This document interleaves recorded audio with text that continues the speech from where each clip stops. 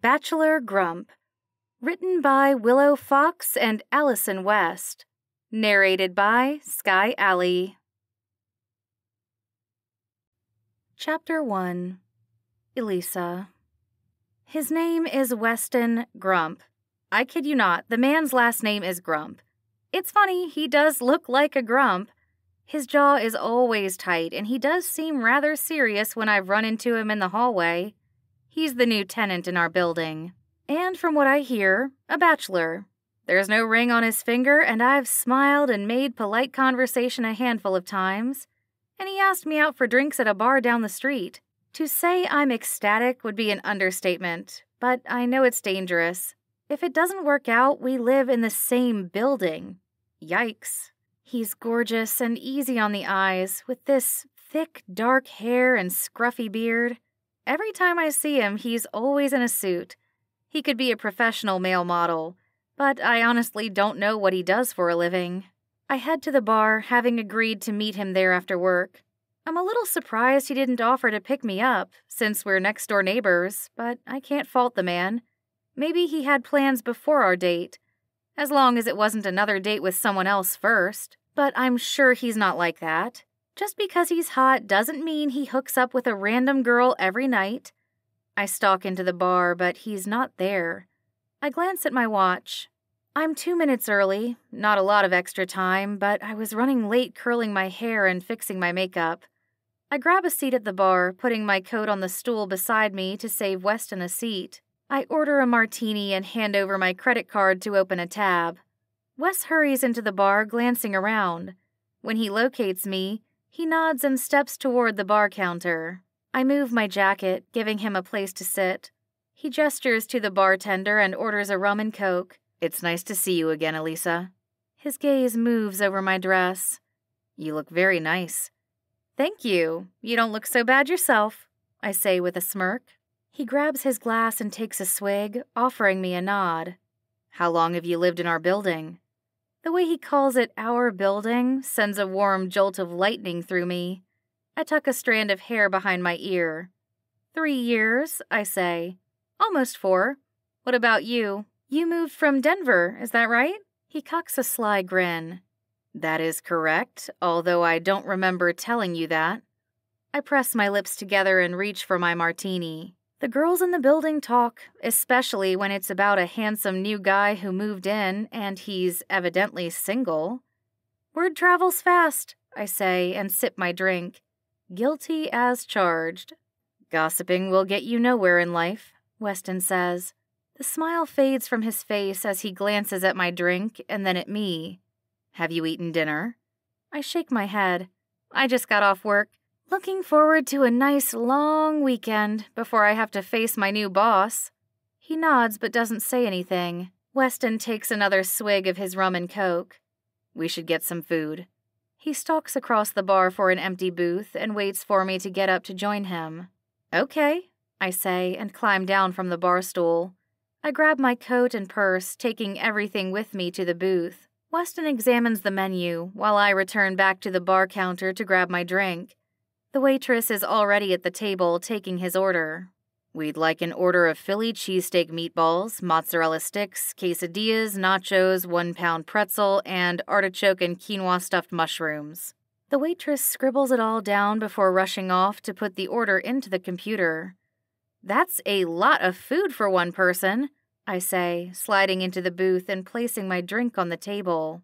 I reach for the menu to look it over. I ordered for both of us. I can't have dairy, I say. Most of what he ordered would make me sick. Six months ago, I had emergency surgery and my gallbladder was removed. Since then, I've been plagued with lactose intolerance. Then I guess you can have the pretzel.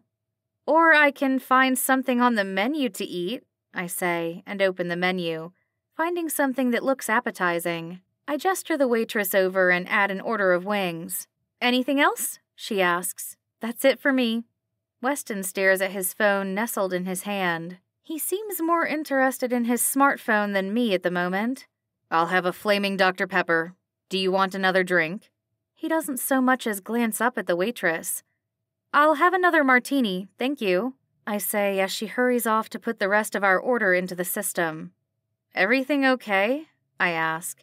Yeah, it's nothing. He shoves his phone into his pocket. Work? I guess. Just some family stuff. He doesn't elaborate. You've been in the building three years, you mentioned. I take it you like it. It's nice. I haven't had any issues with any other tenants. Good. His eyes wander toward the bar, and I shift uncomfortably as he stares at a blonde with another guy. They're having drinks in the spot we vacated. Do you know her? I ask. Who? Weston gives me the clueless look, but I get the feeling that she might be an ex. It doesn't matter. No one. I exhale a sigh and finish the last of my martini, relieved when the waitress brings a second one to the table just in time. There have been rumors that our boss, the executive producer, and more importantly, head of acquisitions, was leaving. I'm not sure whether it was willingly or not, but the gossip has been spreading like wildfire. Elisa, oh my gosh, you got your hair cut short, and I love the new color. It's cute. Sloane is chipper this morning. It looks okay? I ask, worried that it didn't turn out after the disaster of a date. Of course. Why? I exhale a breathy sigh. Well, my next door neighbor and hot date set my hair on fire. What? No way! I wish I were joking. Well, it wasn't his fault. The waitress got bumped into when she lit the flame, and the next thing I know, my head is slammed against the table and there's a jacket on my face. Utterly romantic and mortifying, I mutter. Did you get burned? Sloane asks, her eyes wide. She glances me over, but she doesn't see any evidence of the fire. That's because there isn't any, except for my hair, which went up in seconds. No, thankfully my date was quick to act and pretty much beat me with his coat. Sounds sexy. I'm glad you're okay. Thanks, and it really wasn't. It was embarrassing and just awful. I mean, the date went from bad to worse. Wait, Sloane's mouth drops. That wasn't the worst part? No, it probably was, but he kept eyeing this blonde girl like he wanted to be with her instead of me. I tug my bottom lip between my teeth. Bad date. Date from hell, Sloane corrects me. Oh, did you hear that we're getting a new head of acquisitions? Rumor has it that some new bigwig from out west is getting the executive producer role, and we'll be forced to report to him. I saw John clean out his desk on Friday. Have you seen who they hired? I keep hoping they'll promote someone on our team.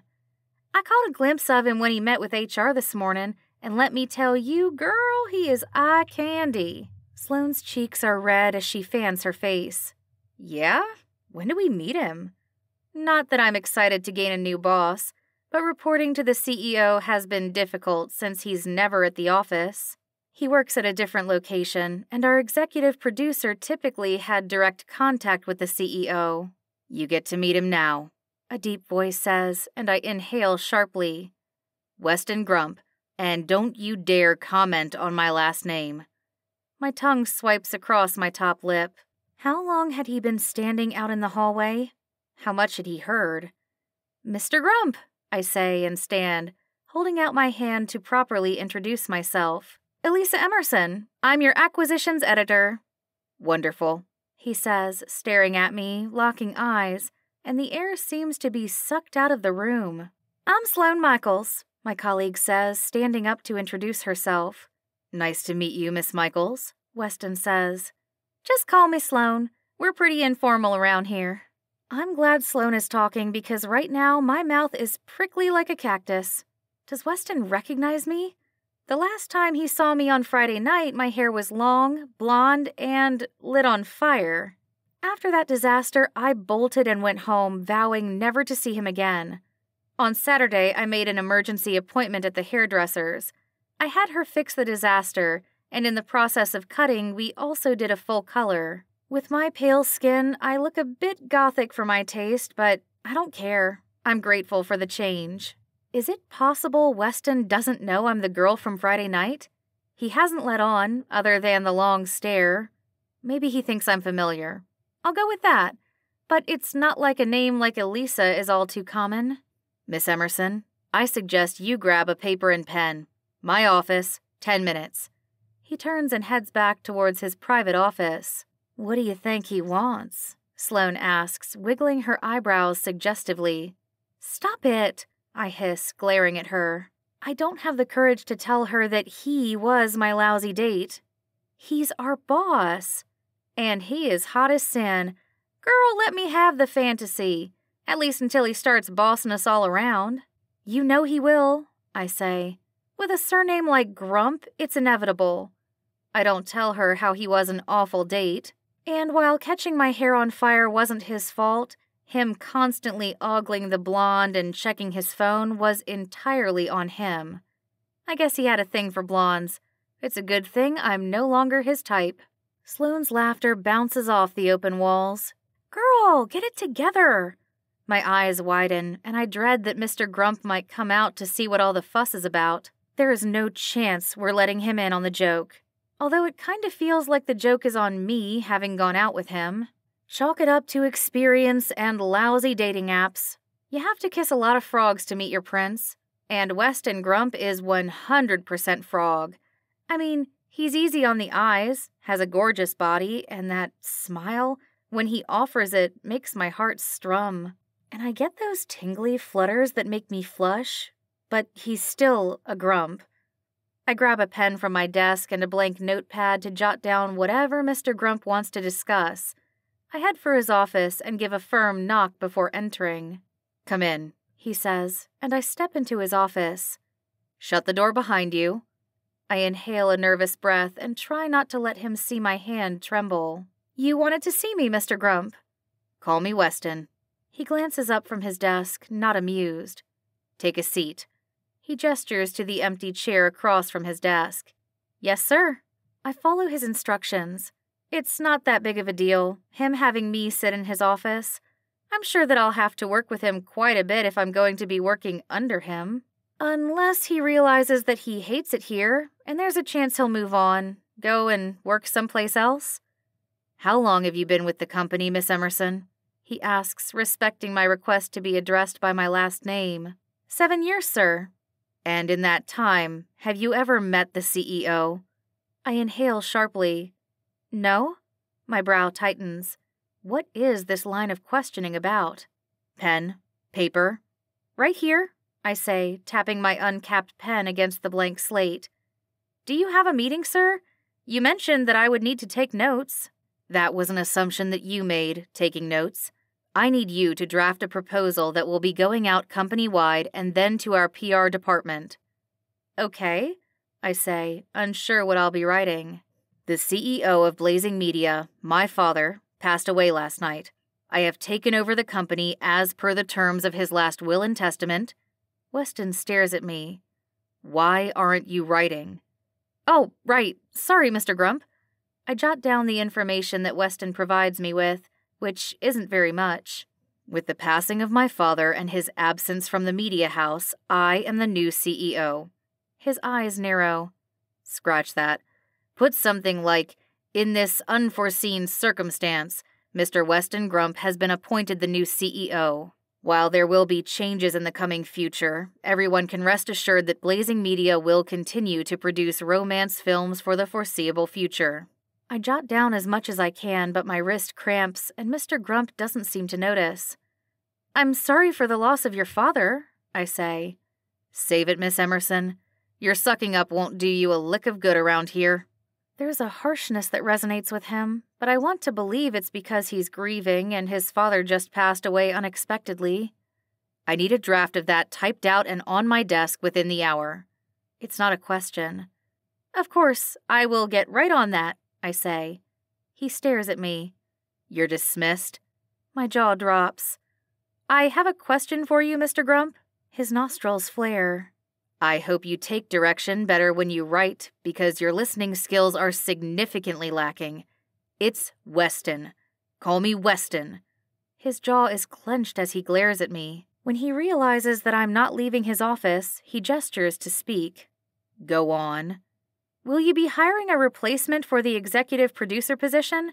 Sloane and I thought that you were the new hire this morning, I say, putting the cap back on my pen. No, we will be under a hiring freeze for the next several months while I examine the books and our profitability to see what is and isn't working around here. My father, technically stepfather, wasn't very hands on with the company. I intend to change that moving forward. Mr. Grump stands and heads to the office door, opening it. You will be reporting directly to me, Miss Emerson. I expect that letter on my desk in 55 minutes. Yes, sir. I hurry out of his office and back to my desk. In a matter of minutes, I'm tapping away at the keyboard. So, any gossip? Sloane asks. He wants me to draft a company wide memo, I say. Anything juicy? I'll give you one hint. He's not the executive producer. Her eyes widen. Savage. Who is he? What's his role? I click away at the keys on the computer, trying my damnedest to get the memo finished ahead of schedule. Not like Mr. Grump gave me a lot of time to finish the email. You'll have to wait, I say, not ready to spill his secrets. She'll find out when he sends the company wide email to all employees. Sloane stares at his office like she's envisioning the man naked or something. I swear she's drooling and obsessed with him. He's hot. Any word if he's married?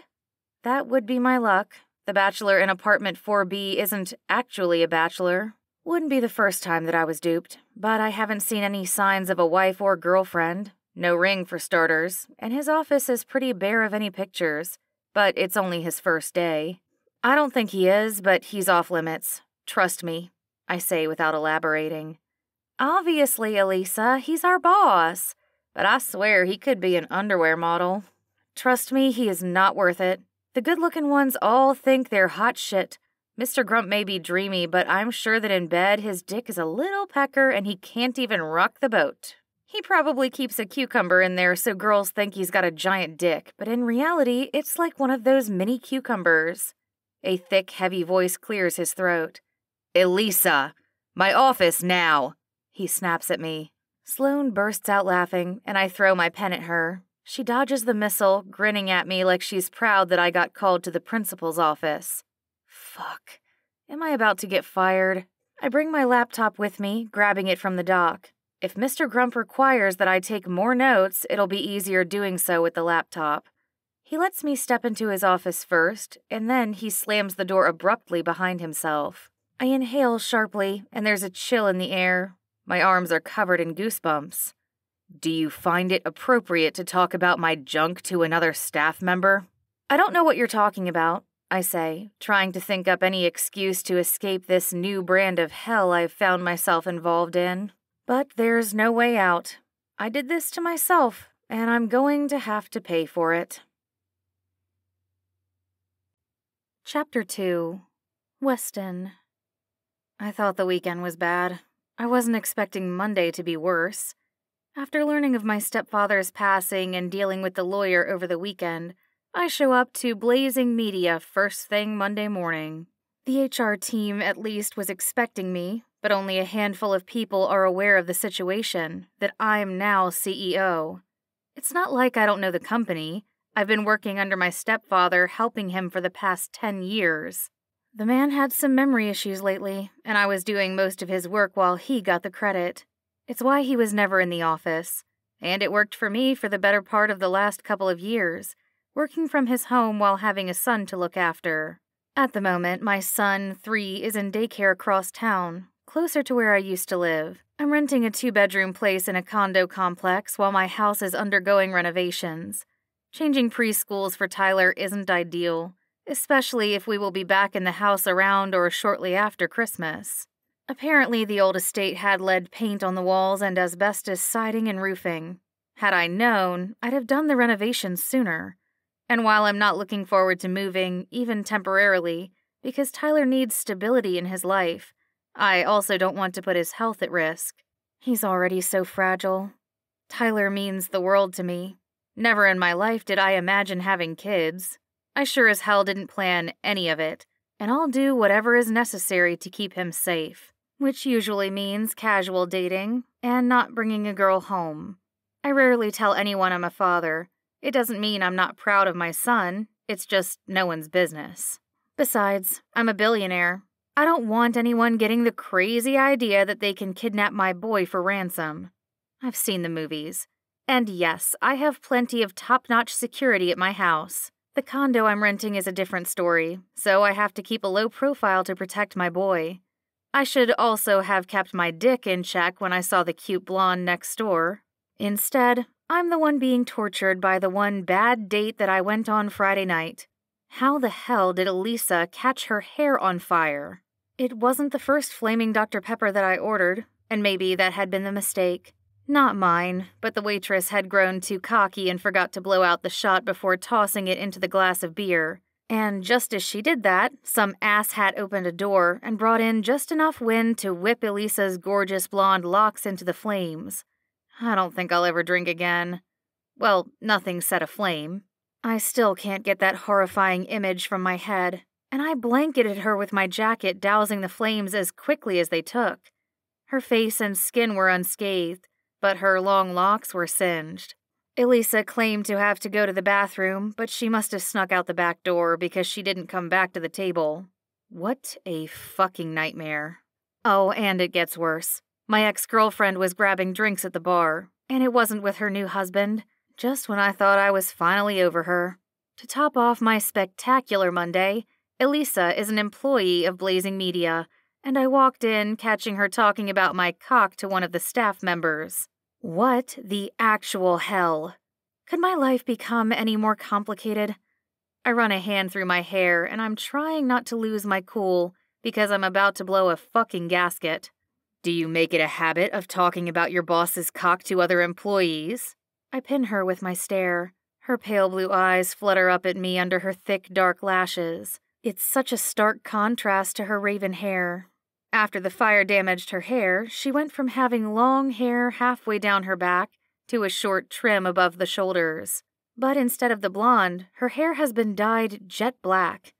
Gothic isn't her color, but I bite my tongue knowing better than to comment on a woman's hairstyle. No, sir, Elisa says. It was completely out of line. Damn straight, I growl. Did you tell gossipy Sloane about Friday night? She bites down on her bottom lip. Guilty as charged. Shit. I exhale a breath. Do I need to inform HR about what occurred prior to us working together? She's quick to shake her head. No, that isn't necessary. We had one lousy date. We both know that it won't ever happen again. Good, I say, glad she's on the same page. I don't appreciate being ditched during a date. Even if I wasn't on my A game, I wasn't the one who lit her hair on fire. She didn't have to run out the back door. I'd have taken her home if she wanted to leave. I can be a gentleman when the moment arises. She exhales a shaky breath. Is there anything else? I'm almost done with the draft that you requested. Her laptop is clutched in her hands. Sit. I gesture to the chair. Show me what you've done. I'm not a monster, contrary to popular belief. I am, however, laser focused, and I always get what I want. Elisa opens her laptop and reviews with me the letter that she's compiled. I make a few suggestions and tweaks before having her email me the final version, which I will send out to all staff members. Is there anything else? Elisa asks, although it's obvious it's more out of necessity than desire. She wants to run back to her desk and get as far from me as possible. Yes, you're going to be my executive assistant in addition to your acquisitions responsibilities. Excuse me? Isn't there someone else better qualified for that role? She's not wrong. It's not that her experience is limited or lacking, it's more a matter of the two of us working side by side being dangerous. Not that we'll wind up in bed together. One of us is more than likely to end up dead.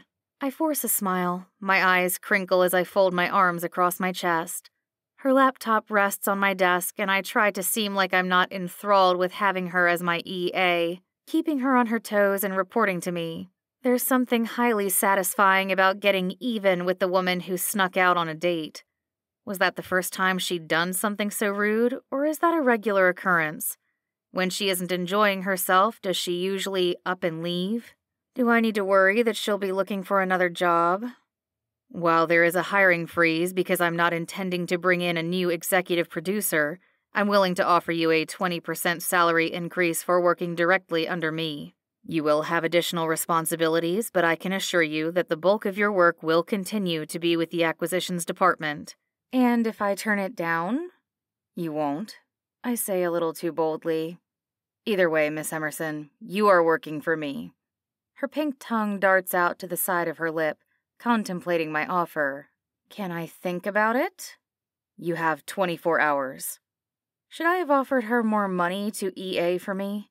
I hate to admit that I don't even know what she makes, and I'm not about to ask her either. I'll go to HR later and do a little investigative digging to see if my 20% offer was good enough. Is there anything else? She asks. It's obvious she doesn't want to be in the same room as me. She can barely look me in the eye. I consider bringing up our evening, her bailing, but think better of it. Now is not the time to be sore for the way she treated me. There are plenty of single ladies in Manhattan. Besides, dating a coworker and, better yet, an employee is frowned upon. And the fact that I'm CEO and no longer just an employee, nope, I will not be pursuing Miss Emerson. That depends. Do you plan on being of assistance? Are you going to run to the bathroom and leave me with everything, including the bill? Okay, for the record, I didn't intend to say those words. I swore to myself I wouldn't, and then it comes out unwillingly because she riles me up inside. Just looking at her stirs emotions I shouldn't have brewing. Her mouth drops and her eyes widen. That is highly inappropriate, Elisa says, and she is right. But I don't care. I've already crossed the line. I brought it up, and now it's too late to undo said damage. I usually wouldn't mind paying for drinks, dinner, a night out with a beautiful woman, but having her escape through the back door on her way to the bathroom is a little juvenile, even for you, Elisa. It's Miss Emerson, she corrects me. Why stop now? I'm on a rant and I can't help myself. I step closer, my gaze moving over her body and back up to her face. The black doesn't suit you, Miss Emerson. I say. My dress? She asks and glances down at what she's wearing, obviously flustered by my brashness.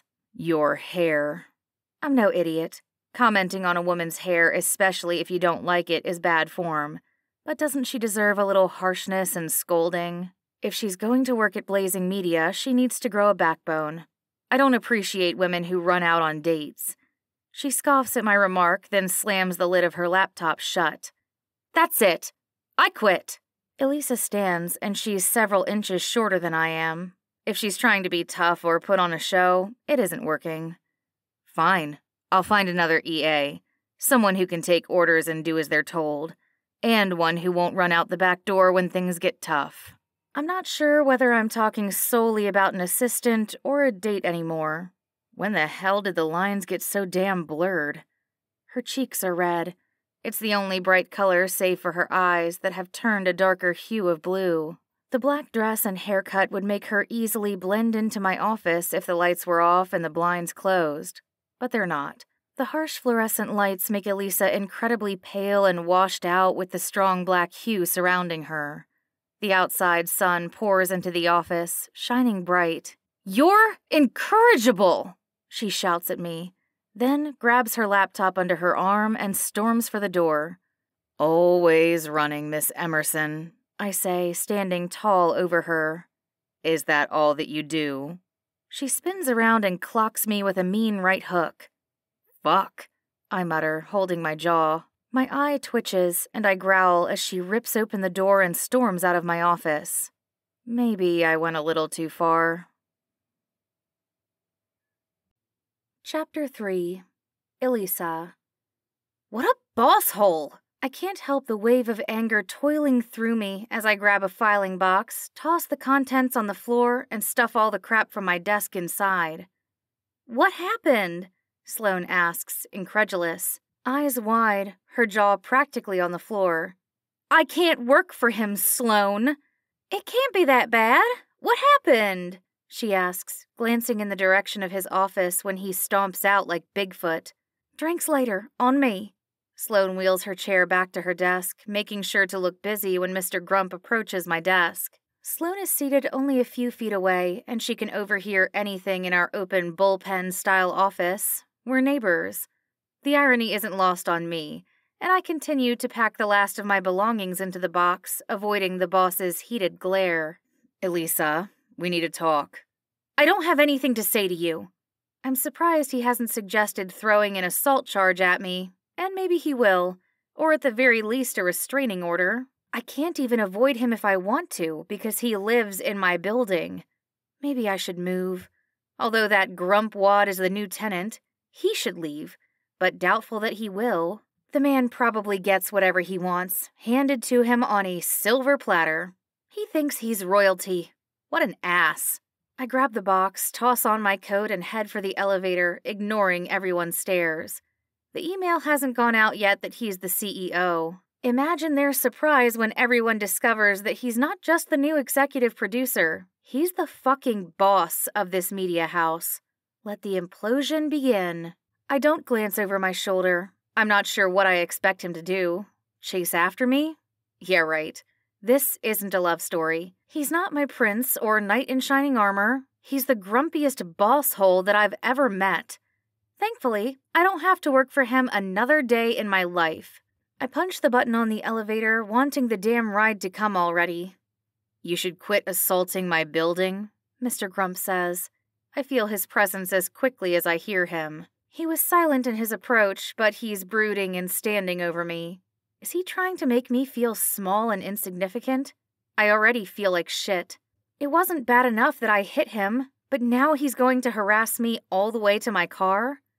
It'd be wise for you to back up, I warn. The elevator doors open, but it doesn't feel quick enough. I hurry into the elevator cart and he leans in, pushing the button for the parking garage. He doesn't step into the elevator. Your keycard will be disabled as soon as you leave the parking garage. Fine. I shrug like it doesn't matter. In case you haven't figured it out, I'm quitting, Mr. Grump. I'm not returning to your office, and I swear if you contact me in my condo, you'll what? He seethes, glancing me over, like I'm too small to pose any real danger to him. I'll file a restraining order, I pipe up. He laughs darkly. Seriously? You pummeled me, and you're the one wanting an order of protection. Real original, darling. He purrs at me. I punch the elevator's door close button and am relieved when it finally closes. Too bad it's not on his face. I want to scream, shout, Beat the hell out of the elevator, but what good will that do? Weston Grump is a pain in my ass no more. I head to my car, pop the trunk, and drop the box inside. Hurrying around to the front seat, I climb in and hurry out of the parking garage. I don't want another run in with Grumpwad, although I'm just as likely to see him in the building where I live. I couldn't deal with the grump hole, so I walked out on his first day as CEO, I say. Claire and I met a few months ago when I went to a book conference. She was there because of her love of reading. I was there to spot talent and find the next great book to become a movie. Claire is a nanny and soon to be mother to this sweet little girl, Amelia. Oh my gosh! Claire squeals. And you said you punched him? What? Sloane's jaw drops. It's the three of us grabbing drinks to celebrate my freedom. I feel bad for Sloane having to put up with his antics, but at least she didn't try to date him. I guess Sloane missed that part of the story. I had called Claire to tell her that I punched my new boss, who happens to be my bad date from last weekend, and can she do drinks because I need to vent. Yeah, I may have clocked him in the jaw when he brought up the date from hell. And get this he didn't apologize about my hair catching on fire, or the way he kept checking out the blonde or staring at his phone. Nope. He was mad that I left his ass and made him pick up the check, which was his anyways, since I didn't touch the food and he ordered for the table. Table? Like there were more than the two of you on the date? Claire asks, trying to catch up.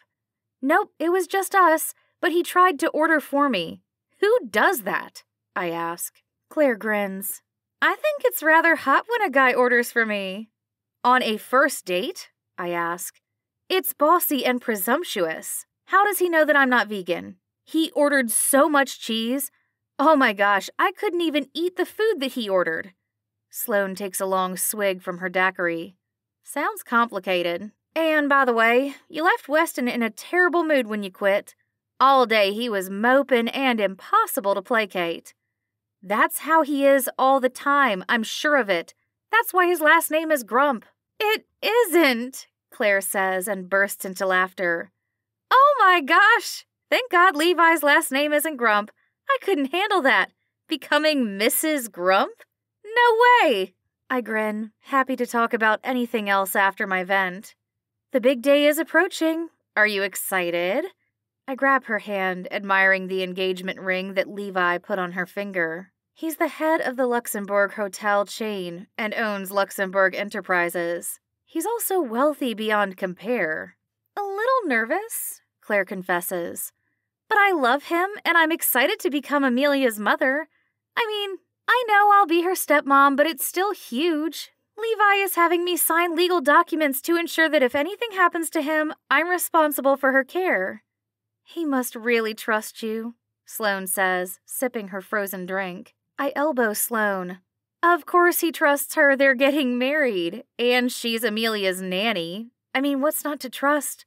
To Claire, I add, You're great with kids. If I had children, I'd trust you with mine. When's the wedding? Sloane asks. In a couple of weeks. Which reminds me, do you have your dress? Claire asks. She's having me stand in as a bridesmaid for her wedding. They're planning something intimate at the cabin they just bought, which seems ironic for a billionaire. But it's what Claire wants, nothing flashy. And I get the impression Levi prefers it that way as well. I do, but I can't believe you're going to have an outdoor wedding in winter, I squeal. Are you crazy? Sloane asks. Like here, in New York? We're doing a very quick ceremony outside. There will be outdoor heaters, those torches that are propane and portable, to help keep everyone warm during our vows. The reception will be inside. And, oh my gosh, I didn't tell you about my dress, Claire says. No, you didn't. I'm still surprised she has me as part of the wedding party. We've only been friends for a few months, but I couldn't say no. It's black. You have a black wedding dress? Sloane's jaw drops. I laugh and nod. Claire isn't very traditional. Neither is Levi, which is perfect, she says. He's fine with whatever I want. Not that I've let him see the dress. That would be bad luck. Besides, I've done the white gown with a giant wedding, and that didn't work out. I didn't realize you were previously married, I say. Claire waves her hand dismissively. Long story. He was a narcissistic ass who controlled every inch of my life. From what I wore to whom I could visit. That's when Levi and I met, when I came to New York after my divorce was finalized. I needed a place to stay. There was a mix up, and I kind of insinuated that he kidnapped his daughter. No way, Sloane gasps. Well, Amelia did say he wasn't her father. I was tipsy, and, well, they had just been acquainted, so she was a bit confused about the situation, and the rest is history. She finishes her mocktail and orders another. Are you pregnant? I ask. Claire is gorgeous and full of curves. She doesn't appear to be showing, but the fact that she's not drinking alcohol on a girls' night out at the bar has me questioning her reasons. No, Claire says with a laugh. But we're trying. We've been trying for a while, and I'm ovulating, so I don't want to have any alcohol in case we try conceiving tonight. You slut, I tease. Sleeping with a man who's about to be wed? My fiance? Claire chuckles. Oh my gosh, don't tell me you're saving yourself for your wedding day because. Sloane cuts her off. Mr. Grump just walked in. No way! Claire's eyes widen and she turns her attention to the door. Which one? For a girl who's completely sober, she's still really loud. However, the bar is rather crowded and noisy. Someone recently turned up the music, which made everyone have to shout louder if they wanted to talk. The hottie in a white dress shirt and black tie, thick black hair. Sloane points him out without literally pointing at him. Claire's attention lands right on Weston. Wowzers, he's hot. I mean, he's not as hot as my fiance, but damn. He could totally be an Italian stallion in the sheets. Or a grumpwad freak, I interject and glance away. I don't want him seeing me. Can we switch seats? I ask, wanting them to shield me from his view. He can't be that bad, Claire quips. No, he is, Sloane says. He was awful after you left, demanding an insane workload be completed within the hour. He gave me six new projects to do in addition to the regular workload, which is already insane. Like, the guy doesn't understand that research is often involved. Half the office staff quit. No way. I gasp and cover my lips. I want to quit, but I can't afford to walk out, Sloane says. Yeah, me either. I finish my martini, and while I want another, I don't want to risk wandering up to the bar and coming face to face with Mr. Grump. I need to find another job pronto. You will, Claire says. I can talk to Levi and see what openings we have available. That's sweet. I'm going to apply to some other media houses first. If that doesn't pan out, I might take you up on it, I say.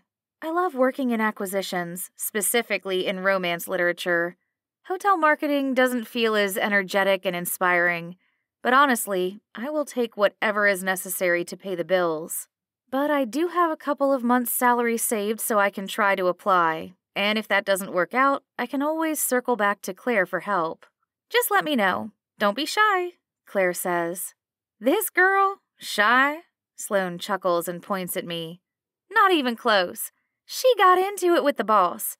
Are you sure you want her working for your fiance? I smack Sloane's arm. You're terrible. I'm just kidding, I swear. You deserve to find a job with a boss who adores you, worships you, and pays you what you deserve, Sloane says. Seriously, I'm glad you quit when you did. Why's that? I ask. Because it made everyone realize how awful a boss he is, and I just keep hoping that he resigns or hires someone else to manage the company and he's not so hands on. Like how his father used to run the media house, Sloane says. He's too much of a jerk to walk away and let someone else run the company. I run my finger over my empty martini glass.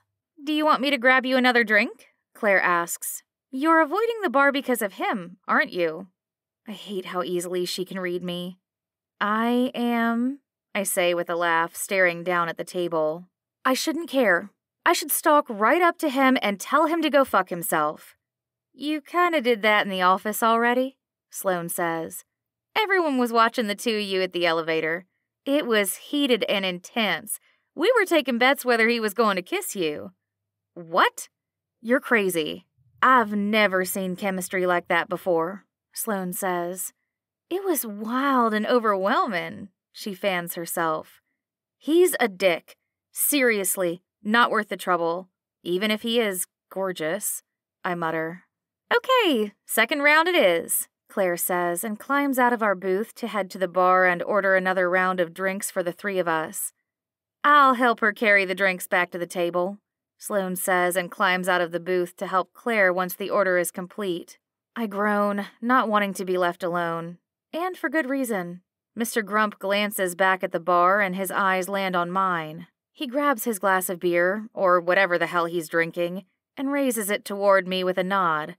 Why the hell is he giving me a smile? Like he's happy that I'm here, wallowing in my own self made misery. Okay, well, some of it was self made. I did land a physical blow to Mr. Grump, but he said quite a few inappropriate and unnecessary remarks to me in his office. Still, fighting and being aggressive isn't the answer. My parents would not be proud of me. Hell, I'm not feeling too proud of myself either right now. Mr. Grump pushes himself off his stool and heads toward me. Oh, hell no. I'm scowling, and I'd really like that martini, even if it only makes it into Grumpwad's face. It'd be a waste of a perfectly good martini, but well worth the $12 for a drink.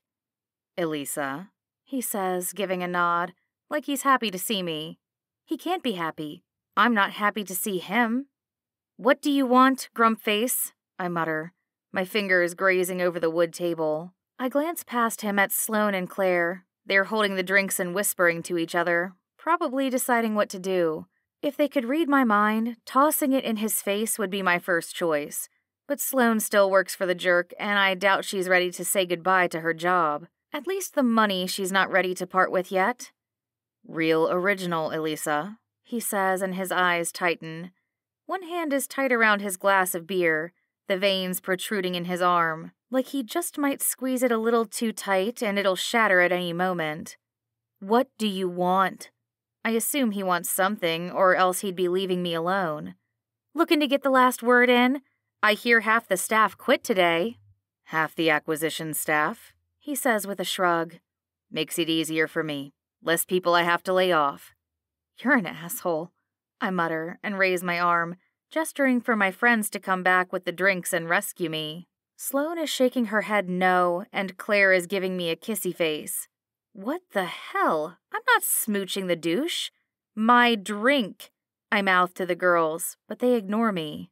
Looks like you're fresh out of martini. I'd offer to buy you another drink, but you might not stick around until it comes, Mr. Grump says. What do you know about sticking around until anything comes? I purr. You're probably a two minute man. He snorts under his breath and sips his beer, his eyes raking over me. I swear the man is undressing me with his gaze, and I shift uncomfortably. What do you want? I ask. Did you come over here to gloat that you got rid of me without even having to pay severance? His brow furrows and he's silent. After a moment, he glances down at the empty glass. How many of those have you had? Why? I glare up at him. I'm just deciding whether you're a mean drunk or just mean all the damn time. He takes another swig, this time finishing the last of his beer. He slams the empty glass on the table with a purpose. All the time when I'm around you. He places both hands on the table, his head leaning down, invading my personal space. The heat radiates between us, sizzles like electricity, and I feel pulled toward him. I shouldn't want to kiss him, but his proximity does something to me. Maybe it's the pheromones and his scent that make me lean in and gravitate toward him like a celestial body that I can't escape. He's a black hole about to suck me in and steal my last breaths of air. His lips lower as he hovers over me, and I stare up at him, snarling with disgust. But my body isn't responding the way my mind wants it to. My heart flutters like it did when he first asked me out, and my insides are warm and tingly. I feel betrayed by my own internal reactions that I can't control. A soft puff of air escapes my lips, and he's just standing there hovering, bathing me in his scent. I want to find it repulsive, like I find him impossible to bear, but instead I lean toward him. You're a grumpwad, I say, staring at him, daring him to fire back his best shot at me. You make me that way, sweetheart. There's a wicked grin on his face. Don't call me sweetheart. I seethe and clench my fists. My top lip snarls at him. I'll call you whatever I damn well please. Mr. Grump says with a smirk, and his dark brown eyes flicker with mirth. The man needs an attitude adjustment. I will not hit my boss. I will not hit my ex boss. I will not hit anyone. I repeat the silent mantra, trying to remind myself that violence isn't the answer, even if I want to pummel this man to the floor and dominate him. Shit. Where did those lurid thoughts come from? I tilt my head past him looking for my friends. Claire and Sloane have now taken up residence at the bar, drinking my martini. Gah! Some friends they are, leaving me with Mr. Grump. Your friends aren't coming to save you, he says. He is too damn astute. Yeah, well, I didn't like them much anyhow, I mutter under my breath. Not that I'm throwing away two friendships over the shit that they just pulled, but they will get an ear bashing later. Why does he rile me up inside? My tongue darts out and I swipe my top lip. Unlike earlier today when my mouth felt like a cactus and prickly, I realize that he's staring at my lips. Was he doing that before, or is that the alcohol that's making him drop his guard and lose the hidden facade of a tough guy that he portrays oh so well? When I realize he's staring at my lips and leans in, I do it again. This time I let my tongue slowly trail over my bottom lip. Mr. Grump growls at me and lunges forward. His lips nearly touch mine, but he has some restraint buried deep that comes out, stopping him from kissing me. Damn his self control. Wait, why do I want him to kiss me? He's the ultimate grump, the biggest ass on the planet, and I'm getting feelings for him? No, absolutely not. I refuse to let the butterflies be anything more than a result of anger and adrenaline. Of course, he's hot, especially with that smoldering look in his eyes, but that's all it is. The minute he opens his mouth, it's gone. Kaput. He's the devil. You're responsible for half the acquisitions team walking out, Miss Emerson. We're back to this again, I say and pout. Am I disappointed that he turned the tables back on me and is bragging up what happened at the office? Yes, Absolutely. I wanted him to kiss me. No, I wanted him to want to kiss me. That's it. I want him to desire me, fantasize what it would be like with me. But I'm not letting him touch me. He doesn't get to worship this body, heart, or soul. I don't belong to him or anyone else for that matter, and he's never going to get the opportunity to see me naked.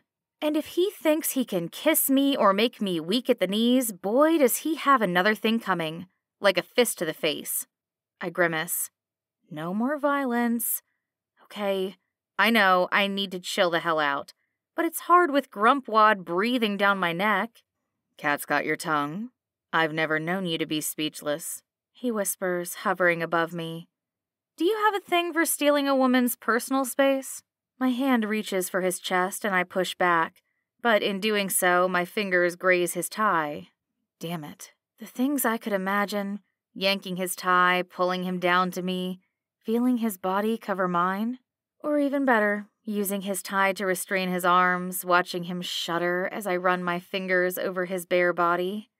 Grumpwad's eyes flicker, and I pray that he hasn't noticed me getting aroused by his presence. It's just anger and emotion, not sexual desire. I don't desire him. He's just decent looking. He's a 10 out of 10, but he's undateable. He's arrogant, domineering, and if that's not bad enough, his name is Mr. Grump. He clears his throat and backs off, standing up taller and straighter, like a spell has just been lifted. He shakes his head and walks away. What the hell? Claire and Sloane have been watching us the entire time. The minute he jets from the table, they're bringing the rest of their half consumed cocktails and mocktails to the booth. I grab mine from Claire, downing the martini in a matter of seconds. My cheeks burn, and the rest of me feels alight. Wow, that's Mr. Grump? Claire says, her mouth hanging open. He's insufferable, I say and bunch my hands into fists. He's kinda hot, Claire whispers and glances at him. His back is to us as he orders another drink at the bar.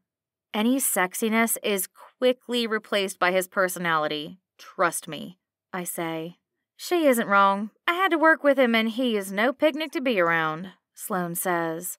But he was looking at you like a feral lion in heat. Is that even a thing? I finish the last of my martini and gesture for Sloane to switch places with me. This time, I'll go to the bar and grab myself another drink. It can't be any worse than what I just dealt with from Mr. Grump. She's going back for seconds, Claire quips as she watches me saunter toward the bartender. Mr. Grump is perched on a stool, nursing his drink, when I breeze up beside him.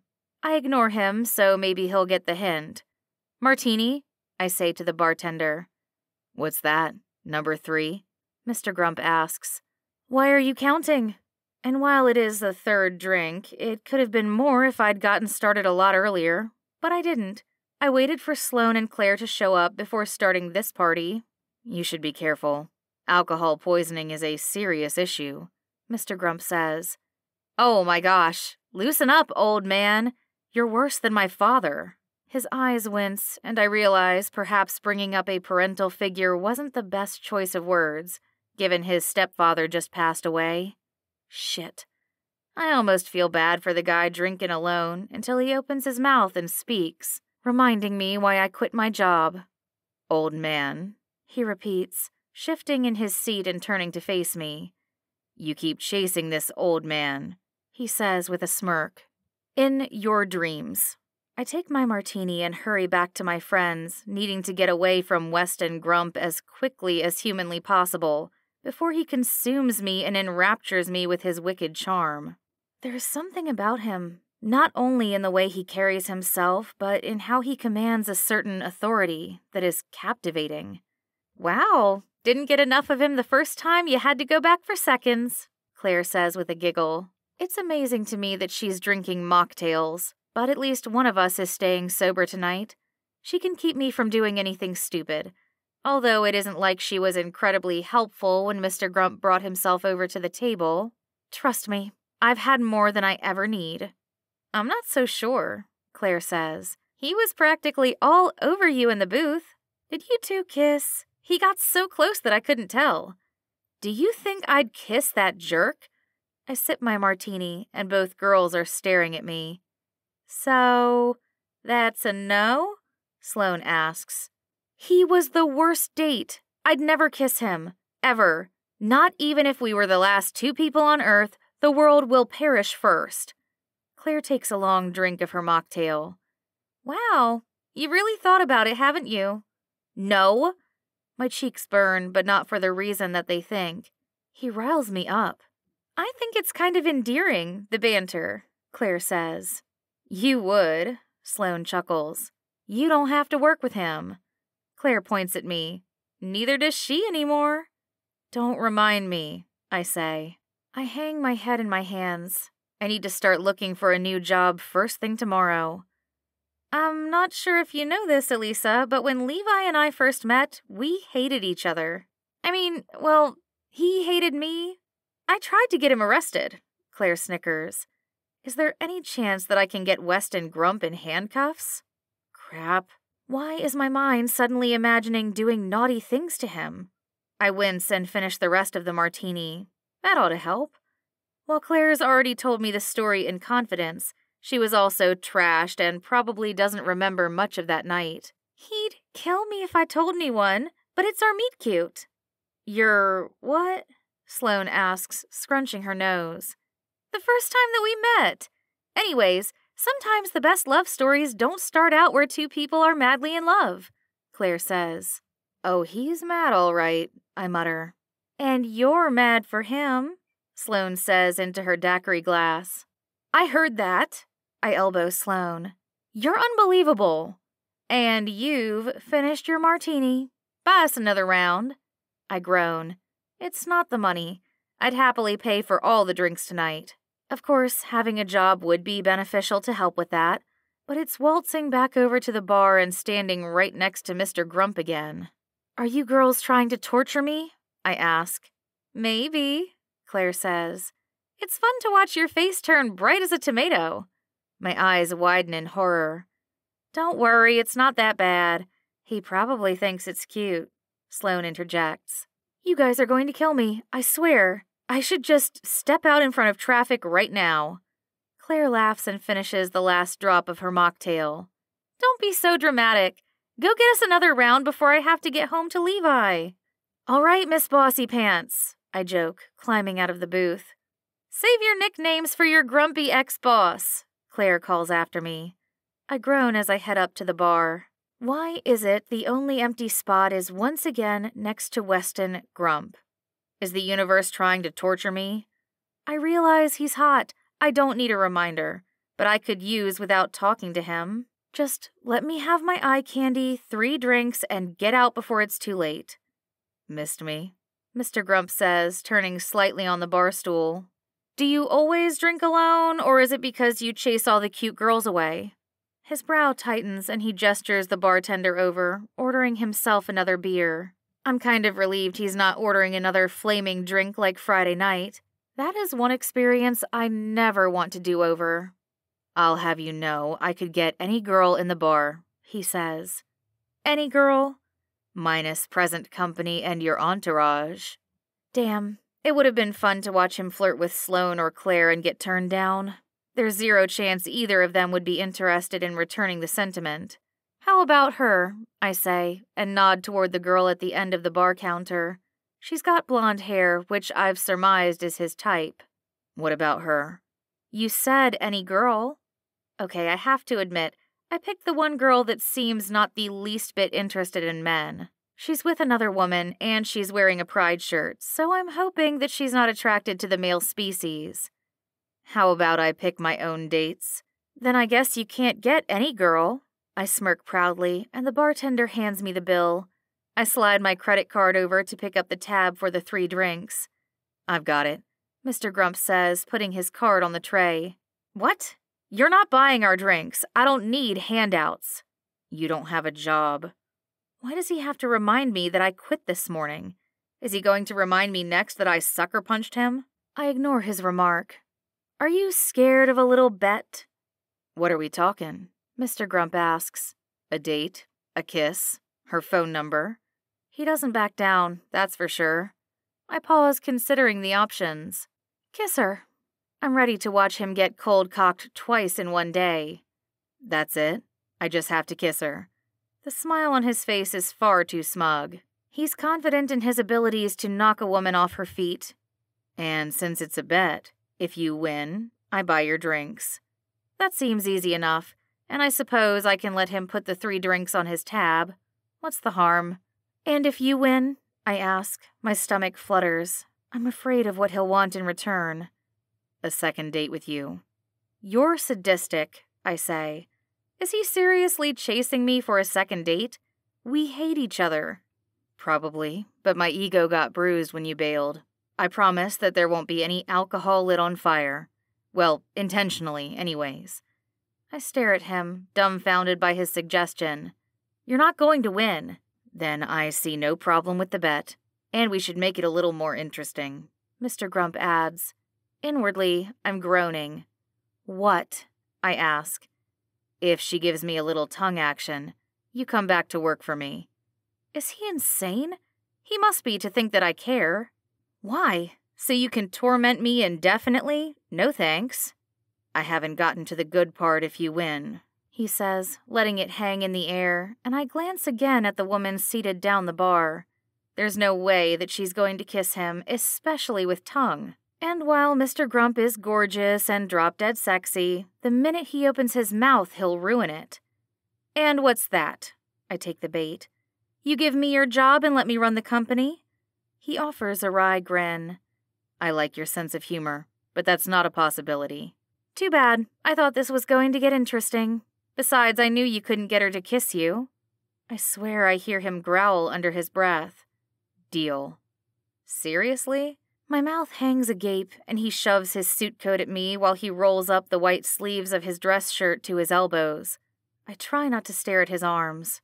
The man is all muscle, and I imagine his biceps are thick, but they're hidden beneath the cotton material. He's still wearing his tie. Jet black, not a hint of color. It seems fitting. The man is plain and boring, although even looking basic, he's still got style. I'm left standing at the bar while he strides across the space like a man on a mission, except I don't want to watch him kiss some random girl in a bar. My hands bunch into fists as I clench his suit coat and wrinkle the hell out of it. He strolls up to her, whispers something into her ear, and she bites on her bottom lip coyly. She can't be falling for it.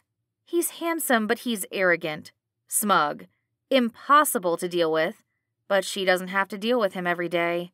All he has to do is convince the girl to kiss him. I should have sized her up a little closer. Is she wearing a wedding or engagement ring? She's too far across the bar to notice her jewelry. Mr. Grump glances back at me, grins, and winks.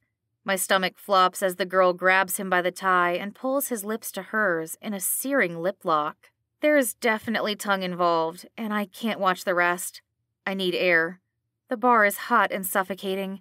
The room spins and my stomach churns. I do not want to get sick, not in front of Weston, although I doubt the man would notice since he's smooching with that girl. I hightail it out of the bar, not caring that I'm ditching Claire and Sloane. They can fend for themselves. Sweat trickles my brow. The cold night air is a welcome relief from the heat of the bar and the moment I just witnessed between the two of them. I shouldn't care. I hate him. He was the absolute worst date I've ever been on, and he's the reason I quit my job. But watching his mouth shoved up against another girl's, his hands in her hair, and hers around his lower back, it was too much. I bunch up his expensive suit coat and stalk down the street, offering it to a homeless man. I could have thrown it in the garage, but someone should get better use out of it. Anger simmers and my hands clench. The more that I think about his hands on her face, in her hair, pulling her closer, like he was enjoying it. I want to throw my head back and scream up at the heavens for bringing me such torment. And he lives in my building. How am I going to face him? I'm going to have to move. That's the only explanation.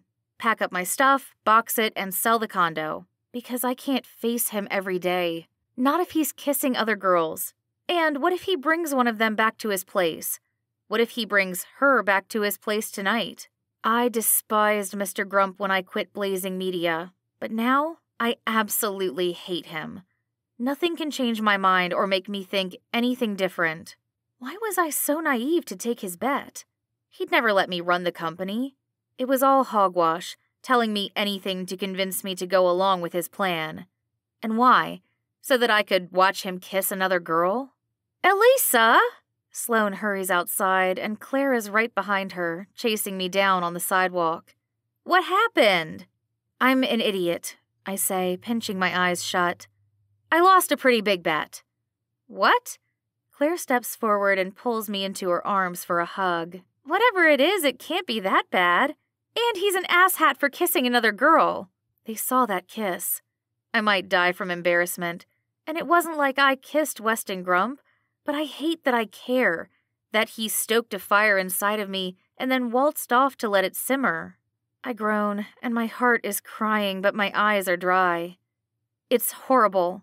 The absolute worst, I say, and I just want to go home and grab a tub of ice cream and wrap myself in a warm blanket. Do you want me to go back into the bar and throw a beer in his face? Sloane asks. Because I'll totally do that for you. That wins me a smile, but it fades the minute I catch sight of Weston exiting the bar. There's a crowd behind him, and I swear if she's leaving with him, I'll throw a fit. I'm being childish and immature, I shouldn't have suggested that he kiss her, but I thought he had zero chance. I made a horrible assumption based on her t shirt that she had zero interest in boys. That was my mistake. Sloane and Claire step in front of me protectively. You need to turn your butt around and go home, Claire says.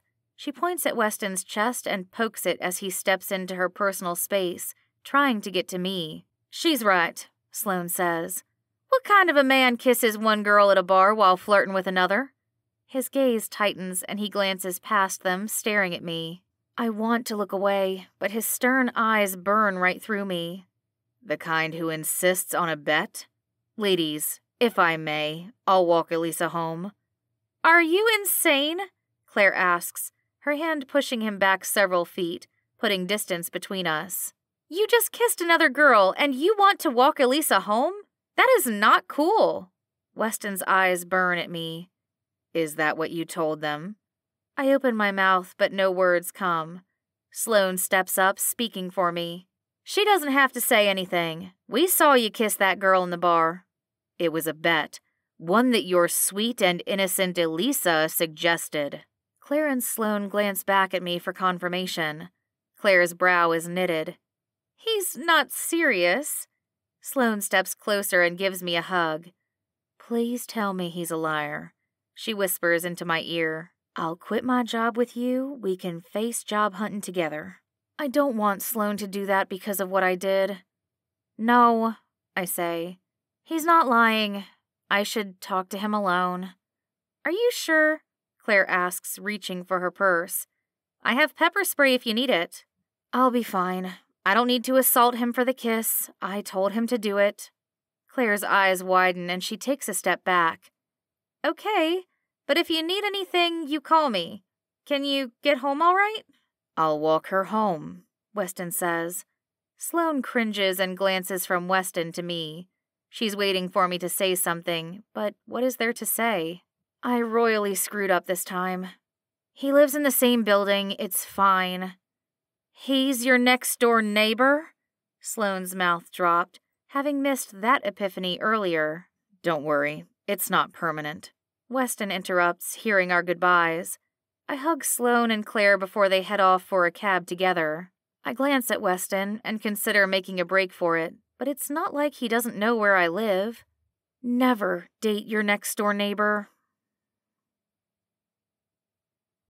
Chapter 4 Weston why did I take Elisa's suggestion and go with it? It's not like I'm innocent. Yes, I kissed the girl Elisa bet me that I couldn't kiss, but it wasn't like there was even a hint of attraction from either of us. I offered her $100,000, and when she said no, I upped it to half a million. That was enough for her to grab me by the tie, and the rest should be history.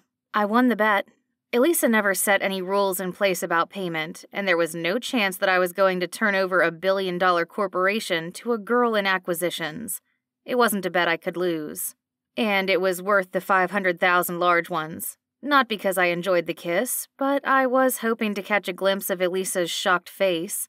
But instead, the moment that I ended the tongue duel, I glanced over my shoulder and she was gone. I cut a very large check to a lucky lady at the bar before following Elisa's friends outside in search of her. Worst case scenario, I could waltz up to her front door and demand she follow through on the bet. While I contemplated keeping it to just a single date, having her work under me is much more inspiring.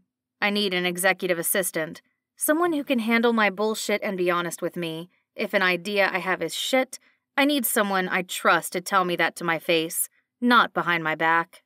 And Elisa is a mystery. Maybe hiring her isn't the best move for the company, but it's what I want. She knows the industry, and she's been around for several years. I did a little background digging, and she's overqualified for her current position with us in acquisitions. She's been a huge part of the recent success of the business, and the 20% raise I offered her for extra work wasn't unreasonable. She could be playing hardball, but I don't get that impression. Elisa wouldn't have walked out if it was about the money, not without having another job available, but none of it matters. I wait for her friends to say goodbye and disperse, leaving Elisa and me alone. We're only a few blocks from the condominium complex. It's cold outside, and I really wish I had my jacket to help warm me up. I didn't bring anything warmer than a suit coat, and that seems to have been abandoned. Where's my coat? I ask, unrolling my sleeves, making them long again.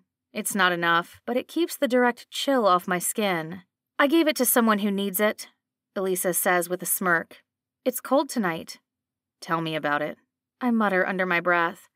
Why? You should be plenty warm after having that girl's hands all over you. I stop walking and grab Elisa by the arm, turning her to face me. Jealous? She inhales a shaky breath. No. Turning, she shrugs out of my grasp. I don't force my hold, letting her take a step back. But I'm right next to her. She's not walking home at this hour alone. Even if we're in a nice part of town, I'm not risking anything happening to her. In case you forgot, you were the one who suggested I kiss her with tongue and picked out the girl. Well, you didn't have to enjoy it, she mutters. You are jealous. It's the only thing that makes sense. But why does she care? We had a lousy date together. She quit her job the minute she found out I'm her boss. Granted, I wasn't exactly warm or welcoming, but she didn't have to bail. No, I'm not. I just hate losing a bet. Is that why she ran outside of the bar and wanted to get away from me? Is working for me that torturous a job? I've never had to manage other employees, let alone an entire company. At least not directly. I had the luxury of hiding behind my computer screen working as my father. And now I have to prove myself all over again.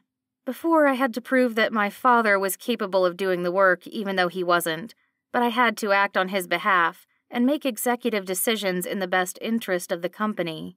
We're not a publicly traded company. There isn't a board of directors or shareholders to whom I'm forced to reveal my hand.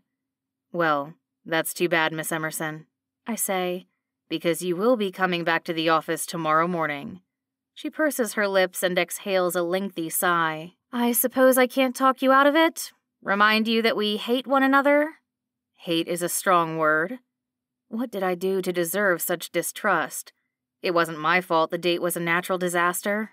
Maybe we're not meant to be anything more than acquaintances, and that's fine with me. Now that I know she works for me, anything else would have to be off limits.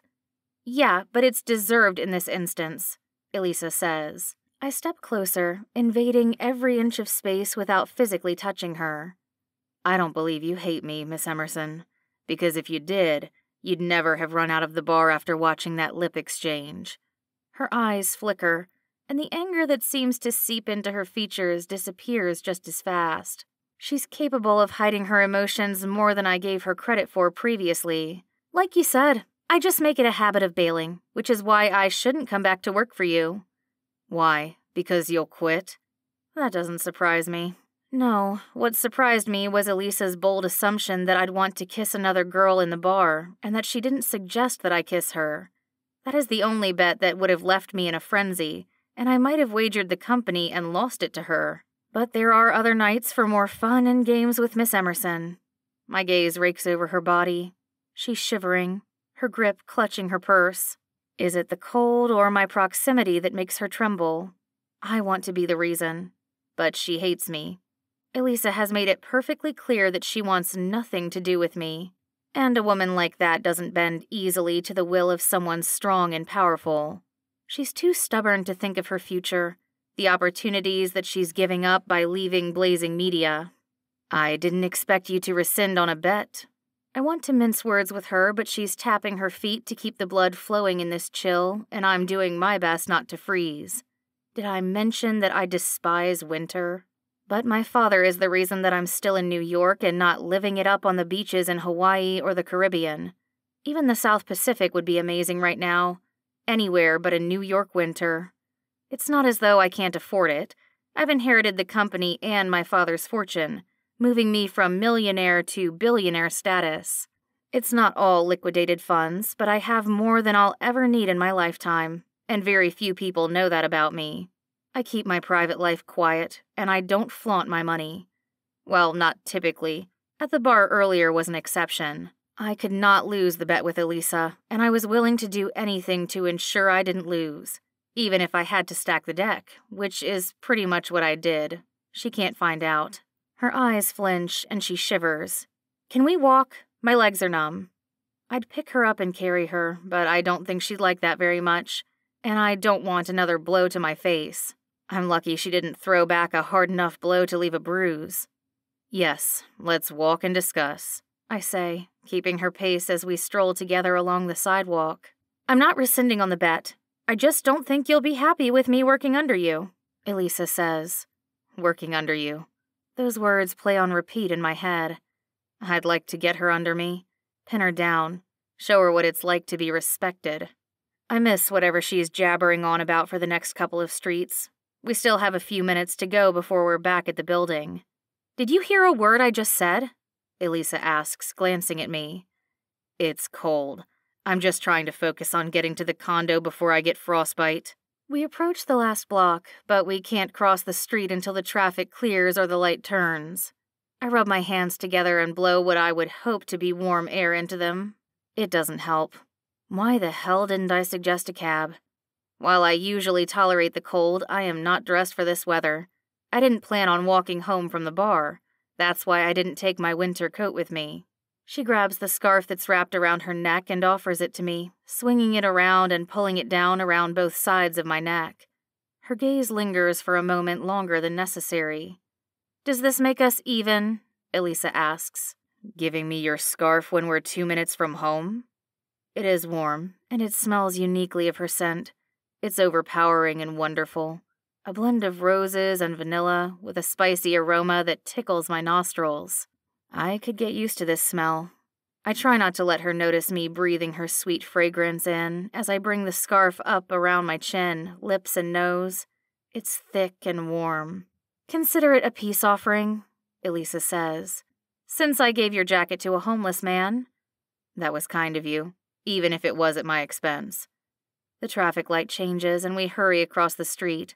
Not because we're worried about getting run over, but we're anxious to get inside a warm building. The minute we approach the foyer, I grab my wallet with the key card positioned on the outside.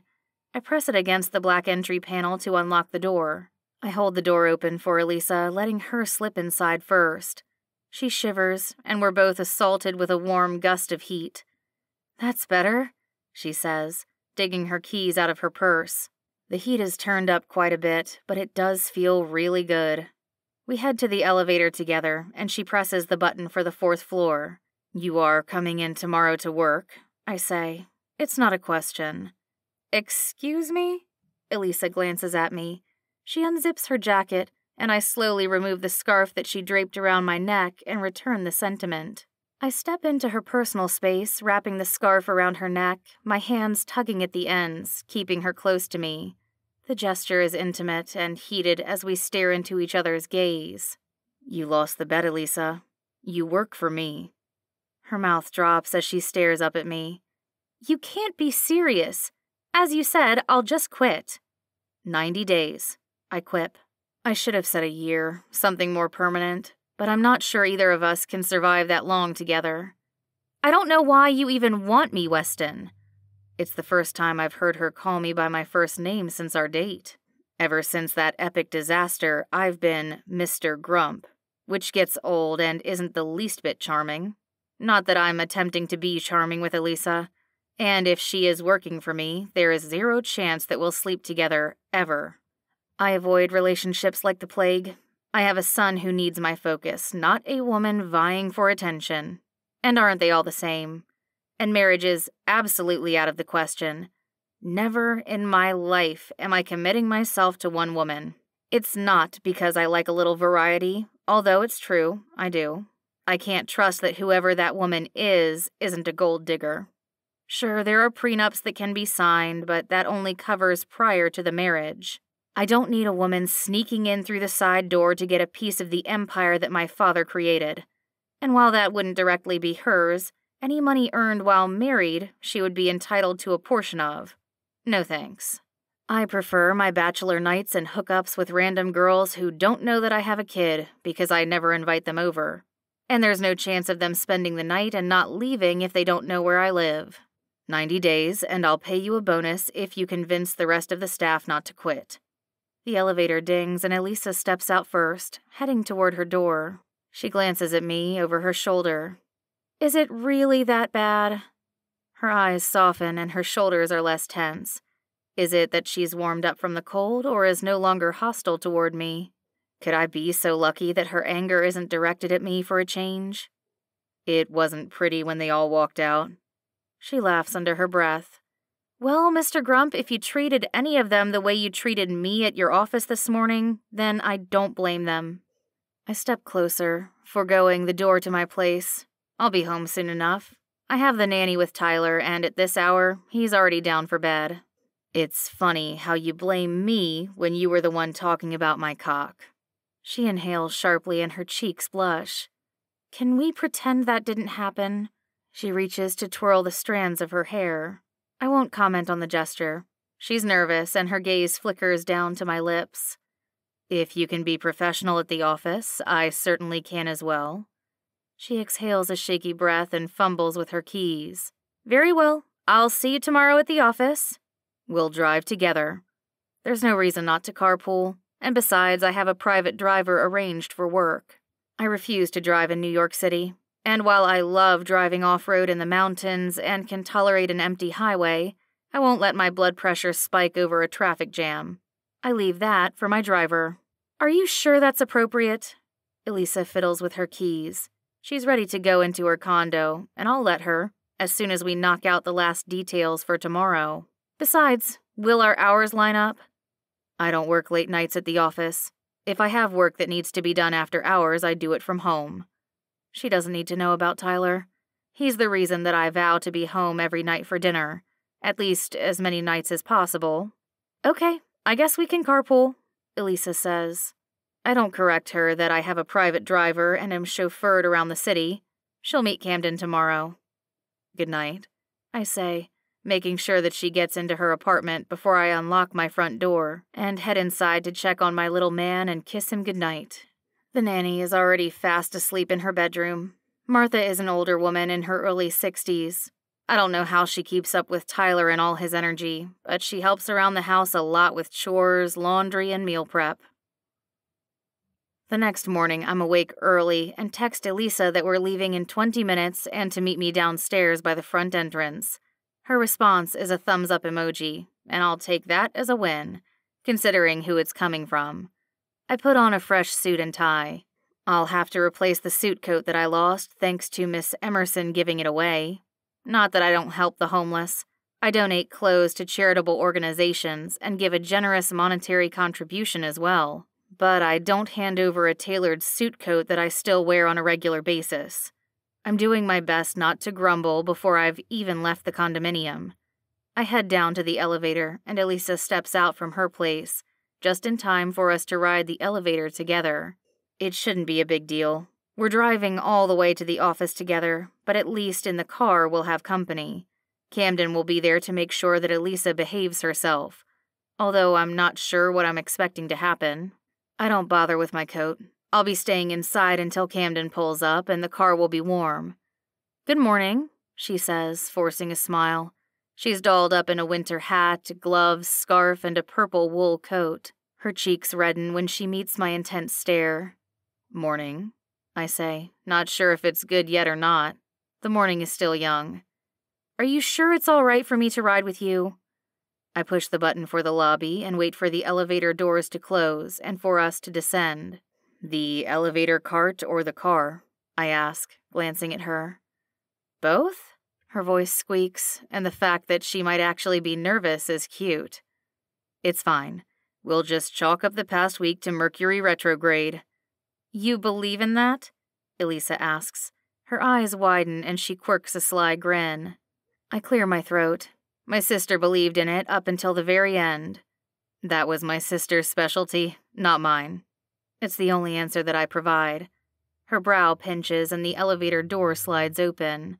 Elisa steps out first, and I follow behind her until we reach the lobby, where I open the door for her and head into the bristling chill. The car is waiting in the loading and unloading zone, flashes on and the motor running. Camden hurries out of the vehicle and comes around to open the back passenger door.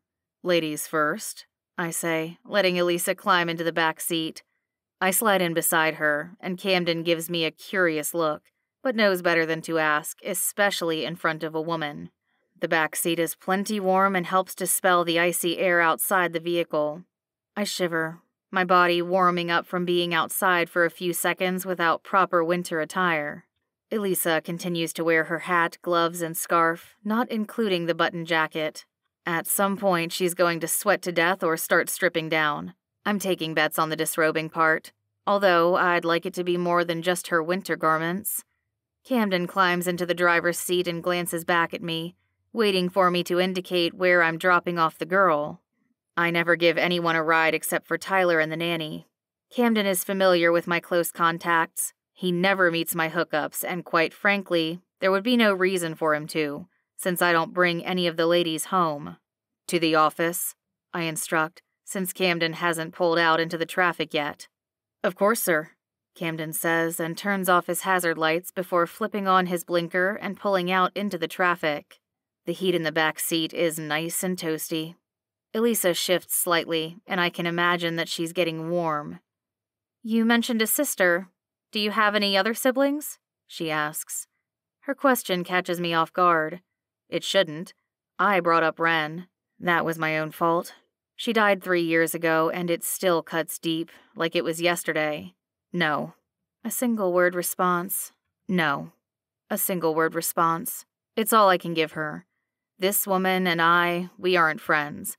I can't give her a part of myself, open up to her, to let her tear me down and destroy me Oh, okay. Will she also have an active role in the media house? Elisa asks. No. It's all that she gets, and all I'm willing to give. Her mouth closes, and I pray it's the last question she has about Wren. Chapter 5 Elisa. The longer I work with Weston, I begin to realize how private a person the man is and how little he reveals of himself.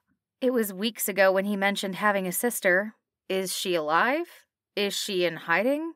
Maybe she has a family of her own and lives in another country. It's strange to me how a father could have two children and give one of them ownership of the company but not both. Unless she's deceased. That would explain Weston's lack of an answer or discussion on the matter. Maybe it hurts too much to talk about. I recognize that it's none of my business and I should leave it well enough alone, just like him. We ride to and from work together.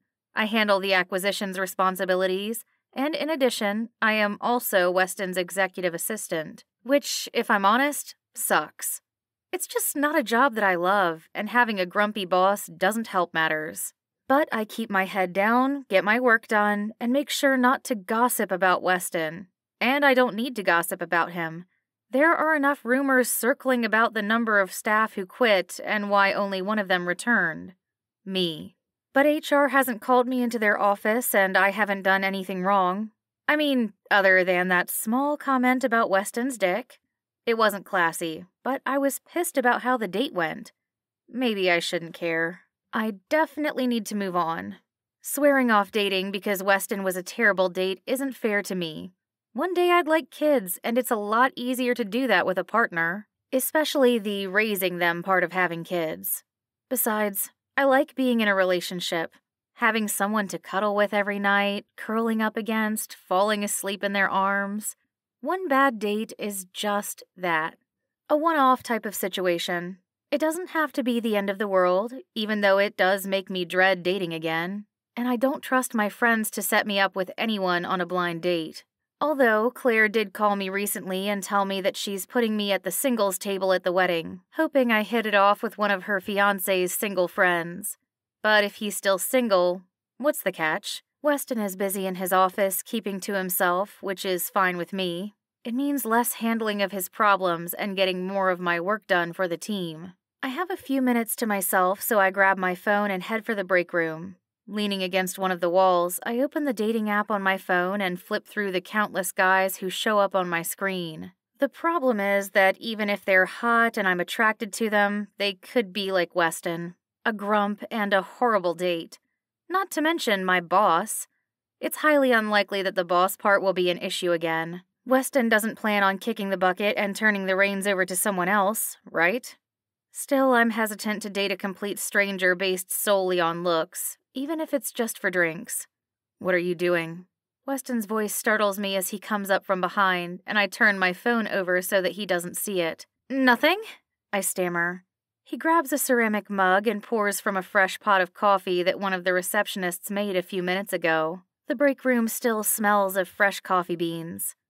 Does that nothing involve online dating?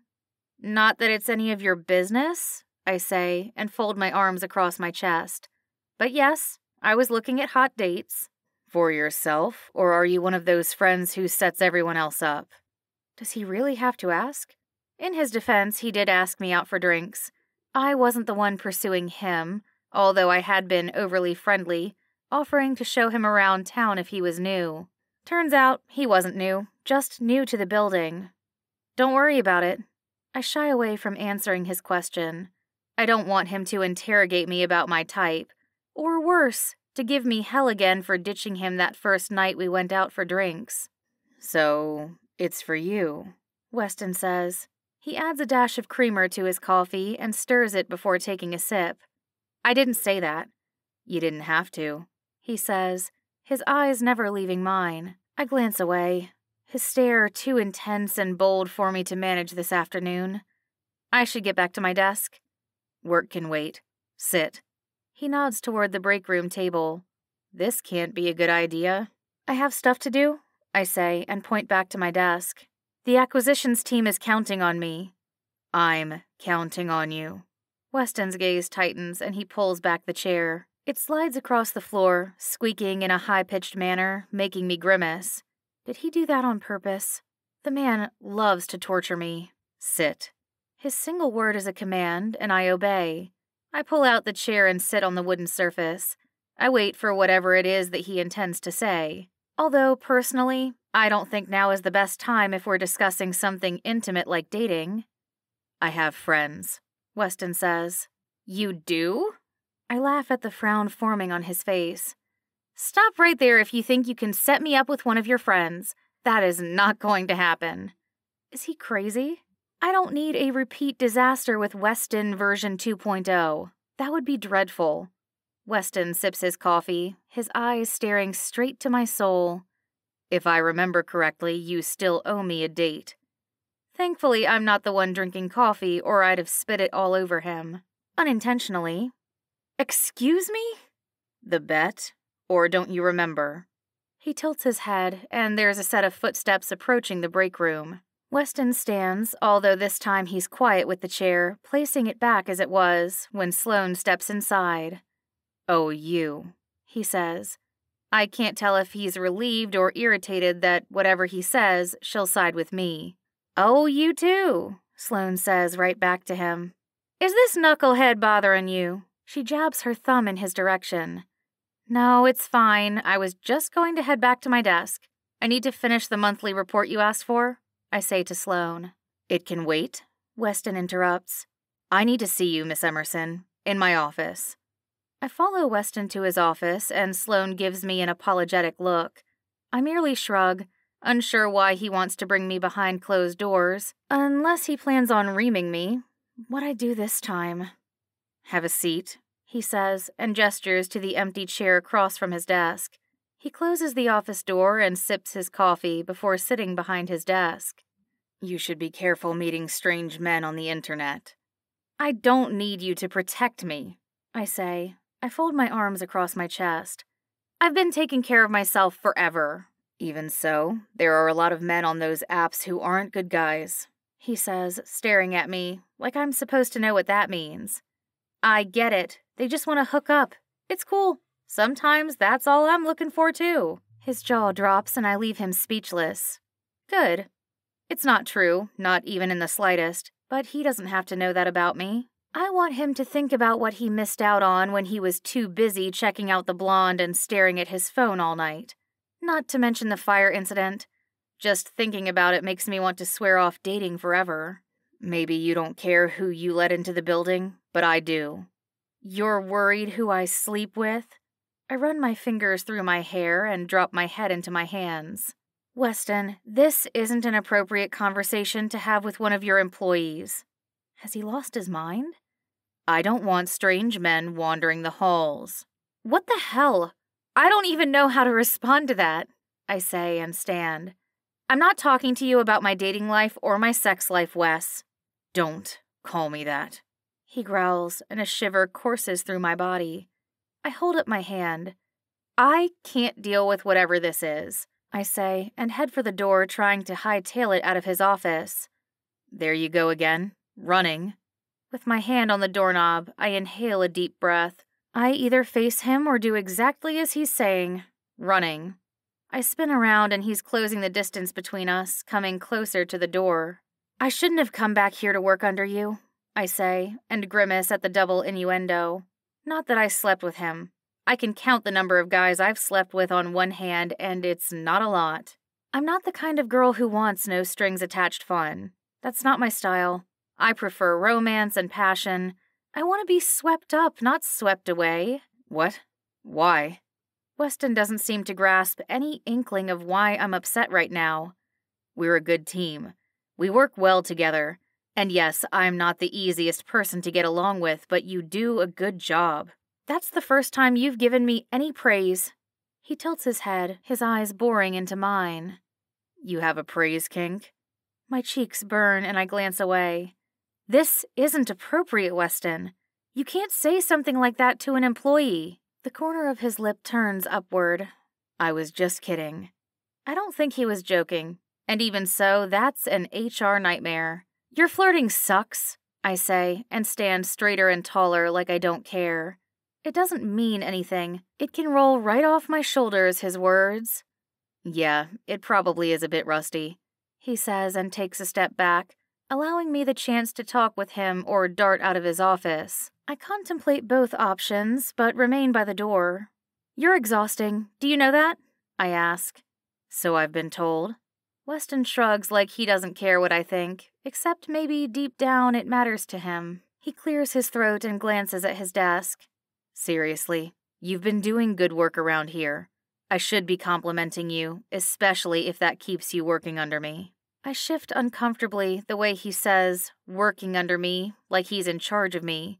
And while he is at the office, it is still a bit unsettling to hear from his lips. Maybe it's because the angrier I get with him, the more I think about him, dream about him, and those dreams are the type I should not be having about my boss. They keep me up at night when I wake up hot and bothered, imagining his hands and lips on my naked body. It's why I need to get out, meet some guys, and find a man who isn't my boss or a grump wad to date. I stand behind the fact that Weston is a grump. There's a hint of a smile on his face, like he knows what I'm thinking, but he can't know. It's not possible. You still owe me that date, he says. And here we go. Round and round. Not happening. I came back and I work for you. I followed through on that bet. You followed through on part of it, Weston says. And I'm serious about bringing strange men home. That's not a very safe thing for you to do. Duly noted. Just be careful out there. Weston steps forward, and there he goes again, stealing my personal space. I half expect him to touch me, but he keeps his arms folded tight across his chest. Be sure to talk with someone for a while online before you meet up with them, and do it in a public place. No, I'm going to invite the first guy I match with online straight into my bed. I turn my phone around and unlock it. I open the app, pretending to do exactly as I said, when he snatches my phone from my fingers. Give it back? I can't believe him. Are you 12? I ask and reach for my device, but he's scrolling through the pictures, marking every male as a no. You're deplorable. Just because you can't get laid doesn't mean I shouldn't. He laughs under his breath. I see I've rattled you. What does that even mean? I'm not a snake. I never said you were. Weston glances at my app a little longer than necessary and clicks at the screen before returning my phone to me. Did you read all my messages? I ask in a huff. No, I deleted them. I can't tell if he's serious. He's not smiling, but he looks smug, like he got exactly what he wanted. I'm just not sure what that was a rise out of me? Or did he delete any messages that I haven't seen yet? You had better be joking. You shouldn't be on dating apps during company time, Weston says. I was on a break and not using the company's resources. His tongue darts out and he strokes his jaw. Keep your private life out of the office, Miss Emerson, and we won't have a problem. The only problem I see is you, I mutter and yank open his office door. Excuse me? You heard me, Grumpwad. That's not even a word. His gaze is on me as I stalk back to my desk. I let my hips sway and give him a show. Is that what he wants? A little tease? Does he think because we went out once on the worst date of my life that I owe him a redo? Fat chance in hell. I'll never go out with Weston Grump again. I'd sooner walk over hot coals and then a bed of nails than spend another minute outside of work with him. As it nears five o'clock, I head to Sloane's desk. Drinks? I ask. I can't tonight. Don't you have that dress fitting for Claire's wedding? My eyes widen. I totally forgot about that. Shit. I mutter and glance at my watch. There is no way I'm going to make it across town before the shop closes. I dial Claire and pray that she will pick up her cell phone. You're not here, Claire says. Not even a hello. I'm sorry. Mr. Grump got me all riled up and I lost track of the time. I forgo mentioning that I completely forgot I was even supposed to leave early and catch the subway to get across town. Shit! I was wondering what happened when you didn't show up 20 minutes ago. My alterations are done, so I'm here and I can pick up the dress for you. But you need to make sure your dress fits before the wedding. If you don't come in today, the deadline for the alterations is after the wedding. The tailor for the bridal shop won't be able to do it. I know. I will find someone to handle it last minute if the dress needs any adjustments. Okay. How about I swing by your place with the dress when I'm done? We can have takeout or something. Because Levi is out of town on business tonight and I hate being lonely. I don't know how you do it. Thanks, I mutter with a laugh. I know she doesn't mean anything offensive, but it came out a bit harsh. My treat for dinner, since you're picking up the gown. What time will you be over? I ask. Not before seven with traffic. I take the subway home, avoiding Weston. Maybe I shouldn't let what he did bother me, but the man has the uncanny ability to get under my skin. Does he do that with everyone? Besides, let him think I have a hot date. I get home quite a bit later than I would with Weston's driver chauffeuring us. Not that traffic is better than the subway, but the trains are running late.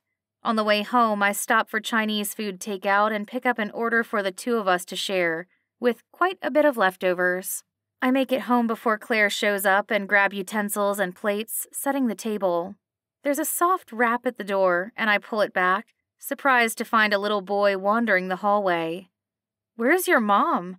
I ask, bending down to his level. I glance around, and the door to 4B is wide open. Isn't that where Weston lives? Wes? I call and grimace, realizing he lashed out earlier at the nickname I'd given him. Weston! I try again. The little boy points at the open door, and I step inside, glancing around. The condo is clean and tidy. There are dishes on the counter and food on the table for dinner. Is your dad home? I ask. The little boy, who can't be older than three, shakes his head. On the floor is a gray haired woman. Is that his grandmother?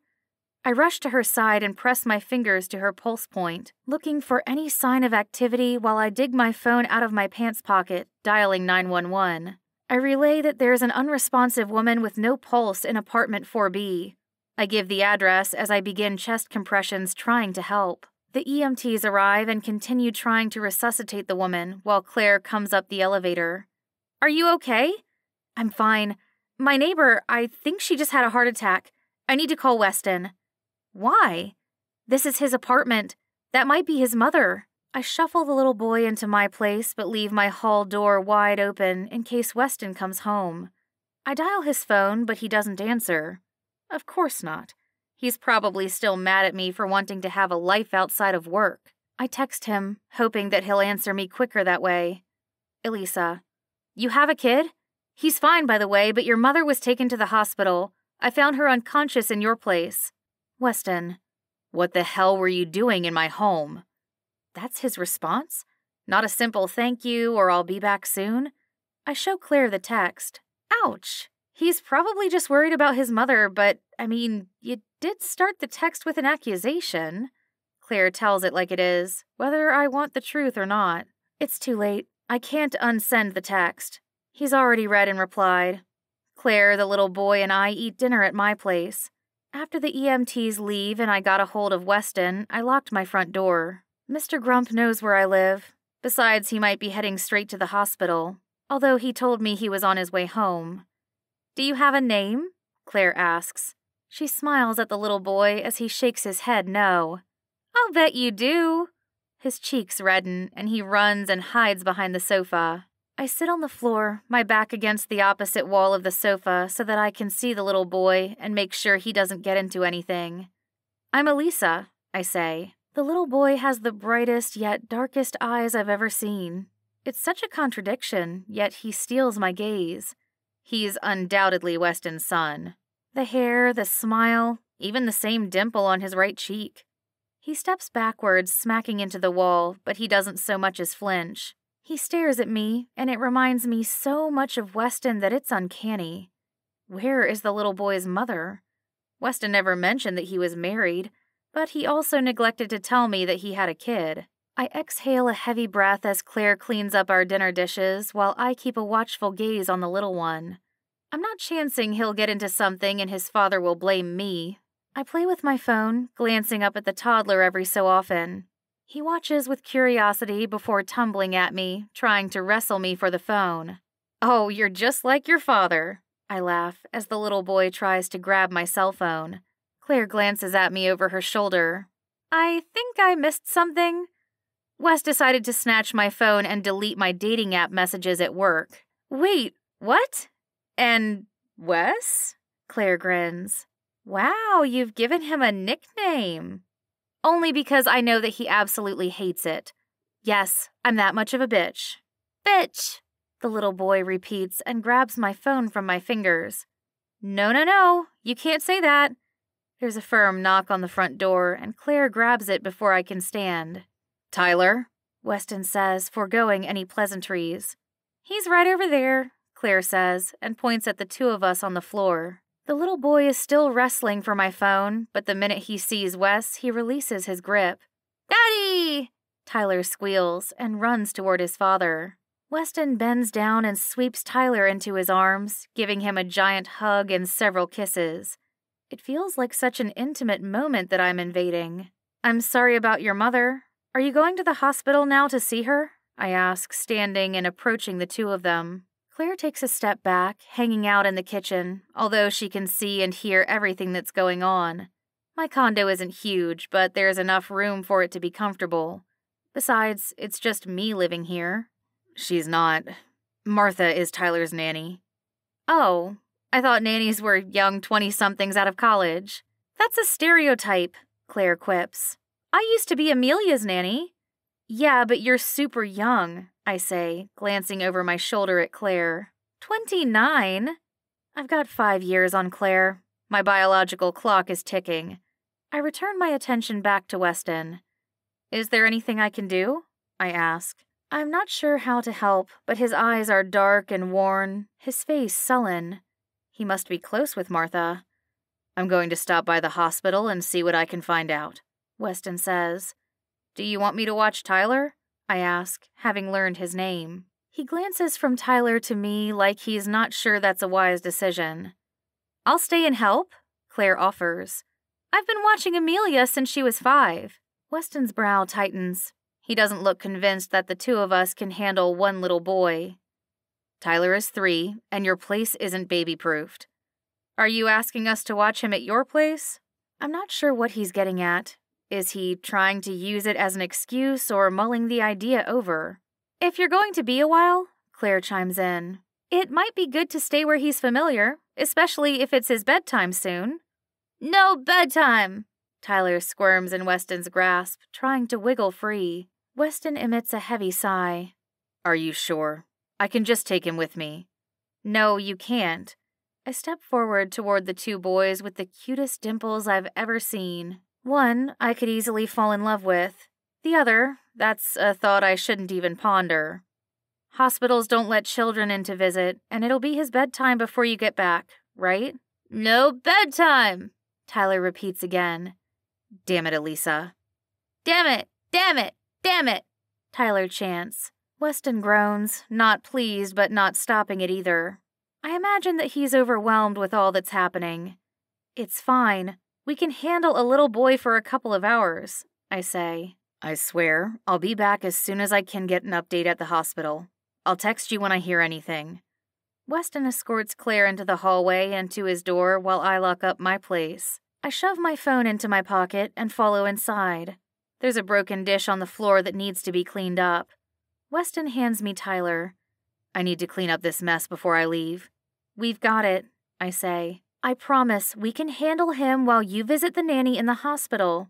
You should probably get a hold of her family too. Let them know what's going on. I'm sure they'll be worried and want answers as well. She doesn't have anyone, Weston says and I'm not leaving this mess for you to clean while looking after my son. His son. Just hearing the words sets it in stone. I have so many questions, but it doesn't feel right asking, at least not right now. But it's clear that maybe the Grumpwad isn't such a bad guy after all. The kid certainly takes to him, and maybe there's a softer side to Weston that I haven't seen before today. Claire cleans up the food that's out on the counter and works on the dishes while Weston picks up the tiny shards of the plate that shattered. He makes sure the floor is safe and spotless, vacuuming the hardwood floor before giving Tyler a bear hug. Weston gives me a boatload of instructions on his way out the door, instructing me about his bedtime, showing me where his bedroom is, in case I couldn't have figured out that the bright red race car bed was for a three year old. Don't go thinking I'm a free babysitter while you get to go on hot dates, I joke with Weston as he's on his way out the front door. Not funny, Elisa. But I swear I catch a hint of a smile playing on his lips. He's out the door, and it's just the three of us. Tyler doesn't seem to be overwhelmed when his father leaves, which is a relief. He's busy playing with his own toy phone, which happens to be a real phone that is considerably old. I'm not sure how safe it is for a kid his age, but his father gave it to him. It's not my place to say anything. Just make sure that he doesn't get hurt. After Tyler is changed into his pajamas and tucked into bed with a story, I shut off the lights and close his bedroom door, heading to the living room with Claire. How long do you think he'll be gone? Claire asks. Do you need to go? I can take it from here. You've been a big help. The grin on Claire's face grows even wider. Hell no! I'm not going anywhere. The real fun begins now that the kid is asleep and can't tattle on us. What are you talking about? I stare at her, perplexed. We can snoop around your boss's house, Claire says. See what we can dig up. You didn't know he had a kid. Clearly, he's keeping secrets. Aren't you the least bit curious? I mean, is Tyler's mother in the picture? Is there a Mrs. Grump? I groan and drop onto the sofa in a heap, my head in my hands. I'm not sure I want to know. Well, I want to know, Claire says and stalks down the hallway. You're welcome to join me or be the lookout person for when Weston comes home. I glance at my watch. He's already been gone for over an hour. He could be back any minute. Has he texted you? Claire asks. I glance at my phone. No. Well, he said he would text you when he got news. I don't think he'll be back before he texts you. Everything inside of me screams that this is a bad idea, but I follow Claire into Weston's bedroom. Did you do this with Levi? I ask. No, but Levi didn't keep secrets like having a kid from me. If he did, well, we never would have met. Claire quirks a grin and stalks right for the dresser. Guys always keep the goodies behind the socks or underwear.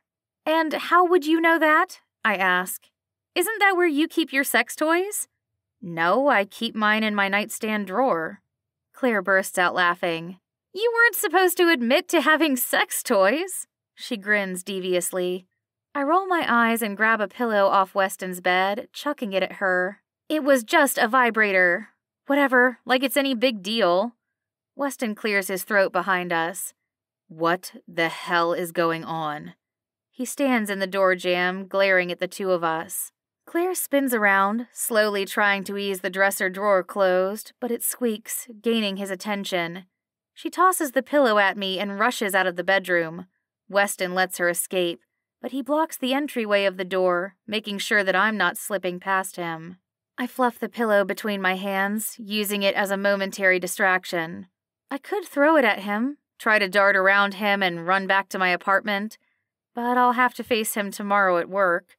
Will he ever let me live this down? I'm not a coward, but I'm also not ready to be humiliated. Well, it's too late for that, it seems. I place the pillow back onto the mattress like we weren't just snooping through his bedroom. Sit, he barks. It comes out like a command, and I obediently do as I'm told. I plant my bottom at the edge of the bed, and Weston stalks toward me, trapping me between him and the mattress. Do you always disrespect the privacy of others? Weston glares down, and I shiver. You kept Tyler a secret. What other secrets are you hiding? That is none of your damn business. He snarls and takes a step back as he paces the length of his bedroom. I breathe a small sigh of relief when he backs up enough that he's not towering over me, encroaching on my personal space. Weston loosens his tie and slides it off. Wordlessly, he unbuttons the top button of his dress shirt. I try not to get turned on by the fact that my boss could very well be stripping in front of me, although he showed more skin when he rolled up his sleeves. He's quiet, but he's not calm. His demeanor is brooding and growing hotter by the second. What is it that you were looking for? Weston asks. I stare up at him, his question catching me off guard. Hmm? What were you expecting to find? Weston gestures to the dresser. I'm honestly not sure. It wasn't even my idea, but I'm not going to blame Claire. I went along with it. I could have stopped her, but I didn't. Are you married? I blurt. You tell me, Miss Emerson, the detective. He's mocking me, there are photographs on the walls in the living room. Did you see evidence of a wedding, a wife, a honeymoon? I didn't notice. He works the cufflinks free on his dress shirt and approaches the dresser. He opens the top drawer, retrieves a small box, and flips the lid, placing the cufflinks inside. But you found it reasonable to snoop through my bedroom. It would be easy to blame Claire. You never mentioned a kid when we went out on a date. I hate bringing it up, the date from hell. While, as my boss, he might not confide in me that he has a son, I would have hoped that he would have opened up with that when he was dating. It was one lousy date, Elisa. My one night stands don't need to know about my son. Is that what he wanted that night at the bar? A one night stand? After I left, did you go home with the blonde? I can't help but feel the bite of jealousy seep into my veins. Why should I care? It shouldn't matter. We're nothing. We never were anything. But it still stings that his attention was on her instead of me. What? He snaps and shoves the dresser closed. He rolls his sleeves up. His face is red. There's sweat on his brow. The heat has been turned up a little too high, like we're under a heat lamp baking. The blonde you kept eyeing during our date, did you pick her up? You obviously have a thing for blondes. He raises an eyebrow. You think you have me all figured out, Miss Emerson. I assure you that you don't. Because you keep secrets, I retort. I'm not the only one. Weston approaches the bed, and I want to get up, but I'm frozen inside. And the fact that I kept Tyler a secret is because no one needs to know about my son. It's no one else's business. I don't understand. It's not like you even keep a picture of him in your office. Weston runs his fingers through his thick, dark locks. His hair is messy and wavy. It makes him look even more smoldering and sexy. Damn him. His jaw is tight and his gaze is firm on me. The longer he stares, the more I want to reach up and trace the stubble along his jaw. The roughness he exudes goes far beyond his looks. Instead, I keep my hands planted in my lap, staring up at him, waiting for him to answer. I'm guessing that you've never dated a billionaire. He tilts his head, watching my reaction. Is he trying to get a rise out of me? I didn't know you were a billionaire, I whisper. He doesn't live the lavish lifestyle of someone who's wealthy beyond measure. He's living in my condominium complex. Who does that? I don't make it public knowledge or a habit of telling everyone my secrets, Weston says. He clears his throat. My son doesn't need to be a pawn in anyone else's game. He doesn't deserve to be photographed and put on display like a wild animal at a zoo. No one is suggesting that, Weston, I say. I run my fingers over my pants. My hands are sweaty, but at least he's not berating me for sneaking into his bedroom anymore. The conversation is on him, which I prefer. I want to know everything there is to know about Weston Grump. You may not be, but have you seen the headlines with my face as Bachelor of the Year? Like it's a fucking title that I want? He seethes and leans against the wall. He undoes the black laces of his fancy dress shoes and removes them one at a time. I get enough notoriety from my father's company. My company, he says, correcting himself. His jaw ticks. I didn't ask for any of this. And the number of women, the moment they realize who I am, they want more than just one night. Are you sure that's not because of your wit and charm? He glares at me. I don't need a money hungry woman searching for a sugar daddy. You don't date gold diggers? I don't date. He clarifies and clears his throat, glancing away. There's a flicker of something, but I can't figure him out. Is it longing? Desire? He certainly doesn't feel that way toward me, and if he did, I would jump out the window. We're a match made in hell. Chapter 6 Weston No one was supposed to find out about Tyler, damn it! It's not that I'm ashamed of my son, quite the opposite. I want to protect him, and I can't do that if he could be used as a tool against me. I would give up everything to protect Tyler, and I worry that someone will take advantage of that fact kidnap him, hold him for ransom, and if those fears aren't enough to drive a man mad, the fact that he was born with a rare genetic disorder doesn't help either. Not that anyone can tell by looking at him how fragile he is on the inside. What do you mean you don't date? Elisa stares at me longingly, perched at the edge of my mattress. What the hell was I thinking commanding that she sit on my bed? I should have dragged her out of my bedroom that she was snooping in and sat her on the sofa across from me. I can't explain the spark I feel when I'm around Elisa. It's magnetic, like an electrical current drawn toward water. She's deadly and dangerous, yet I still keep thinking about her. When I don't answer her quickly enough, her tongue swipes her bottom lip and she bites down. What the hell were we doing, Weston? When you asked me for drinks? Elisa asks. She can't just leave it alone. What I'd give to silence those lips. I step forward, my legs blocking her from moving, my body trapping her against the bed. I lean down, my thumb guiding her chin up, locking eyes with her. I thought you'd invite me back to your place. She scoffs at my words and pulls out of my grasp, knocking me backward as she stands and heads out of my bedroom. I'm not just some girl you can fuck, Elisa says. We've established that already. I shouldn't have asked her out. It had been stupid, thinking that I could sleep with a girl who lives in the same building. I was hoping for a little booty call every now and then, a friend with benefits type scenario, and she caught my eye. My cock instantly responded when I saw her, but on our date, she had to be completely different from what I envisioned her to be. That was my mistake. I'm not proud of having the bachelor status all the damn time, but I'm not looking for a commitment or relationship. I don't do exclusive. I'm not the kind of man who women want to marry unless it's for money. No, thank you. Elisa grabs her purse from the sofa. I hope your nanny's all right. I'll see you at work tomorrow. She heads out of the front door, slamming it behind her. I wince, hoping she didn't wake Tyler.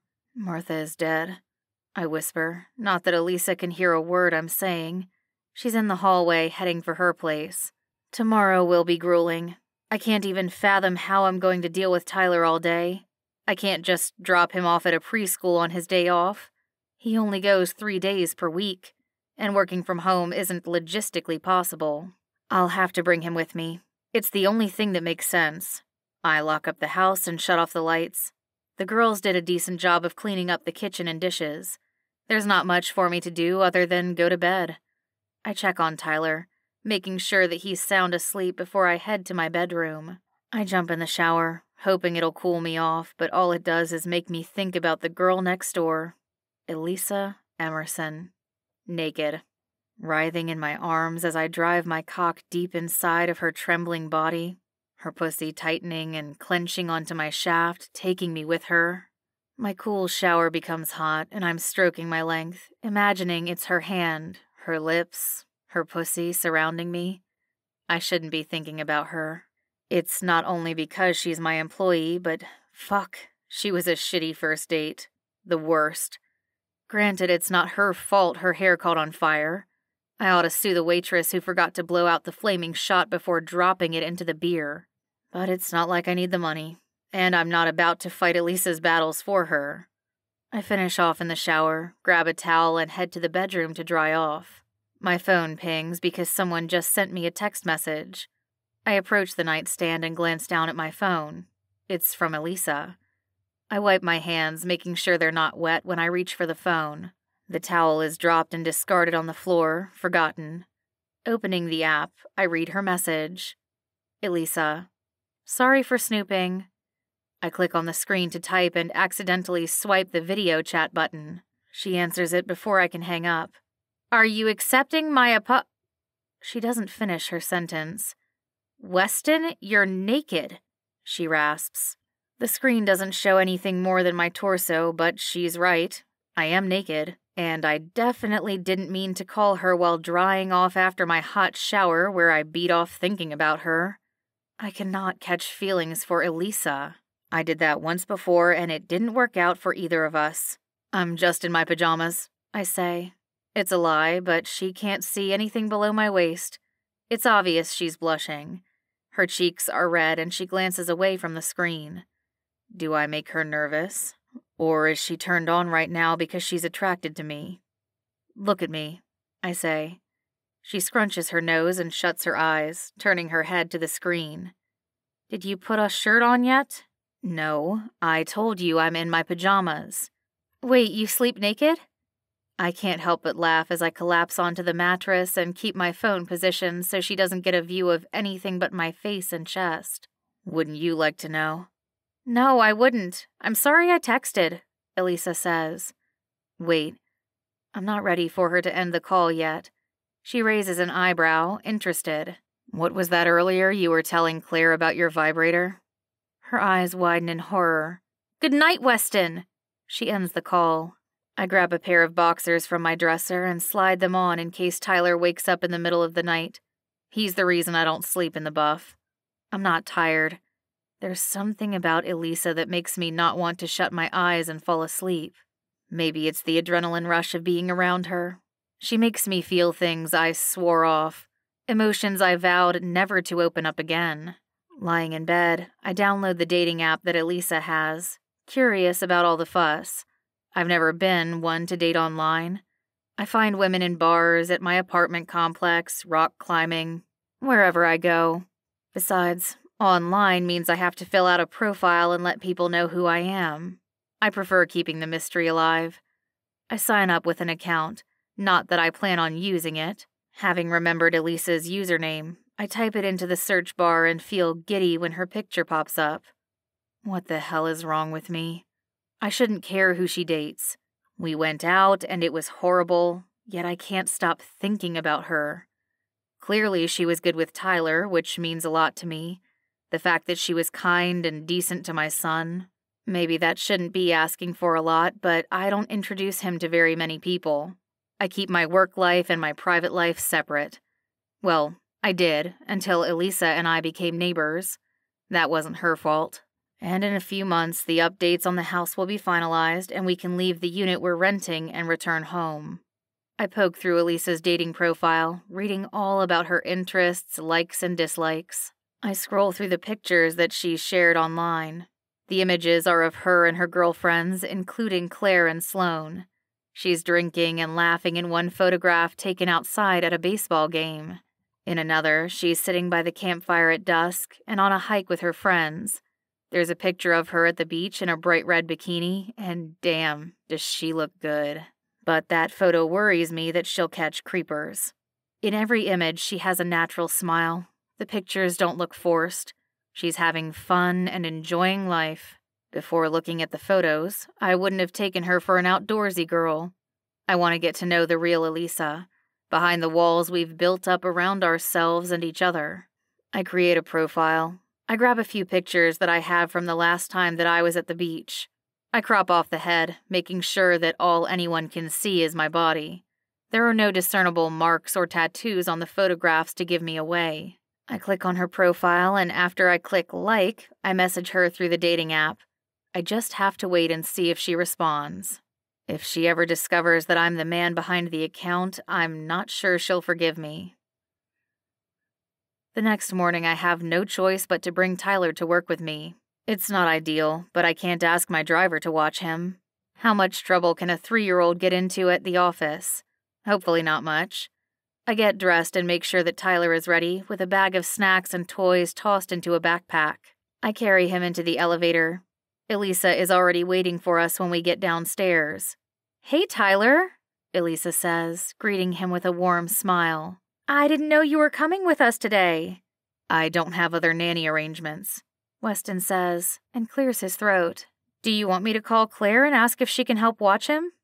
Why would I do that?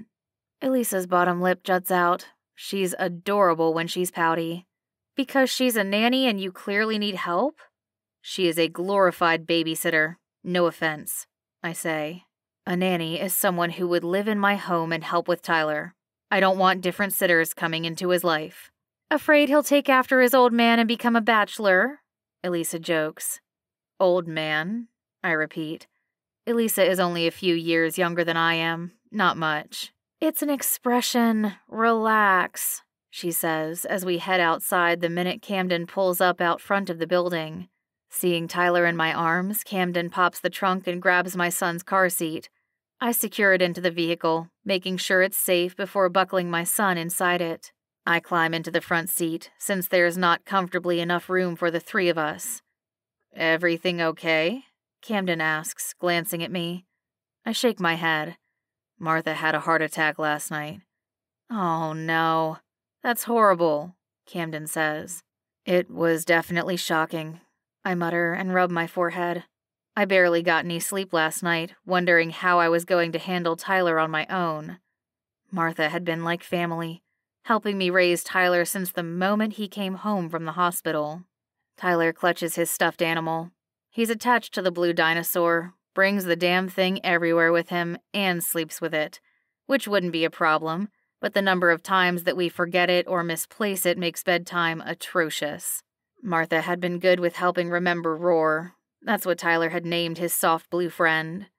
Elisa is speaking softly to Tyler, and I swear she's lulling the kid back to sleep. Is it her soothing voice?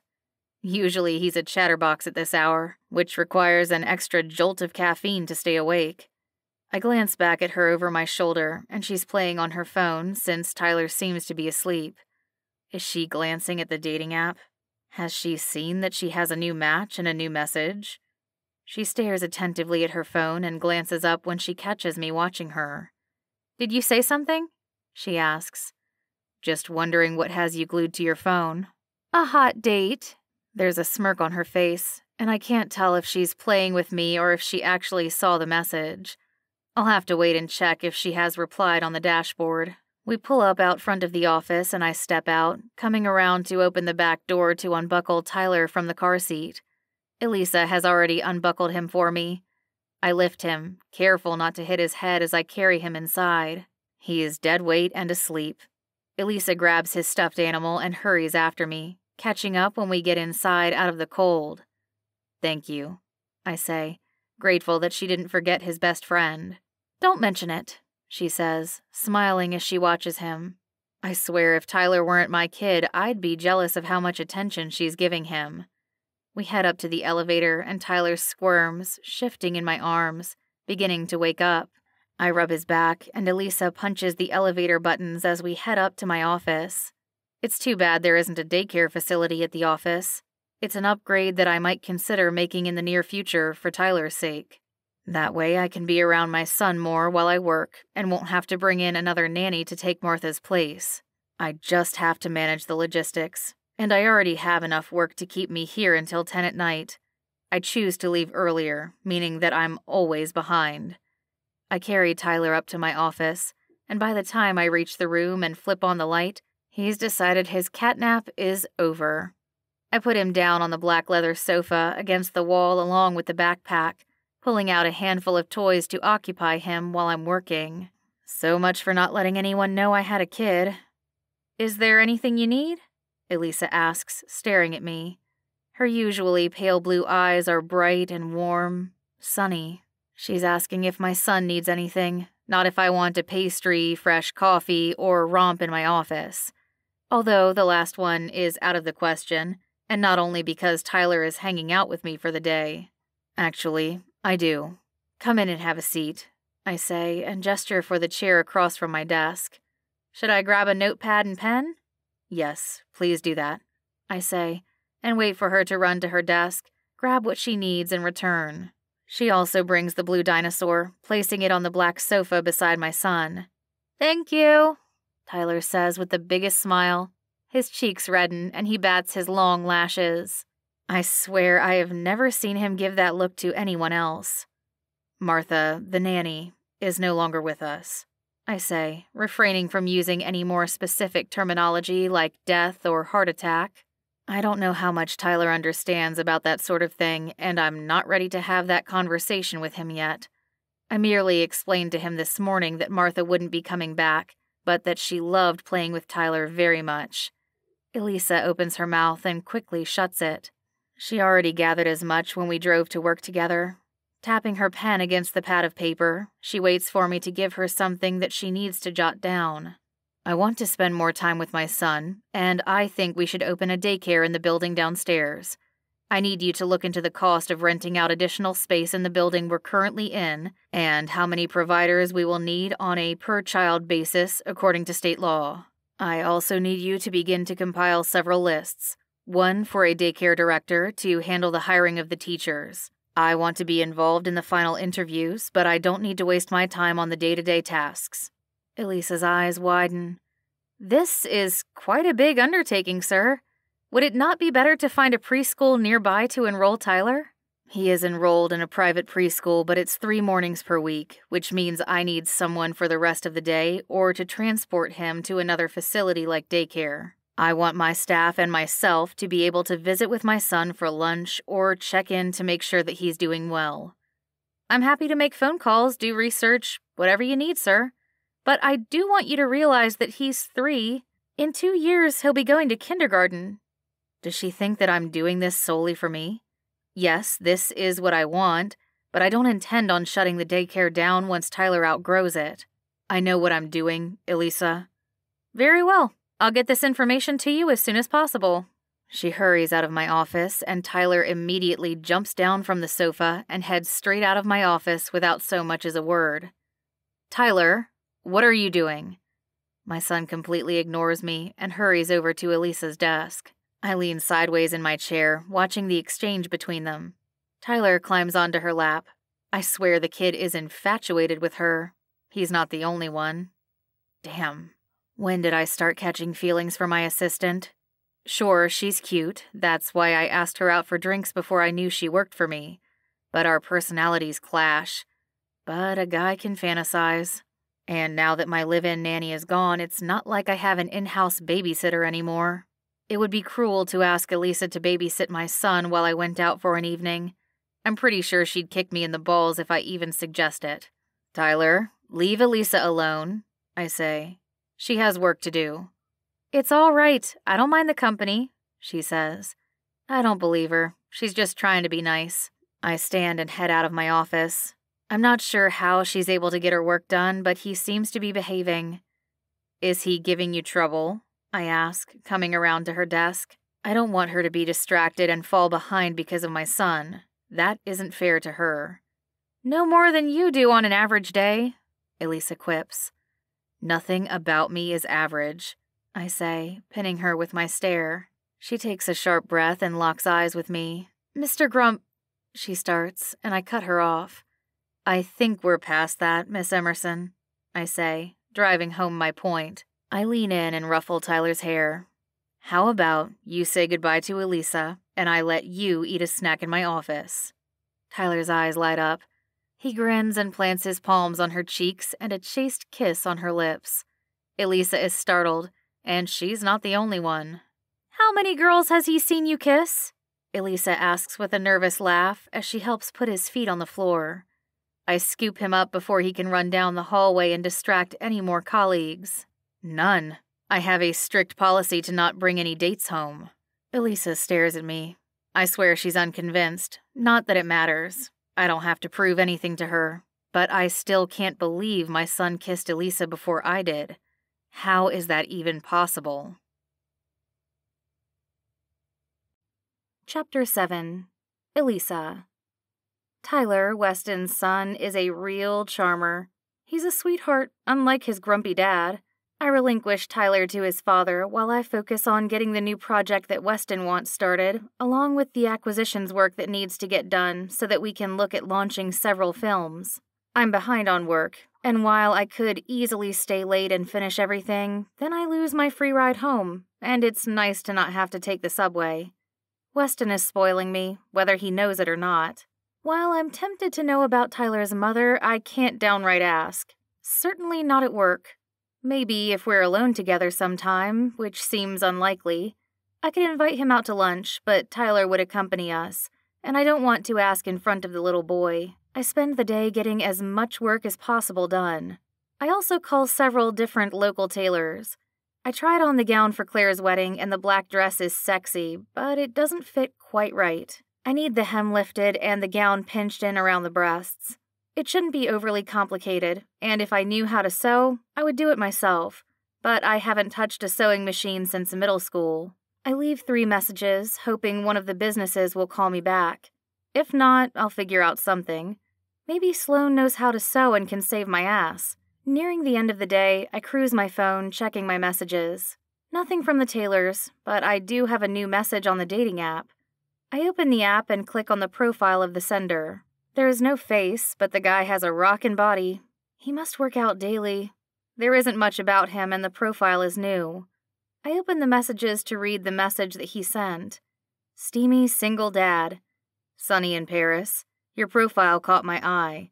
What was it like living in France? I hit reply and quickly type a brief response. Sunny in Paris. I've never lived in Paris, but it's a place I've always wanted to visit. Will you share any pics of your face? I'm not into headless dudes. I won't keep conversing with him if he doesn't send me a picture that includes his face. I mean, he could have easily sent me a photograph of Thor's body and not his own. It doesn't show that he's online. Too bad. I stand up and stretch.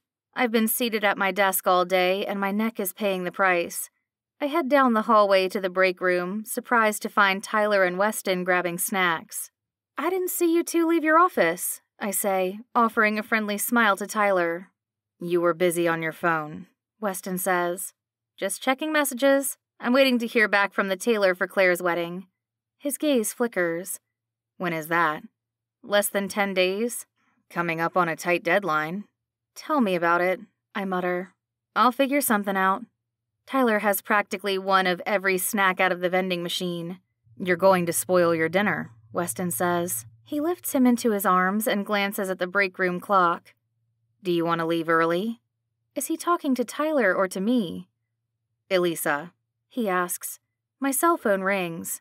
I need to get that, But yes, I'm done whenever you are. I answer the caller and wander back toward my desk. I'm relieved to find a tailor willing to make the alterations in time for the wedding. Weston waits by my desk, and the minute I hang up, he's staring at me. Good news. The best? I just need to pick up my dress and head to Hunts Point. The tailor's in the Bronx. Weston shakes his head.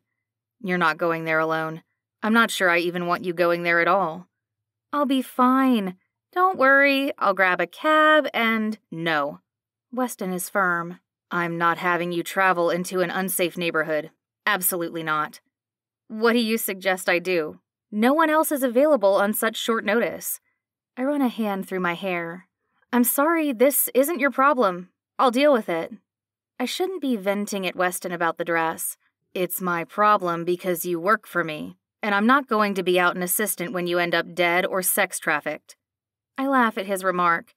Murdered, maybe, but sex trafficked? I glance down at my curvy body. You're kidding, right? He bites down on his bottom lip, shakes his head, and heads into his office. I don't know what he's doing. Packing up his kid's backpack, perhaps? A few minutes later, he reemerges from his office and hands me a business card. I assume it has to do with work. Do you need me to call him for you? I ask.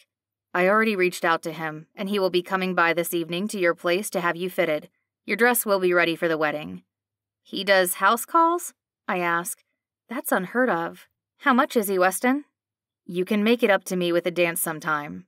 Weston smirks with a twinkle in his eye. A dance? We're not going on another date. Has he lost his mind? Weston heads into his office to grab Tyler's turtle backpack. Just say thank you and accept the generous offer of help. He holds his son's hand as the three of us head for the elevator. I wonder if the rumor mill is going to be filled with all sorts of gossip now that everyone knows Weston has a son. It probably doesn't help that I'm always coming into work and leaving with him in the evening. We head downstairs, and Camden is waiting for us outside by the front entrance.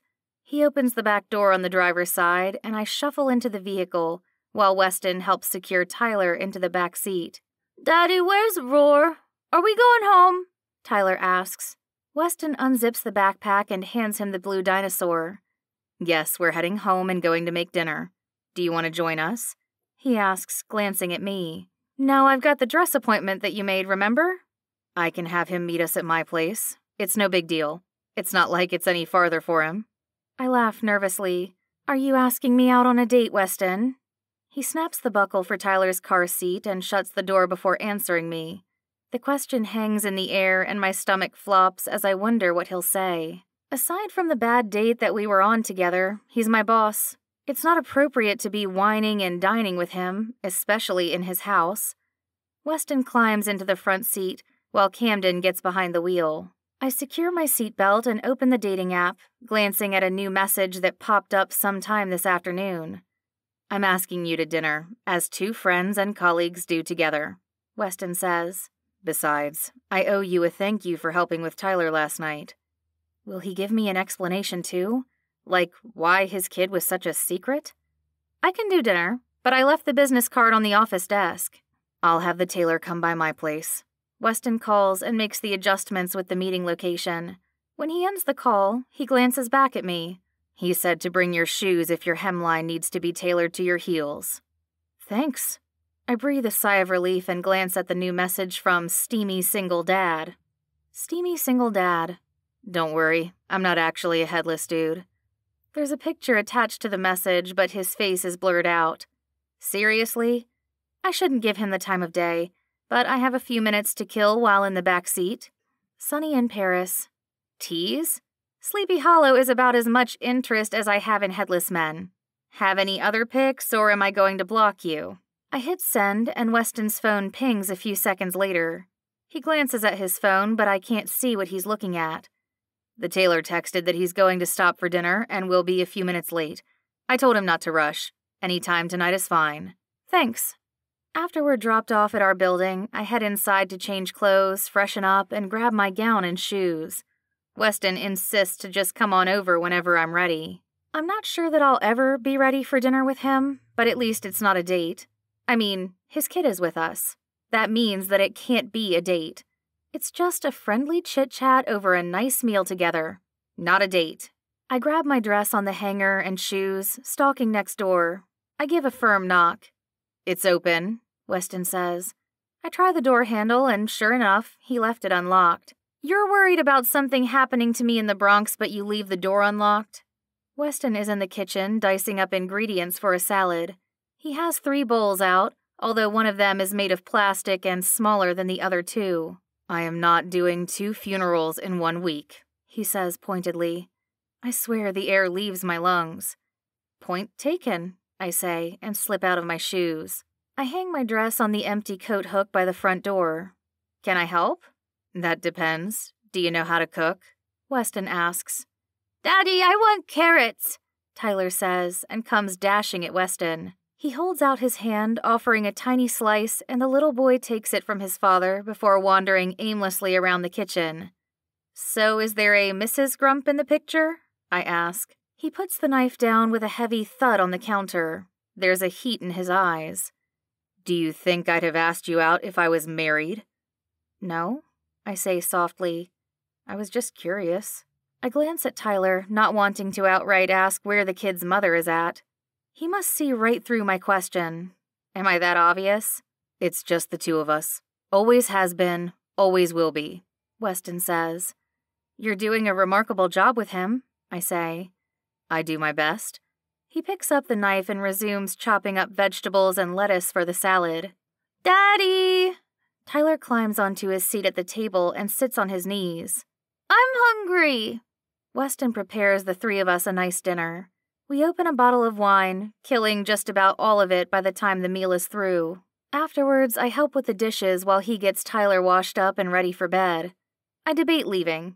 There's no reason for me to stay, except that the tailor is supposed to come to Weston's place instead of mine. Not that he couldn't be redirected again, but if Weston is tucking Tyler in with a story, I don't want there to be any interruptions. It isn't long before Nigel, Weston's personal tailor, arrives. I hurry into the bathroom to change into the dress and slip on my shoes to let him hem everything perfectly. Soft footsteps graze the floor, and I glance over my shoulder as Weston sneaks out of Tyler's bedroom. It's good to see you, Nigel. Nice to see you too, Weston. Thanks for coming on such short notice, Weston says. Fancy date for the two of you, Nigel guesses as he pins my dress. Just a wedding, I say. What? You two are getting married? Nigel gasps. No, we both say in unison. I'm grateful that the tailor didn't just stab me with a pin. It's obvious that he's distracted, staring up at me and then Weston. Well, you could have fooled me by the smouldering looks that you two keep exchanging. Dating? No, I say, this time quicker than Weston can answer. He finishes the hemline and has me turn around to face Weston. Weston's dark gaze widens as he stares at the v neck of my gown, which reveals an ample amount of cleavage. You're going to take in the top, right? Weston asks. That's up to Miss Emerson, is it? Yes, and I'd like it well fitted, but it doesn't have to hide my cleavage. I do have boobs, I say with a laugh. Weston's ears redden and he glances away. Did I say something to make you uncomfortable, Weston? I ask. It's the first time I've seen him look flustered. He clears his throat, and a few seconds pass while he slowly recovers. Not at all. I'd just hate to see you pop out of your dress.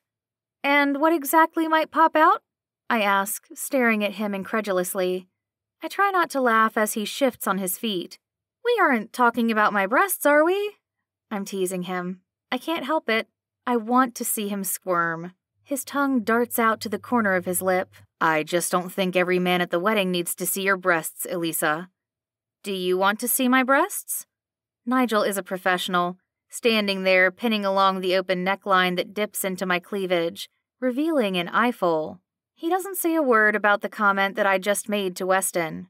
We're done, Nigel says. If you'd like to remove the gown, I'll take it with me and have it finished in a few days.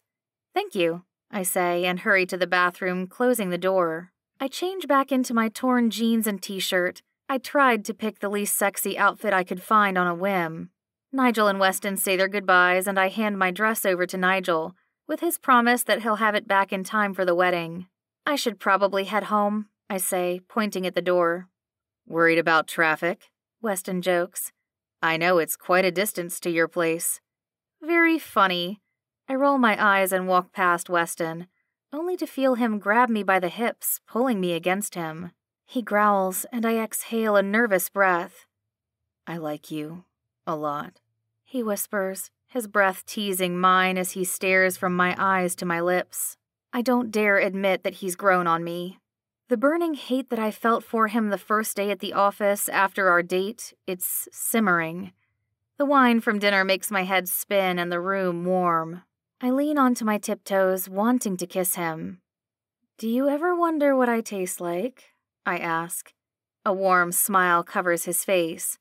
I have, he admits.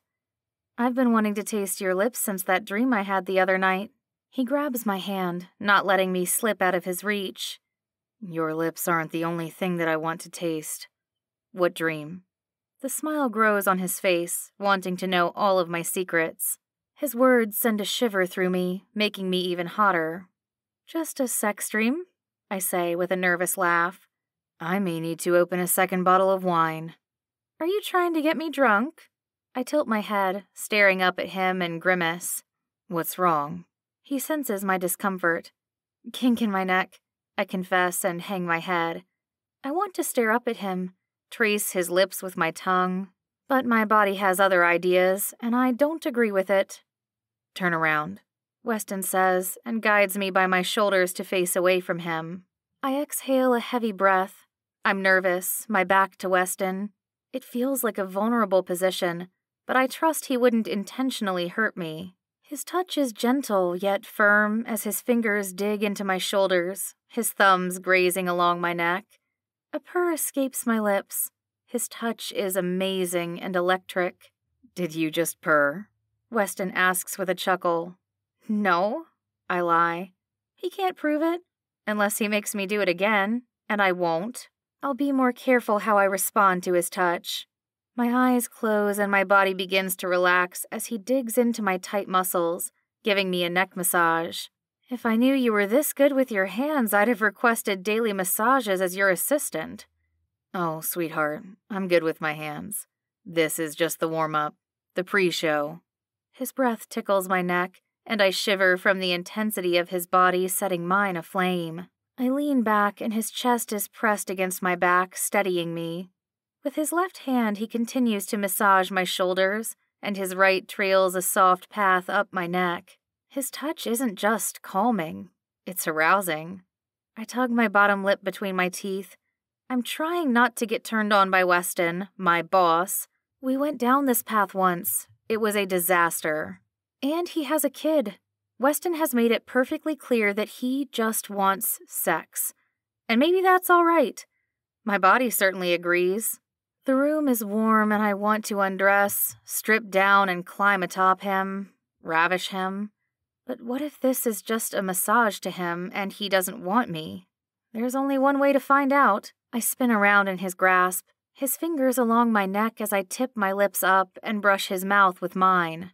The kiss is soft and gentle at first, almost lazy, like lounging by the fire on a winter's night. He groans and tugs on my bottom lip, dragging it between his teeth.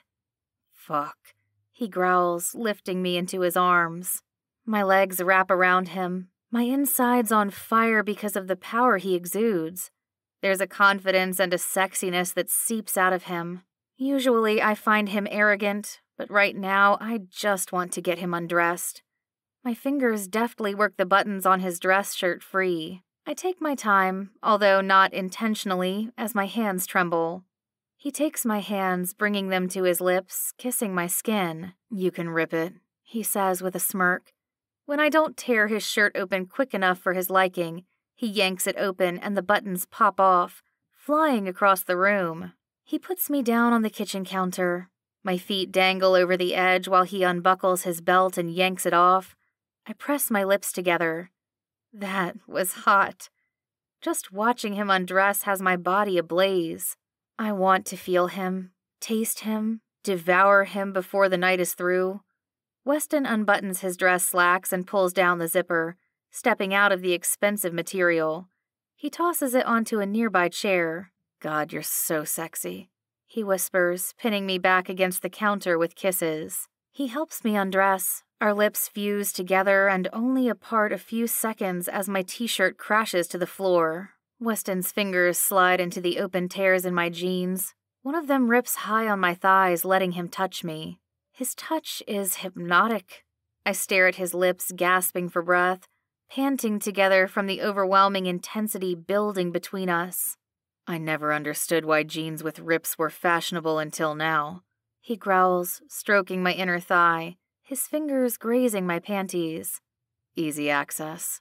A wicked grin crosses his features before capturing my lips with his. Our tongues duel, and he lifts me off the counter, carrying me to his bedroom. Put me down. You're going to hurt your back. Sweetheart, even if carrying you did hurt my back, it would totally be worth it. He places me down on the bed, covering my lips with fervent kisses. Weston trails a path from my collarbone down my neck, his scruff scratching and teasing me as he kisses lower. There's only one rule in this room, he says. I stare up at him, breathless. My fingers tease through his hair as I bring his lips back down to mine, both of us wrestling for control. He growls and pulls back. Scoot back on the bed farther. I do as he commands. Is that your rule? Obey you? I tease with a smirk. You have to be naked, he says, unfastening the button on my jeans. He unzips the denim, his palm grazing over my stomach. His touch is feather light and sensual, making my body tingle all over. Hips up.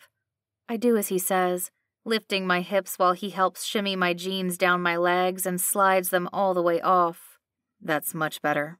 But you're still breaking the rule. I am? I ask, staring up at him, trying to catch my breath, and he hasn't even brought me over the edge yet. Naked, he says, his fingers work the clasp of my bra free, sliding the straps down my arms. I let the undergarment fall to a heap on the floor. My fingers graze across his stomach, my fingers teasing the waistband of his boxers. Your turn. Weston shakes his head. My home, my rules.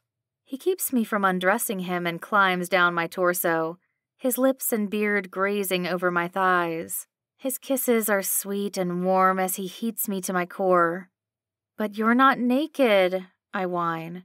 He's clad only in his boxers, but I'd rather see him in nothing at all. I want to know what he looks like, feels like, tastes like. He presses his lips to mine, drinking me in. Our tongues duel, both of us wanting to take the lead. In the end, Weston wins, pinning me down, pressing his groin against mine. I can feel his thick, hardened cock, but I want to see it. Tit for tat, I say. Weston raises an eyebrow and his lips move toward my breast. I'm all about your tits, he says with a grin before sucking and palming my breast. His tongue moves over my nipple, teasing and kissing me. He blows cool air across the mound where he kissed, watching my nipple harden. I squirm beneath his touch, desiring more with him. I meant both of our panties off, I say, trying to form a coherent sentence. Panties? I don't wear panties, he says, correcting me. But yours can come off. That wicked grin is back, and he helps guide me out of my panties, sliding them down my thighs until I can kick them away. Your boxers, Wes. His eyes flicker, and he covers my lips with his mouth, shoving his tongue in, taking what he wants, or rather, needs. Like an animal is wild, an untamed side is set free, and I'm unsure if it's something I said or if he's craving sex as much as I am. His fingers graze my folds, discovering I'm slick, but he doesn't fuck me. Not yet. I push at his boxers, but he doesn't help, and his angle makes it difficult for me to remove them. Off, I say, whimpering when he doesn't let me remove his last article of clothing. It's not magic. You can't just command it to disappear. Trust me, I've tried with you multiple times at the office. He moves closer, bringing his boxers down, letting me see every inch of his cock, throbbing and waiting for attention. I raise an eyebrow, curious how long he's wanted me. When? I ask. He certainly hasn't acted like it. He's hidden his desires rather well from me. My fingers graze his shaft, wanting to excite and satisfy him. I climb onto my knees, gently pushing Weston onto his back as I lean down to take him into my mouth. His fingers tangle in my hair as I drag my tongue along his shaft. He groans and pulls me back. Not like this. Don't tell me you're a romantic, I say with a chuckle. He doesn't strike me as the kind of guy who wants our first time together to be slow and sensual.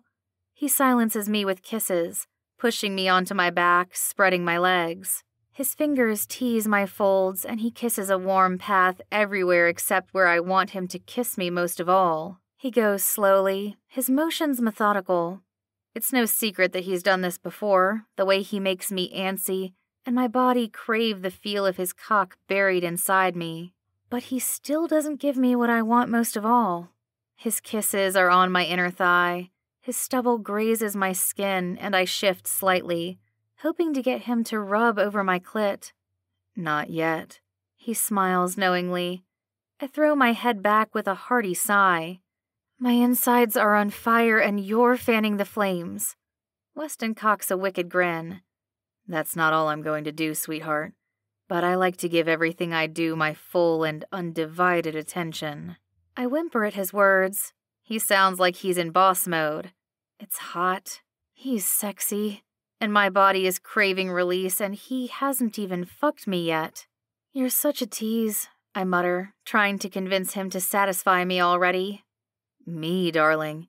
You're the one in that dress earlier with your tits about ready to hang out. Do you know how hard I was with Nigel in the room? I wanted to take you right there on the floor. You should have, I say, smiling up at him as he crawls back up my body. That's how every good porn movie starts. He chuckles. But seriously, no. I'm not letting anyone else see you naked. You're mine. He growls and sucks my neck, dropping long, slow kisses, making my insides warm. You'd better not leave a mark on my skin, I mutter, prying his lips from my neck. And why not? Let the whole office know that you're spoken for, Weston says. He leans down, playfully biting my collarbone. No more hot dates for you. You're evil. I swat his hand away from my neck. I can't have a hickey at the wedding. What about three? What? I gasp and sit up, but Weston pulls me back down against him, tangling our limbs together. Relax. It's not like you're going to be seated at the singles table or anything. I'm sure your friends aren't that cruel. You don't know them, I say, my jaw dropping. And Claire is that cruel. His breath tickles my neck, and he trails a soft path of kisses across my breasts and over my navel. Enough about them, he mutters. Trust me, it'll be worth it. His fingers roughly caress my skin, marking and claiming me as he delves lower, teasing me before tasting my nectar. He guides two, then three fingers inside me, stretching me so I can accommodate his size as his thumb circles my clit. My lips crash against his, my insides clenching down on him, wanting it to be his cock nestled inside of me. I squeeze my eyes shut and bite down on my bottom lip. Look at me, Weston commands. Slowly, I open my eyes, struggling to stare into his dark, heated gaze. His fingers bring me over the edge as his lips silence me, keeping me from waking his son in the next room over. I gasp for breath, back arching, toes curling while Weston brings me toward oblivion. My heart pounds wildly, slamming against my chest, trying to break free from its cage. I collapse against the mattress, and he climbs atop, a huge grin on his face. My turn, sweetheart. But I promise, we're not done with you either. He teases the head of his cock against my slickness, and my body is already responding to him, to the heat between us and the uncontrollable fire burning. Weston inches inside me, going slowly as he fills me and stretches me. He moves his hips down, rocking against me, making my body respond before it's ready. My fingers rake against his back and down to his hips, wanting to memorize every detail. He's gorgeous, fierce, and I can't comprehend how we got here tonight. He leans down, his gaze on me, his eyes staring straight into my soul, our existence becoming one. I wrap my legs around him, pulling Weston deeper, wanting to bring him over the edge with me this time. Do you trust me? He asks. Yes, I whisper, staring up at him, and gasp when I realize we haven't opened a condom. I push a hand between us, stopping him. Stop, wait. He pulls back like I burned him, his brow tight, and a stormy look in his eyes. We should be using a condom, I say. I can't believe what just happened. Shit, he curses. His brow pinches as he rolls to the other side of the mattress, opening the nightstand. He grabs the foil packet and rips it open. It's fine, I'm clean, I say, staring up at him. Me too, Weston says. I also can't get a girl pregnant. I wasn't even thinking about protection. I'm sorry. I don't ask him what he meant. It's fine, I say, bringing my hand to his cheek, my lips to his. It was an accident. It's not like we planned this tonight, right? Weston grins. I totally planned for you to come over and have dinner at my place. Then, after, I'd ravish you until the early hours of the morning. He pulls me down to the mattress, pinning me beneath him. Liar, I say, laughing and smiling up at him. I don't believe you. Yeah, me either. He guides his cock back inside me, and this time it feels completely natural, like we're meant to be and fit perfectly. His lips cover mine, our breathing labored. My heart pounds wildly, my toes curling, and I cling to Weston as though my life depends on it for survival as I chase my orgasm. He is right there with me, both of us falling into oblivion. Sweat coats my forehead and he rolls off, gasping for air. My skin is slick and I want to curl up against him, but I'm also too exhausted to move. He climbs out of bed, tosses the condom in the bathroom trash, and shuts off the lamp beside the bed, collapsing on the mattress beside me. Should I go back to my place? I don't want to overstay my welcome. He hasn't exactly invited me to stay the night. My legs refuse to move. Weston wraps an arm around my waist, burying his face in my neck. Sleep he says, reading my thoughts. I do as he says, letting slumber take hold as I drift off to sleep. It's the most peaceful slumber I've had in ages, wrapped in his embrace. I roll over and the bed beside me is empty. The morning light shines through the sheer curtains, forcing me to cover my face with my hand. The shower is running. Weston must be getting ready for work. I force my eyes open, and the clock reminds me that I need to get dressed and be ready shortly. I climb out of bed, retrieve my clothes, shoes, and sneak out of his place. What the hell happened last night? I mean, I remember what happened. I wasn't that drunk, but I slept with my boss, Weston Grump. I hurry into the shower at my house, rinsing last night away, letting it swirl down the drain as I get ready to face a new day. But how am I going to face him? I've never had a one night stand, and Weston is, well, Mr. Grump. The man has never indicated that he wants more from me or anyone else. I'll chalk it up to having too much wine and avoid any discussion on the subject. I can't imagine that he's going to want to talk about it either. Finishing in the shower, I dress in a dark red knee length skirt and black shirt with matching red along the hem. I grab a tube of matching lipstick and apply it before heading out the door. I slip on the heels that I plan on wearing to the wedding with the outfit that I'm wearing to work. One last glance in the mirror, and I smirk, quite pleased. My phone is completely dead, so I grab a charging cable. I'll need to plug it in while I'm at the office today. I head for the door, then the elevator, descend downstairs. Weston isn't down here yet, and neither is his driver, Camden.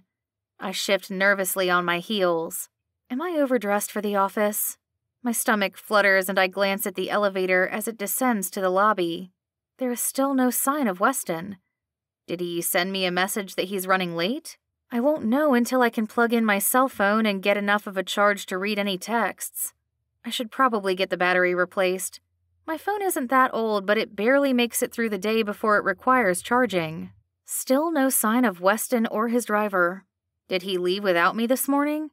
I didn't think I was running late, but after standing around the lobby for the past 20 minutes, I definitely will be pressed to make it into work on time. I hurry outside into the frigid winter air and make my way for the subway. The ground is slick with ice, and wearing heels was not in my best interest. My feet are numb, my legs frozen from the short skirt. I thought I'd be nestled inside the back of a heated car on my ride to work. Sleeping with Weston was apparently a mistake. I grumble and hurry to the subway, trying to catch the train on time. I don't make it. The train whizzes past before I'm even down the platform. Damn it! I curse and slow down. I don't need to roll my ankle or fall down the stairs. I'm not making it to work on time. Eventually, I stroll into the office, late. The next train was delayed, and then we sat on the tracks for a while. Just my luck. I head for my desk and glance up at Weston's office. It's dark. The door is open, but he's not inside. I plug my cell phone in and wait for it to gain enough of a charge that I can power the device on. There are no messages on my desk phone. I grab a seat at my desk, check my work emails, and get started. I have a feeling that it's going to be a long and tiresome day, especially when I run into Weston. Where the hell is he, and why isn't he at work? Is he avoiding me? Did he go straight to HR to confess what we did last night?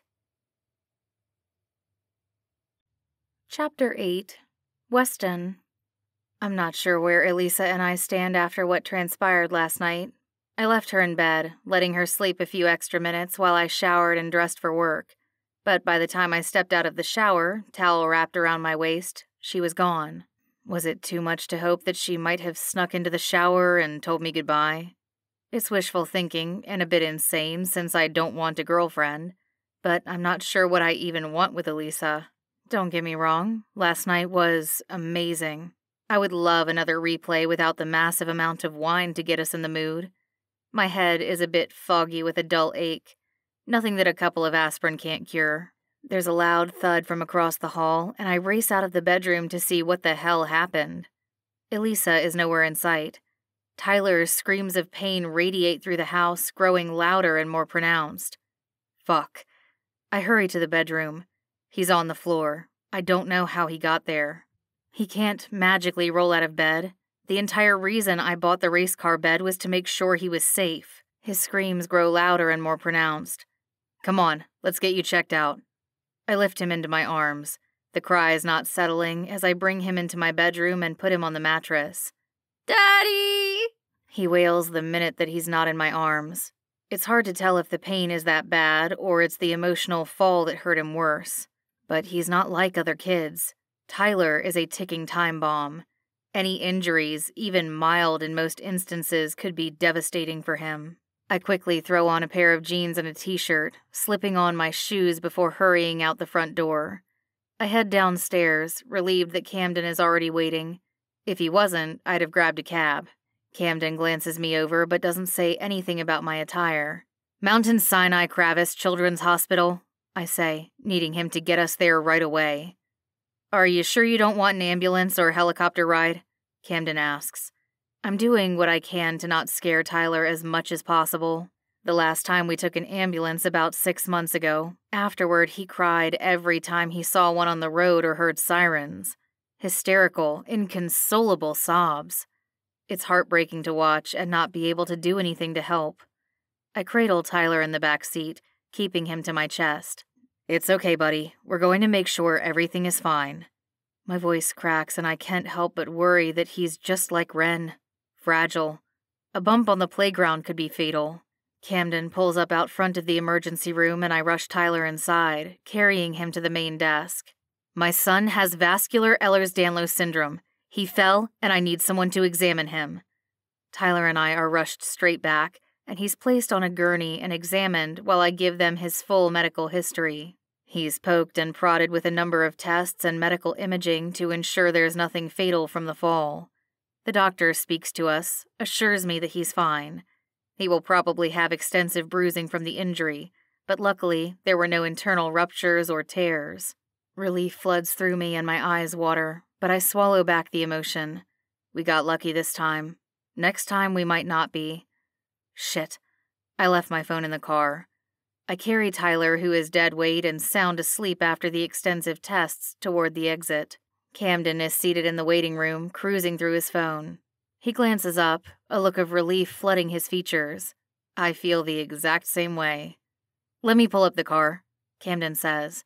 He hurries out of the waiting room, and I head to the exit. I wait on the opposite side of the double doors where it's warm and winter isn't assaulting anyone. In a matter of minutes, Camden pulls up the car. It's not quite as warm as it usually is, but he waited, which is a relief since I don't have my phone. Where to, boss? Camden asks. The office? No, take us home. I don't bother going to the office. I'm not dressed for it, and Tyler is my main focus. He is my priority. It was always about keeping him safe. That's why I hired a nanny who had extensive knowledge about his condition and with a medical background as a nurse practitioner. I check my phone. There are no messages. I don't hear from Elisa. I'm not sure what I was expecting from last night. I sure as hell didn't plan on sleeping with her. I grab my phone to text her, but I'm not sure what I'll say. Last night was fun. Want to do it again sometime? The truth is that I need to focus on Tyler. Elisa is a distraction. A gorgeous one at that, but I can't be thinking about her. She works for me, and I don't need HR telling me that I'm out of line and it's a lawsuit waiting to happen. Not that I think Elisa would be after my money, but she knows I'm wealthy. I spend the rest of the day relaxing on the sofa with Tyler, watching cartoons and kids' films that he loves to view on repeat. There's a knock at the door. Stay right here, I say, giving Tyler a kiss on the cheek before moving from the sofa to the front door. I glance through the peephole. Elisa Emerson. I open the door, not exactly inviting her inside. Did you forget something? I ask, glancing around the place. I hadn't found anything of hers left behind, but I wasn't checking for it either. Her mouth drops and she shakes her head. You weren't at work today. You missed an important meeting with the production company. They flew in to finalize the Brook project. I was busy. I don't elaborate. I stand with one hand on the door and the other to the wall, keeping my distance with her. Something came up. I see, she says, and her brow pinches. This isn't because of what happened last night between us, is it? If I'm the issue, Weston, I'll quit. I told you that from day one. I exhale a throaty sigh. I am not asking you to quit. You do a great job with the acquisitions department and as my assistant. But, she asks, waiting for me to elaborate. My cell phone rings, and I swear I don't know who it is. But even if it's a telemarketer, I'll be pleased to talk to them right now. But nothing. I have to take this call, I say, and grab my phone from the counter. Will you be at work tomorrow? Elisa asks. The staff was wondering why you didn't come in when you had meetings scheduled all day. I had an emergency. I shut the door and answer the caller. What? I bark. Nice to talk to you too, Logan says. I rub my forehead. Fuck, sorry. Is it a bad time? I can call back, Logan asks. No time is ever good, it feels like. No, it's fine. I lock the front door and grab a seat on the recliner across from Tyler.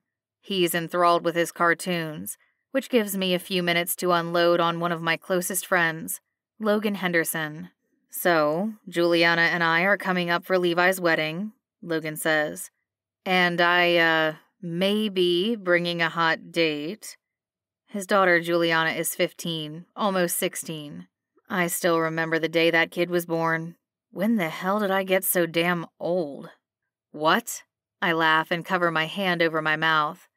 You have a date. Damn it, am I the only one of us who is going to be left at the singles table? Sounds like your love life sucks, Logan quips. Funny, since you always have a girl on your arm everywhere we go. I like to play the field a bit, I say and shrug. I spend more time focusing on Tyler than anyone else. How am I supposed to find the time for a relationship? Whatever makes you happy, Logan says. Anyways, I met this rock star of a girl. She's a vlogger and her name is Callie. I can't help but laugh. What is she, 17? She's legal, jackass, Logan throws at me. 29, but age is just a number. Damn, good for you. I whistle at the fact that he caught a girl 14 years younger than he is. Lucky bastard. Logan laughs. The girl is anything but lucky. She's cute, though, and sassy. Oh my gosh, the mouth on her. But, anyways, we're going to rent a room at the Luxembourg for the wedding. We should catch up, grab drinks while I'm in town. That sounds nice, I say, and let out an enormous sigh. What is it? Logan and I served in the military together. The man knows how to read me, which is sometimes good and other times concerning as hell. I just. I need to find someone who can look after Tyler. I can't exactly take a three year old to the bar, and the nanny is, uh, not a possibility. Did she quit on you? Logan asks with a laugh. No, she died, you asshole. Ooh, sorry. Logan apologizes. Wasn't she like super old? No, she was in her 60s. There is silence that follows. I could ask Juliana to watch Tyler while we go out. I inhale a long, slow breath. I don't know. I appreciate the offer, but Tyler is special, you know? Unless you're planning on wrapping that kid in bubble wrap, you have to accept that there are some things you can't control. He's got to grow up and live his life, not have a helicopter parent chasing him around like his shadow. I pinch the bridge of my nose. I don't need a lecture from you, I say. He doesn't know what it's like to raise a kid who could die, and at some point will die, probably before I do. The life expectancy is around 40, which seems far away, but Wren died in her 20s, and she struggled all through her childhood with complications and health issues. I get it. You're going through something none of us ever had to deal with, Logan says empathetically. We commend you for stepping up and being there for Tyler, but he needs room to grow, both emotionally and physically. Don't smother him to death. I don't so much as feign a smile. That's not funny. Do you want me to ask Juliana to babysit or not? Logan quips. Yeah, you may as well mention it to her. And what's this about you bringing a date? Who's the unlucky girl who got stuck with you? Her name is Callie, Logan says again, and we met when she came to my resort to do a review on the place. My jaw drops as I remember the scathing review that had been all over social media about Blue Sky Resort. You're dating that traitor? Well, her boss is the one who changed the review and tried to destroy the place. Wow. Vicious. I can't believe he ended up dating the girl after all that drama. Callie is actually quite sweet. You'll like her. So, who is running the resort while you're in New York for the wedding? I ask. Wyatt. Your brother? I cover my face with my hand, trying not to laugh. He does realize that he can't sleep with all the guests. Wyatt and I have quite a bit in common. Neither of us have the urge to settle down and start a family. I've already told him repeatedly. Logan chuckles. Far be it for him to listen to me, but at least he stays away from Callie. We share a few stories before hanging up, and I work on preparing dinner. My phone pings with a notification alert, and I glance at it, realizing it's a new message in the dating app. I ignore it, finishing with dinner and getting Tyler changed and ready for bed. He doesn't want to sleep in his race car bed again after today's spill. I'm not sure that I didn't make it worse, dragging him across town to the hospital for a million different tests. I put him on my bed, surrounded by pillows, and add a few more pillows to the floor. He's not a kid who usually rolls out of bed. He hasn't done that in well over a year, so I'm not sure what's up with it. Did he try to get up out of the race car bed and trip? We've all been disoriented at some point when waking up but most of us don't have to worry about it killing us. After Tyler is asleep, I lounge on the sofa, flipping through the channels. There's not much on, nothing new to watch. My phone pings again, notifying me of another new message. I grab it from the coffee table and open the dating app. I have two new messages. Both are from Sunny in Paris. Sunny in Paris. Are all men jerks? I toss my head back and shut my eyes. Fuck. I screwed up with Elisa. Royally. I'm not sure what I was expecting or hoping for, especially when she came to my front door. But this text to steamy single dad isn't it. She's mad at me, and she's not wrong. I blew her off. I had a shitty day and didn't want to talk about it with her. She sent me a second message, and I scrolled down to read it. Sunny in Paris. Picture or bust? I'm blocking you if you don't send a photo of you. Yeah, that isn't going to help. I can't let her know it's me, and if I grab some random photo off the internet, she can easily do a reverse image search. I don't want to be that shitty guy. So I do the next best thing. I open my phone, scroll through my photos until I find one of my buddy Logan. I'll pretend to be him. At least with the picture, the rest is all me, and no one has to know. I upload the photograph of him outside by the campfire. I'm also in the photo, but I crop myself out and send it to her. Steamy single dad. Not all men are jerks. I click on her profile and flip through her pictures. Why the hell am I hooked on her? A notification pops up that she's online. She's probably reading the message I sent and looking at the photo right now. The odds of her knowing Logan are slim.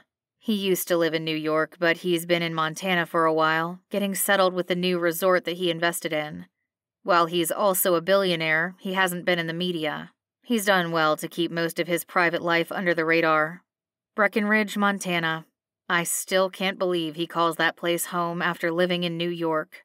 Some days I consider doing something similar, leaving everything behind and moving to the beach, enjoying all that life has to offer.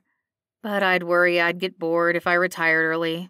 Besides, there are too many people counting on Blazing Media. They have jobs and lives, and I can't just walk away because I want to. That would be selfish. A notification pops up that I have a new message. I double click on it. Sunny in Paris. Cute, but is that really you? Send another pic. I quirk a smile. She's smart. I flip through a few more pictures and land on another one with Logan. I have to crop out his teenage daughter sitting next to him and zoom in, making it more of a portrait. Steamy single dad. Trust issues much? Sending now. I hit send and attach the image of Logan. I feel dirty, and while I know it's wrong, I want to chat with Elisa to get to know the real her, and I can't do that with both of our walls up. Being her boss is a bit of a cockblocker. Sunny in Paris. Wow, okay, so two for two. Have a third. I attach one more photograph of Logan. This one has him snowboarding down the slopes. He's wearing a helmet and gear, so you can't tell it's him, but it's a third photo that I have handy. Steamy single dad. I have proven who I am. Now it's your turn, Sunny in Paris. I click send along with the picture and wait for her to respond. I stretch out on the sofa, getting comfortable. While I'm waiting for her to respond in the app, I open my texts and message Elisa. Weston, I really hope you don't quit. I'm sorry about this morning. I had an emergency and left my phone behind. Elisa, emergency? What happened? I don't want to get into specifics with her about Tyler. Weston, everything is fine. Elisa, everything isn't fine. We need to talk.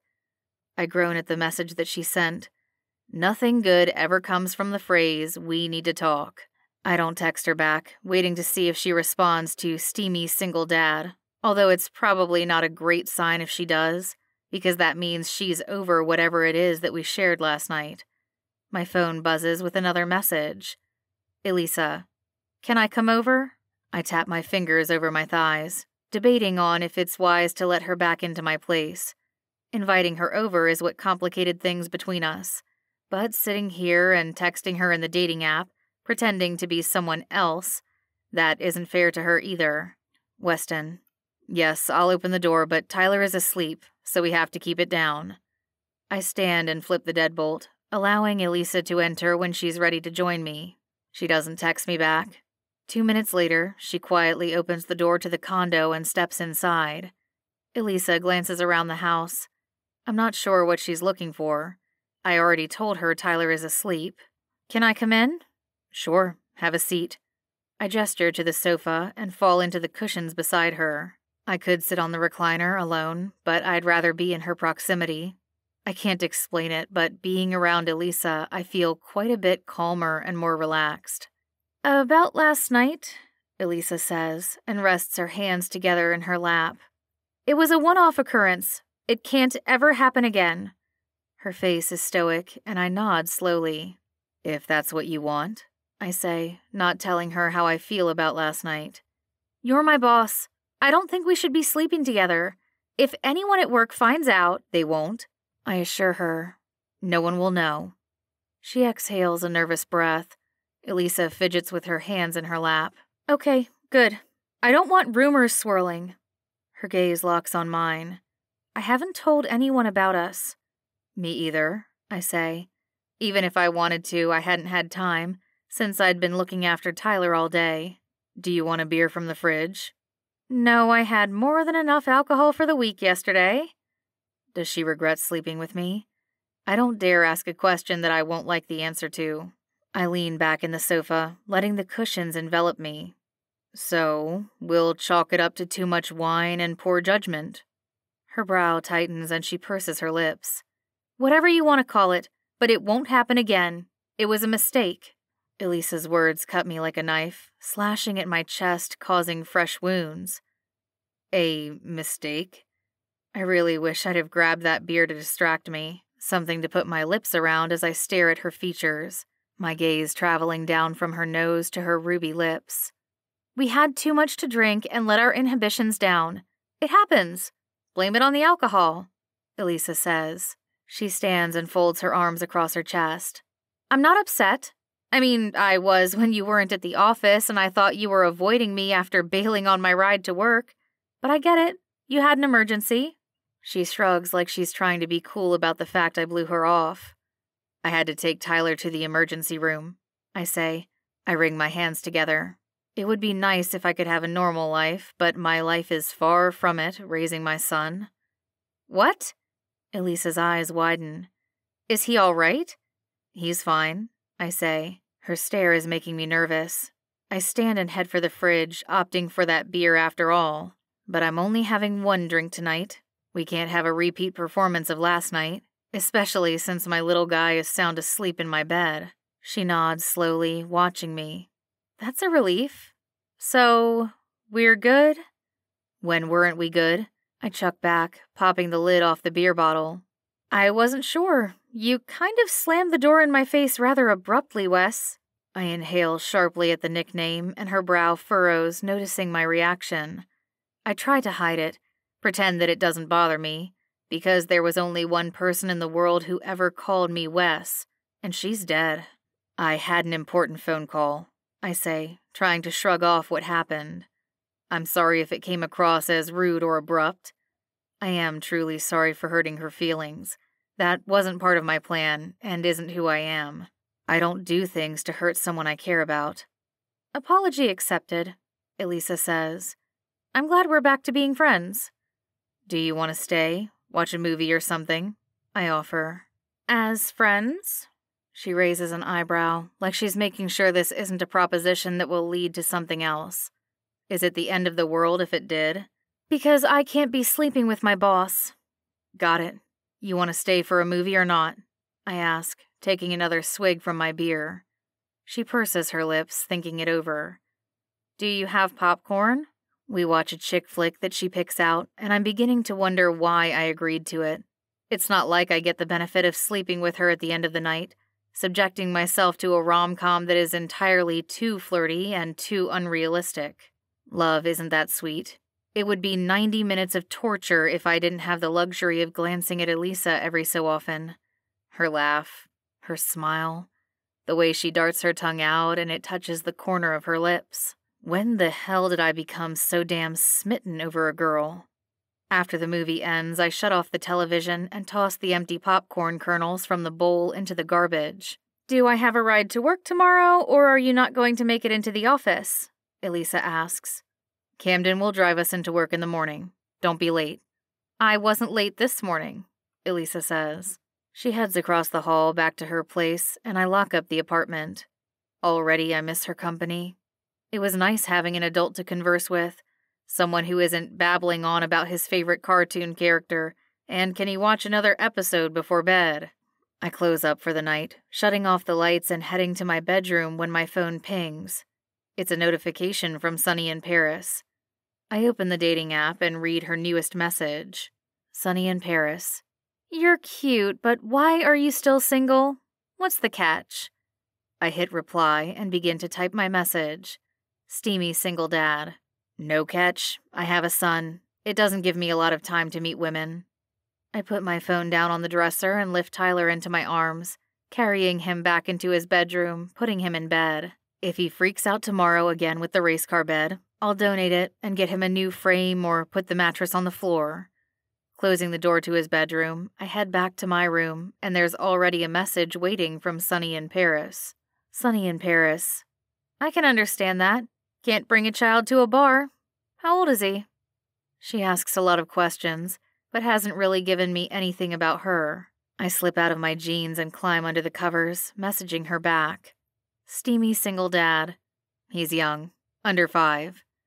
I don't want to give too much away, or for her to suspect that I'm the man she's conversing with, but I don't think at this point she has any idea. I continue my message to her Steamy single dad. You still haven't told me why you're still single. A beautiful woman like yourself, I'm sure that you get asked out all the time. I turn the bedside lamp off but continue looking at the screen. She's online, so I wait for her to message me back. In a matter of minutes, it pings. Sunny in Paris. I'm not always great at picking out the best men. I quirk a grin. Is she talking about me? Steamy single dad. Elaborate. I respond and wait for her to answer. Sunny in Paris. I went out with my boss. Now it's getting juicy. I sit up, grabbing a few pillows to prop myself up. Steamy single dad. And is he hot? Sunny in Paris. That's not the point. He's my boss. Well, we did more than going out, unless she's referring to the first time that we met, and I don't think that she is. That feels like ancient history after what happened last night between us. Steamy single dad. Well, I mean, it's probably no big deal unless you slept with him. I can't believe I hit send on that message, but hell, I am having way too much fun.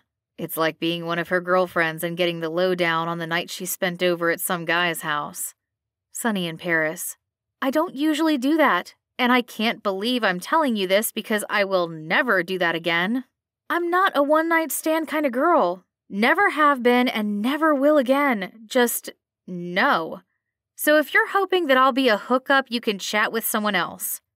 At least she's making her point loud and clear. Steamy single dad. I'm not interested in a hookup, Sunny in Paris.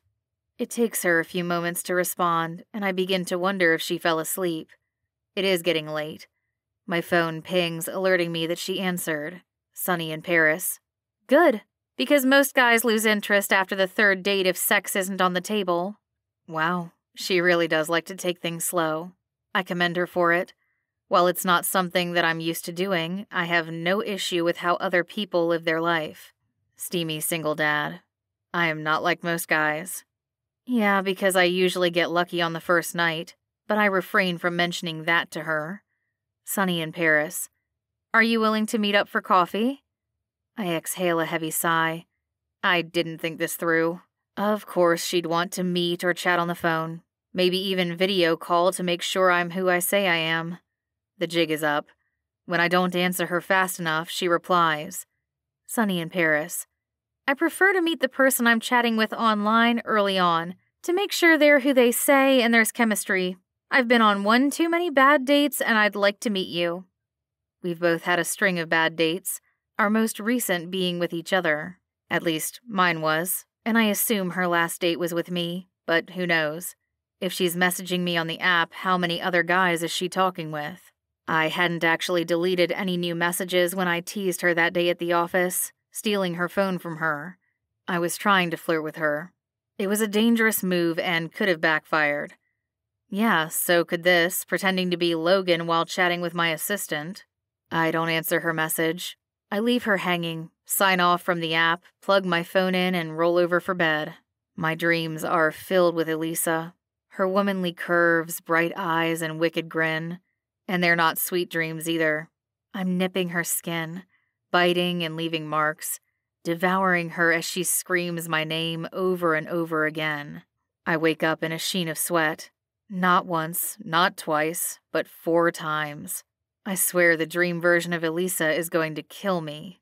In the early hours of the morning, I shower under a steamy spray, letting my filthy and vivid thoughts of her sucking my cock fuel me as I stroke my shaft. She's all I think about, envision as I finally let go. Shit. It was bad enough, her getting in my head before we had sex. But now that I've had her in my bed, she is constantly in my mind. All I can think about. She's like an addiction, and I am craving my next hit.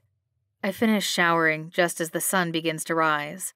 I get dressed and put on a pot of coffee while I wake Tyler and get him out of his pajamas and ready for work with me. He missed preschool yesterday while he was at the hospital having tests run. Not that I could have dropped him off and picked him up. I could request that Camden handle chauffeuring Tyler around, but he shouldn't be responsible for my son. That's what Martha had been there for, to help with my boy. I should hire a new nanny, someone to give Tyler undivided attention instead of focusing on starting a daycare center in the building. And while I could do both, my time is running short as it is with trying to get my job done on a limited work schedule. When my father was alive and I worked from home, I'd put in long days and late nights. I swore that I wouldn't do that after he passed, that I would set boundaries and a healthy work schedule. But it's difficult to get everything done before the end of the day. And adding on more responsibilities, like finding Tyler a new nanny or creating a daycare in the building, aren't small projects to tackle. It's like adding another mountain of work to do when I already have Everest to climb. Tyler and I head downstairs, and Elisa is waiting for us in the lobby. Good morning, she says as we approach. Camden is already waiting, and we shuffle outside and into the cold like we had days ago, as if nothing happened between us. I'm grateful for the chance to start fresh with Elisa. Even if she doesn't see me as someone worth dating, I don't want to be remembered and hated as the man she fell into bed with while drunk. I don't want to be her biggest regret. We head to the office and I get Tyler situated on the sofa, playing with his action figures. He's not particularly quiet, but I can handle his noise level. At least he's having fun and doesn't seem to mind being stuck with me all day. Sir, Elisa says as she knocks on my open office door. I'm on the phone with one of our lawyers. The film we had a green light to finance, it turns out, had more than one screenplay, and we weren't made aware of it. Someone else is trying to steal the script out from under us to produce before we get it to launch. I gesture her to come on in. Elisa takes a seat across from me as I speak heatedly with Gary, our media lawyer. I'm trying to watch my words since my son is in the office, and while he doesn't appear to be paying much attention, the kid is an absolute sponge at this age. I finally hang up, slamming the phone down. Bad time to ask if you want anything for lunch? Elisa quips. I glance at my watch. I hadn't realized it was nearly one o'clock. I've been powering through as much as I can, and while I have a great staff who helps, we're short handed since a number of them quit weeks ago when I took over. I need a break, I say, and stand stretching. Tyler, do you want to go out to lunch? Yes, Daddy! Tyler squeals and drops his dinosaur action figures onto the floor. He jumps off the sofa and I grimace, terrified my son is going to fall and get hurt. Tyler! I can't help but scold him. You have to be careful. It's hard for him to grasp what can happen if there's any trauma to his body. At three, he doesn't have the understanding that even a bump on the playground could be fatal. He's fine, Elisa says, and Tyler takes her hand. She stares at me like I've lost my mind. She has no idea what we've been through as a family. He's not fine. If he falls or bumps into something aggressively, he's at risk of rupturing his internal organs. What are you talking about? Elisa asks, glancing down at Tyler. She gives him a warm, friendly smile. Grab your dinosaur. I'm going to talk to your daddy out in the hallway. She grabs my arm, practically dragging me out of my office. What the hell are you talking about, Wes? I exhale a shaky breath. Tyler has vascular EDS, just like his mother. I don't know what that is, Elisa says, shaking her head, waiting for me to elaborate. He has a collagen deficiency that puts him at risk of rupturing his internal organs and arteries. I've never. She pauses, trying to speak. I didn't know. I'm sorry. I'm sure you're just trying to protect him. I didn't realize that he. Is he going to die? I exhale a heavy breath. I intend on protecting him as long as I can, but life expectancy is 40. However, my sister barely made it into her 20s. Wren constantly had health issues related to her diagnosis. She had multiple surgeries and complications all throughout her childhood and teens. That's awful. I'm sorry. I had no idea the way she looks at me. I don't want your pity. You asked, and I thought I should explain why I'm forceful when it comes to his safety. It's why having a nanny who knew about his condition was so important to me. Elisa opens her mouth. You let me watch him. I had no idea. Her voice trails off. It was late at night. I wasn't worried about you taking him to the playground or playing an impact sport. While he doesn't fully understand the disorder, he knows that he's not allowed to jump on beds or off furniture. Daddy, I'm hungry, Tyler says, emerging from my office with his blue dinosaur. The toy is an absolute favorite, probably because it was from his mother. We decorated the nursery at my house with a dinosaur theme. I had planned on the two of them living with me. I just hadn't expected Wren not to be there. Join us for lunch, I say to Elisa, picking Tyler up and carrying him to the elevator. He wraps an arm around my neck, squishing me in the chest with his stuffed friend. Are you sure? I wouldn't have asked if I didn't mean it. Chapter 9 Elisa Weston's grumpy voice still plays in my head, yelling at Tyler for jumping off the sofa. Looking at the kid, it's impossible to tell he's struggling with any type of health issue. I spend a bit of time going down the rabbit hole of Googling vascular Ehlers Danlos syndrome. It's genetic, it's almost always fatal, but it doesn't sound like it's too often where it's causing a detrimental effect to a young child. There are a number of undiagnosed teens who have died from VEDS, and I can understand Weston's concern. But I'm also not sure whether this fear is driven by something else, like whatever happened to his sister. I want to talk with him about it, but I don't want to push, and it definitely can't be while we're at the office. Nigel drops off my dress at my place, and it's tailored to perfection. The wedding is this Saturday, and I'm looking forward to a girls' night with Claire and her friends, celebrating her last night of freedom, the bachelorette party.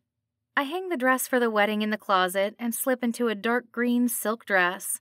It practically looks like a slip, but it's sexy as hell, and I want to go out and get noticed.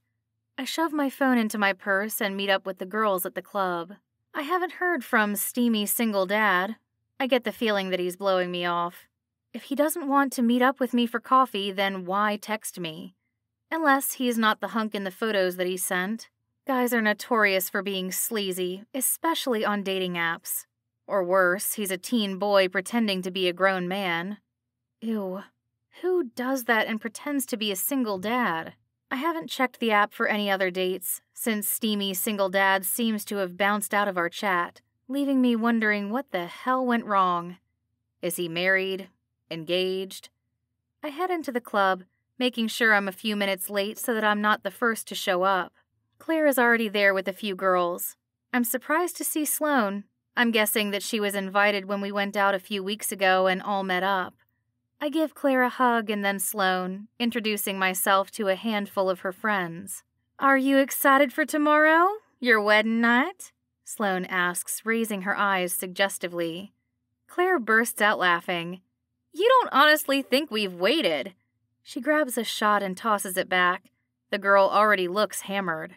Maybe you should slow down, I say. You don't want to be hung over on your wedding day.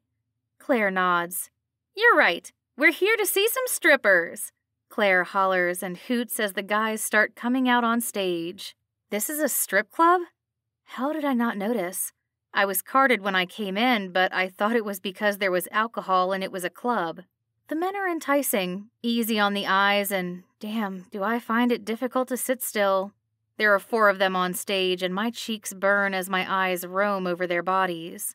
Hottest stripper, come on, spill. Sloane nudges me, wanting me to partake in their fun.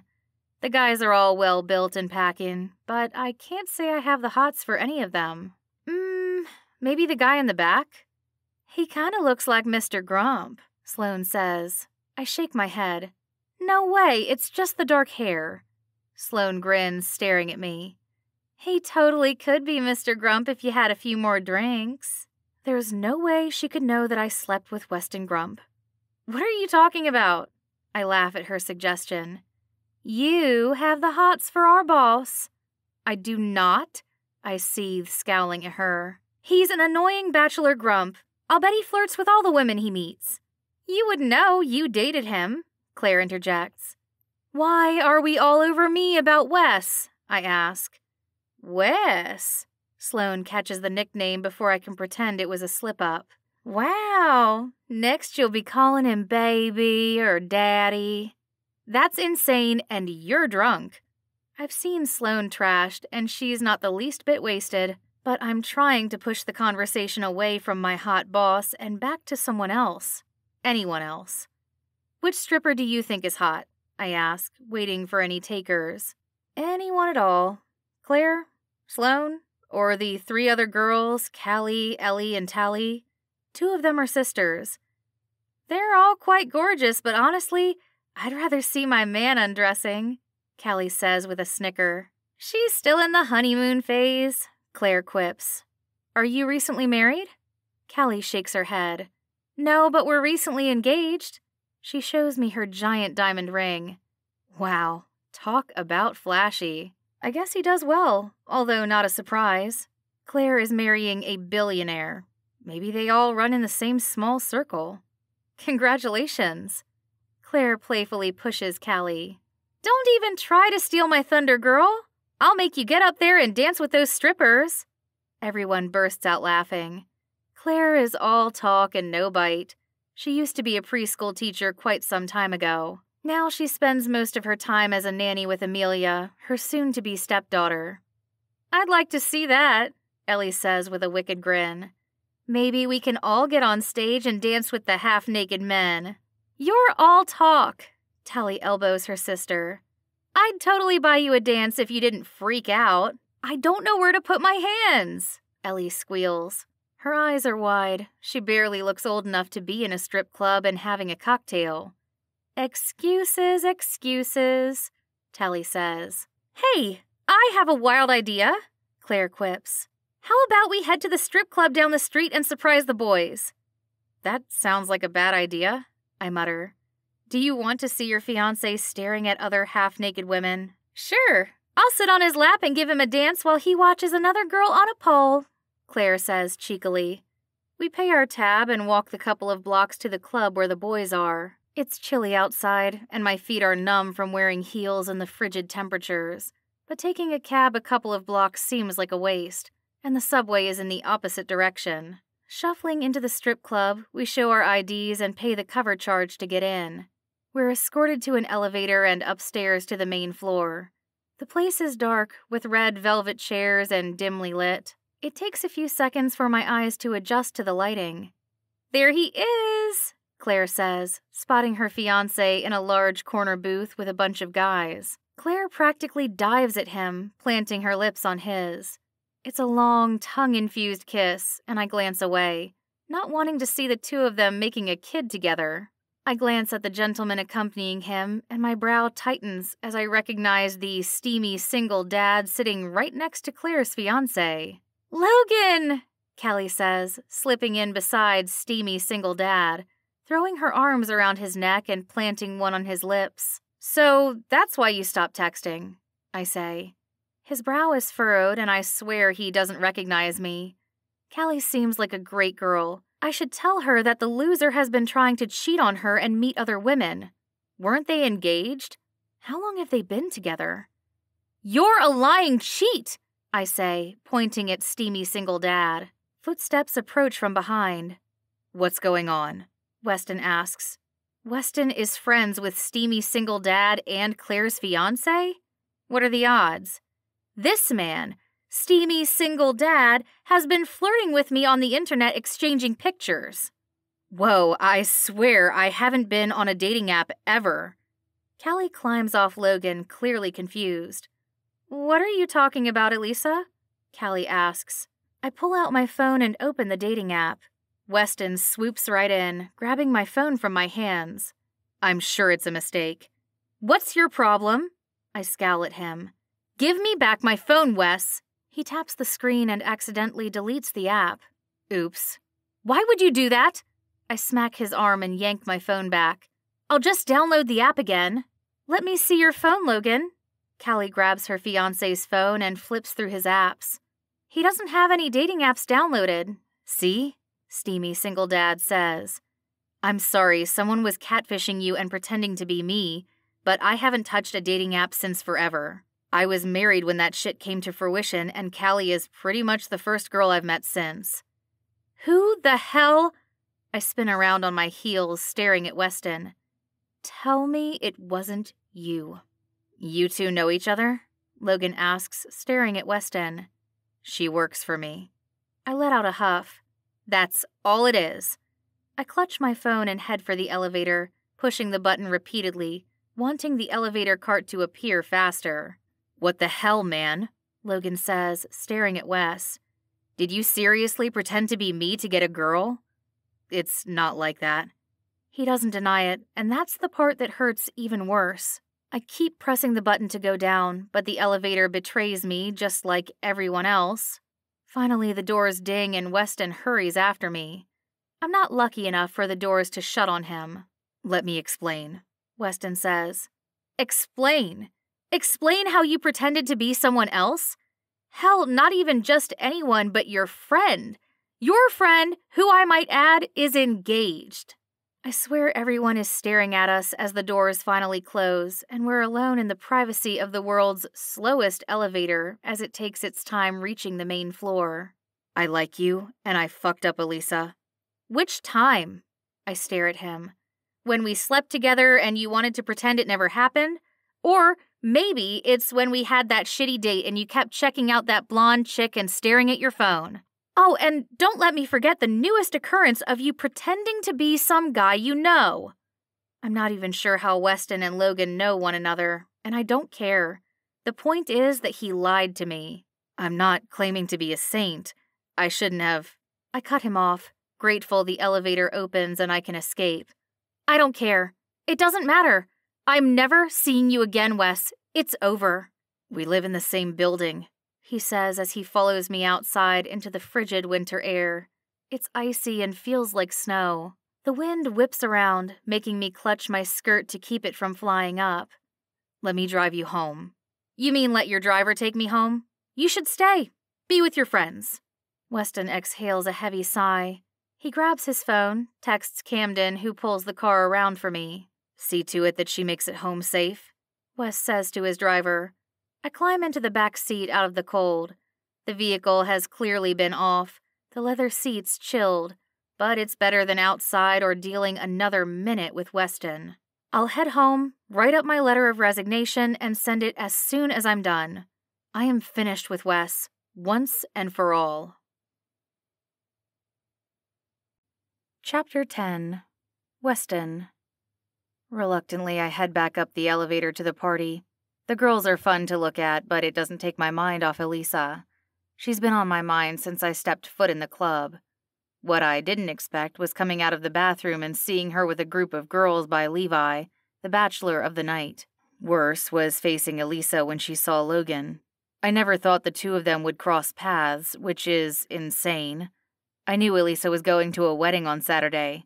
So am I, but I didn't think for a second that it was the same wedding. Plenty of people get married on the weekend. Weddings happen year round, although they are probably more frequent other times of the year. Maybe I was in denial, thinking I could get Elisa to tell me her deepest, darkest secrets and not have her know that it was me all along. You're an asshole, Logan says as I come back upstairs after waiting for Elisa to leave via my driver. He'll be back at the club to pick me up when the night is over. So I've been told. I don't let his words soak through me. They roll off, they're meaningless. I can't believe I work for you, Sloane says. I can't believe you're here, I mutter and find my empty seat next to Logan. He's fuming. I don't get it, man. You have the looks, the charm, the charisma. Girls are always vying for your attention. Why the hell pretend to be me? Everyone is staring, watching, and waiting for an explanation. I can't go into detail, not without admitting that Elisa and I slept together. Sure, the account started out as a little fun, a bad idea that went rogue the minute things got complicated between us, and now I've made them a million times worse. I fucked up, I say. Damn straight you screwed up, Logan's fiance says. Callie, settle down. No!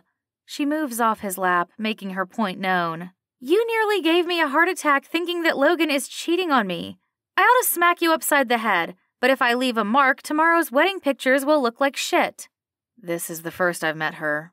He's been going on about her all night, how she likes to rile him up, and I can see how that could happen. The girl is a bit of a firecracker. Why are you still here? Logan stares at me. Listen, I said I'm sorry. You actually didn't, Callie quips. You said everything but I'm sorry, and I'm guessing that you didn't apologize to the girl you catfished either. Weston, you're welcome to stay and hang out here. Enjoy the show, Levi says. It's his bachelor party. I'm here supporting him for his big day tomorrow. But you're a dumbass if you leave things unsettled with that girl. Elisa, Claire says, correcting him. My answer is silence. Elisa won't want to see me, and I don't blame her. I betrayed her, burned her, and pretended to be someone I'm not. If it were the other way around, I'm not sure I'd be so forgiving. I sip my beer, stewing in my seat, refusing to get off my ass. I don't know what Elisa sees in you, Sloane says, grabbing a seat next to me. Yep, me either, I mutter. I finish my beer and order another bottle. I don't think I can drink enough to make me forget the damage I've done. I'm lucky Logan didn't throw a punch or threaten to bury me alive. I don't pay for any private dances. I watch the entertainment, but I never thought I'd go to a strip club and be miserable. All I can think about is Elisa, how I hurt her, that I shouldn't have lied to her, how on our date I distracted the waitress as I was attempting to be polite and she set Elisa's hair on fire. It's no wonder Elisa ran out on me during our first and only date. She should have fled. I deserved it. I finish the second beer, order a third, and Logan comes over, taking Sloane's seat. I don't need a lecture, I say before Logan can berate me for what I've done. I told you what I thought, that you should be with her tonight instead of us, Logan says. He doesn't hide his thoughts from his friends. He tells it like it is. I'm glad we're still friends, even if I did fuck up my life. At least I didn't ruin his. She won't want to see me. Logan shrugs. You're right, she's going to be pissed. Put yourself in her shoes. You catfished her. That's shitty, and I don't care the reasons. Whatever you thought would happen, it couldn't. Unless you intended to be a dick to her, but I don't see that in you, Weston. You're normally into banging the next hot girl who walks into a bar, but the whole pretending to be someone you're not, going on dating apps, what is going on? Talk to me. I exhale a heavy sigh and hang my head. I'm not proud of my behavior. Is this because of Wren? What? I glance up, not understanding why he's bringing up my sister. It can't be easy raising your nephew. Your sister left you with a lot of responsibility. He's my son, I say. Legally, I adopted him after Wren's death. He became mine. Biologically, he's my nephew, but I've never thought of him like that for a single day. I know you adopted him. His father isn't in the picture, but it's a lot of responsibility becoming a father overnight, especially when you weren't planning on it. We all knew it was a possibility, I say, glancing up at Logan. Wren had struggled her entire life with the disorder. When we found out she was pregnant, it had been a tough decision that we had. If something happened to her during the pregnancy or after, who would take care of her child? I vowed to be that person. I was all she had, and now I'm all Tyler has. Tyler and Wren have nothing to do with Elisa. Oh, but I think they might, Logan says. You've kept your heart locked up, afraid to love anyone because you've already lost one person close to you. Wren was my sister, I remind him. It's different. Yes, but it's still a great loss and a big change. Tell me I'm wrong. You're wrong, I say. Then why are you pushing Elisa away? Why lie to her? Why not just tell her you like her? He tilts his head, staring at me. Unless you already hooked up with her and she wants more, but then you wouldn't be playing games pretending to be someone else. I glance away. He's way too close to figuring out what happened. You did sleep with her, Logan says and smirks. He leans back in the chair with a nod. Was it good? It was fine. I don't want to have this conversation with him discussing my sex life. Fine doesn't sound hot. It was hot, okay? I glare at him. Sex wasn't the problem. What is, other than you have your head up your ass? I like her, And I don't like anyone. You know I don't do relationships. And even if I wanted to, she's my employee. That's an excuse, Logan says and takes a swig of his beer. You can find a way around it. You're the owner of the company, am I right? I don't want other employees thinking that she gets preferential treatment or rumors spreading about her. I'm trying to protect Elisa by keeping a healthy distance. Hey, Sloane, Logan says, and brings her back over toward us to join our conversation. I groan. Why does Logan have to torment me? If my buddy Weston here was in a relationship with Elisa, would you be engaging in office gossip about it? I glare at Logan. We're not having sex. Don't listen to him. He's being a jerk. Sloane stares down at me, unconvinced. The only jerk I see here tonight is you. And it's obvious that you two shacked up at some point. The sexual tension went from explosive between you to like a bomb went off and you can't look at one another. That's not true. No, Sloane says. But you just admitted to it. Mr. Grump, if you're going to sleep with your employees, you have to expect there to be some tension. I'm not sleeping with my employees, I growl at her. Just one employee, Logan says. Right? I shove my head in my hands. The interrogation is worse than having it out with Elisa. I should have gone back with her, tried to reconcile what I could before it was too late. It's fine. You'll see her tomorrow, Levi quips. What? I glance up at him. I was hoping the soonest I'd have to deal with her was Monday morning at work. Although I've been shuttling her into the office with me, I'm not sure that she'll be keen on taking a ride from me anytime soon. At the wedding, she's one of Claire's bridesmaids. The two of you are walking down the aisle together. Kill me now, I mutter. Does anyone want anything? Sloane asks, standing up for the bar. No, I should call it a night. I've already royally fucked up my life. If I'm lucky, I can try to talk to Elisa tonight before I have to face her at the wedding. You're leaving? Sloane asks. She glances me up and down, displeased. Please tell me you're not going to stop by and visit Elisa. I can't make that promise. She lives next door to me. It's not like I even have to go out of the way to see her. But I have to pick up Tyler first since he's with Logan's daughter. She's watching the kids for the night. We just got here, Levi says. Sit your stupid ass back down. You'll apologize tomorrow when you're sober. Fuck. I grunt and throw my ass back down into the chair. I'm going to take off, Sloane says, and I ignore her. She gives Claire a hug goodbye, and they exchange a few words before Sloane heads for the elevator.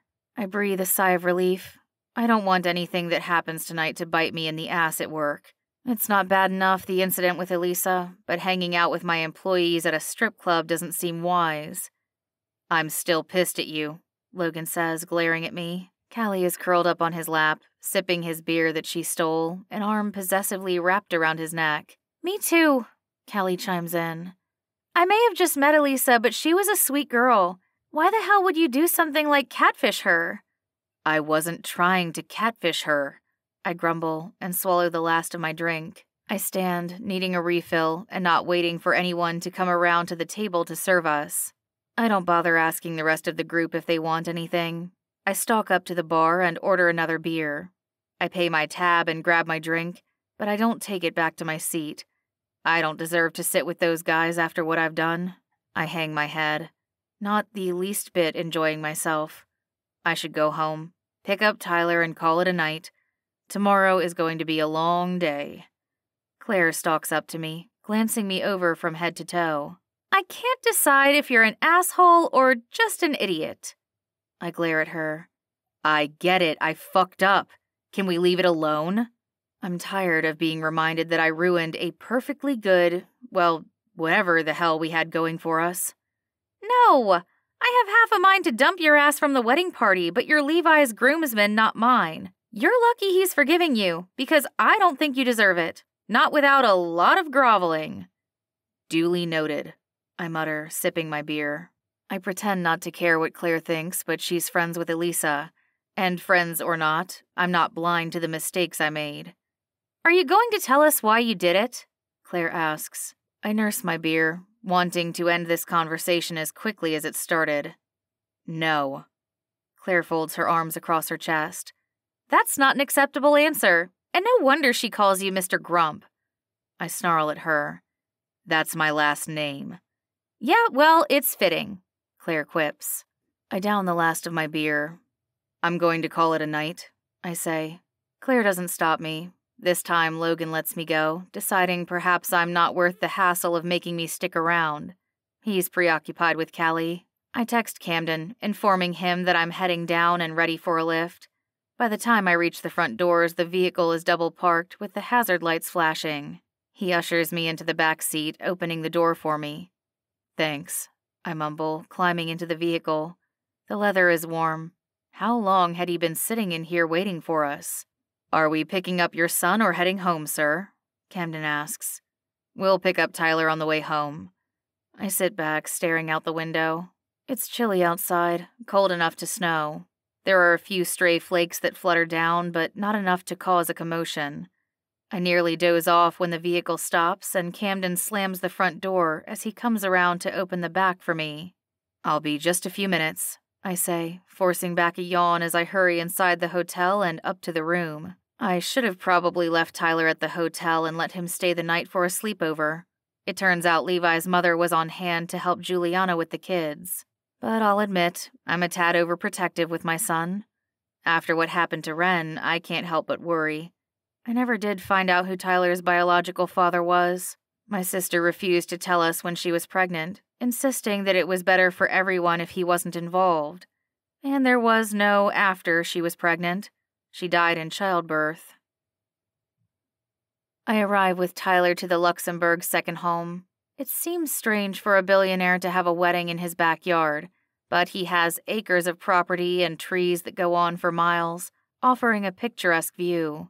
I'd have expected the wedding to be someplace exotic and hard to book. Perhaps a warm destination like the South Pacific or Caribbean, especially given the fact that it's the middle of winter in New York. While the venue is one of his many homes, they didn't spare a single expense. There are lights hanging outside, and while it's still daylight, I imagine it'll be quite beautiful tonight for pictures, while the festivities continue into the early hours. Inside the home, there are a number of long wooden tables and matching chairs, a gorgeous setup for dinner. Outside, there is fresh snow with evergreens that line the property. There is no one for miles, and while the ceremony will be outside along with pictures, most of the festivities will be held indoors. I still can't believe Claire wanted to get married outside in the snow, and Levi went along with it. Love, it makes people do crazy things for each other. I'm happy for the two of them, and I'll admit, the fact it's a non traditional wedding makes me more excited to be here. I'm thrilled for Levi and Claire, but just the thought of marriage makes my stomach flop. It's final.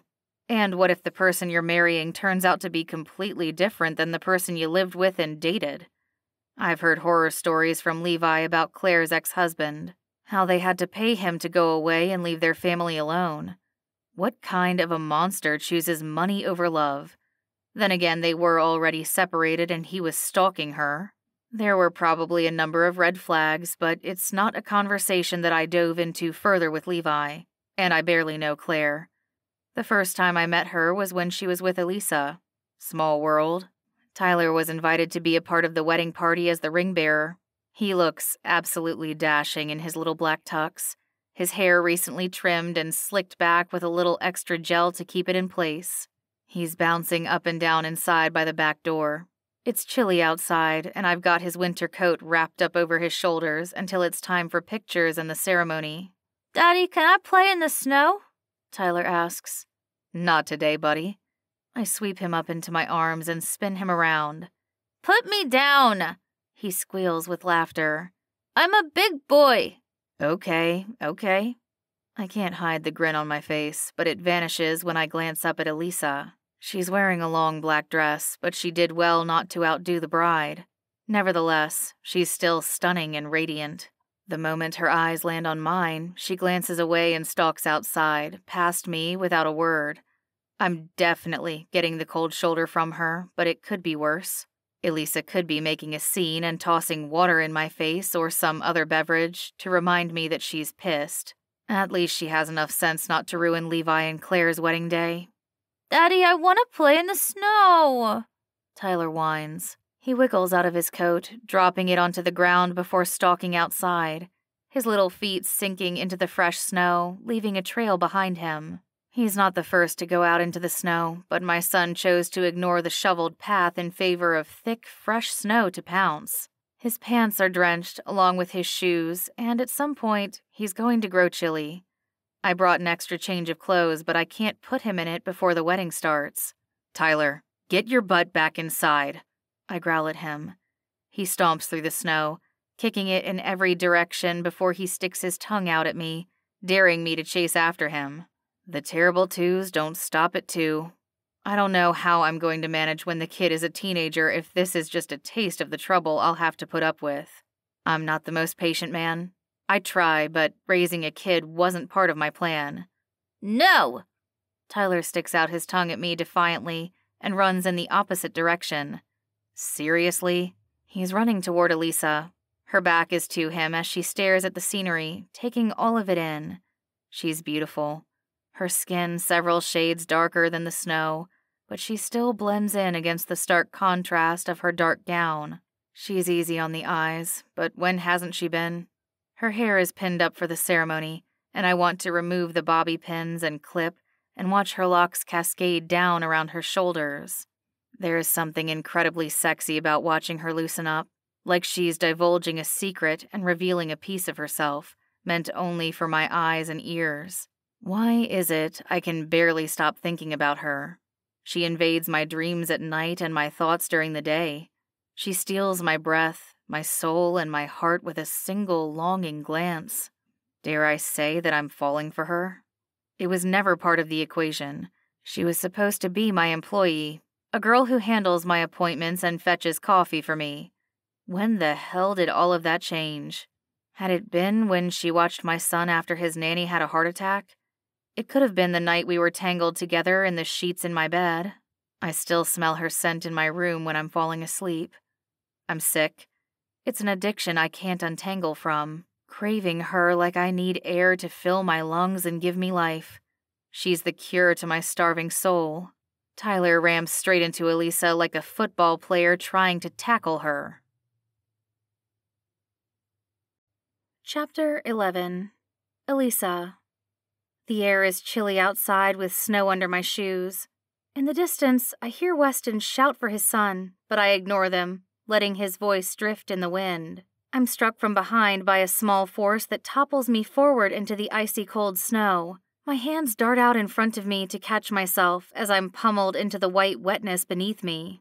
Tyler's giggles erupt from behind as he clutches my legs, keeping me pinned down. Where the hell did he learn to do that? Weston grunts and trudges hastily through the snow, grabbing his son off me. Tyler, that's enough, he scolds. What did we talk about? You have to be careful. I laugh under my breath, and Wes offers me a hand to help me stand. Thanks, I say, taking his hand while he has Tyler slung around his hip. The kid is soaked from the snow, and so am I. I wipe the remnants of snow from my dress. It was chilly outside, but now I'm freezing. Come on, let's get you both inside and warmed up, Weston says. His hand falls to my lower back as I head for the clear pathway and hurry to the hearth to get warm. I wrap my arms around myself. The cabin is plenty warm with the heat cranked and the fire crackling, offering extra comfort. I stand in front of the blaze and Tyler joins me. He's shivering from head to toe, and Wes emits a heavy sigh. I suppose now isn't the time to ask if he received my email, the resignation letter that I sent last night. I don't remember every word that I wrote. Hopefully, it wasn't embarrassing, because I was slightly more than tipsy from the party. But I'm not the one to be ashamed of my actions. Weston was the one pretending to be someone else online. Why would he do that to me? Did he think he was being funny trying to catfish me? Does he think I can't get a date? Tyler, what do you say to Elisa? I'm sorry, he says, staring up at me with his vibrant gaze. Will you forgive me? Maybe you should take one out of his playbook, I say, glancing at Weston. I shuffle my feet, grateful I opted for the black fur lined boots instead of heels with my dress. At least my toes are warm. That's the only thing on me that's comfortable at the moment. I get it. I messed up, Wes says, eyeing his kid. You royally messed up, I emphasize. This isn't a little mistake that can be fixed with a bandage and an apology. What were you thinking? I hold up my hand, deciding that I don't want to hear his lame excuse. I'm sorry, Weston says. It's not enough, Wes. What you did, it's unjustifiable. I can't.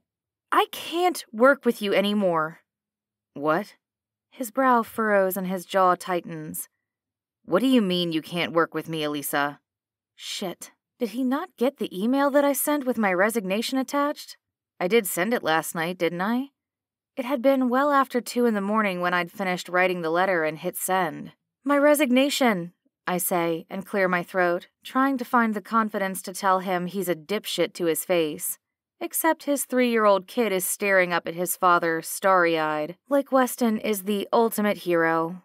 You can't resign, Weston says. I already emailed you my notice. You didn't get it? I haven't checked my phone. We got up this morning and started getting ready for the wedding. It's been a busy day, he says. He runs his fingers through his thick, dark hair and bites down on his bottom lip, his gaze flinching. I don't accept your resignation. You haven't even seen it.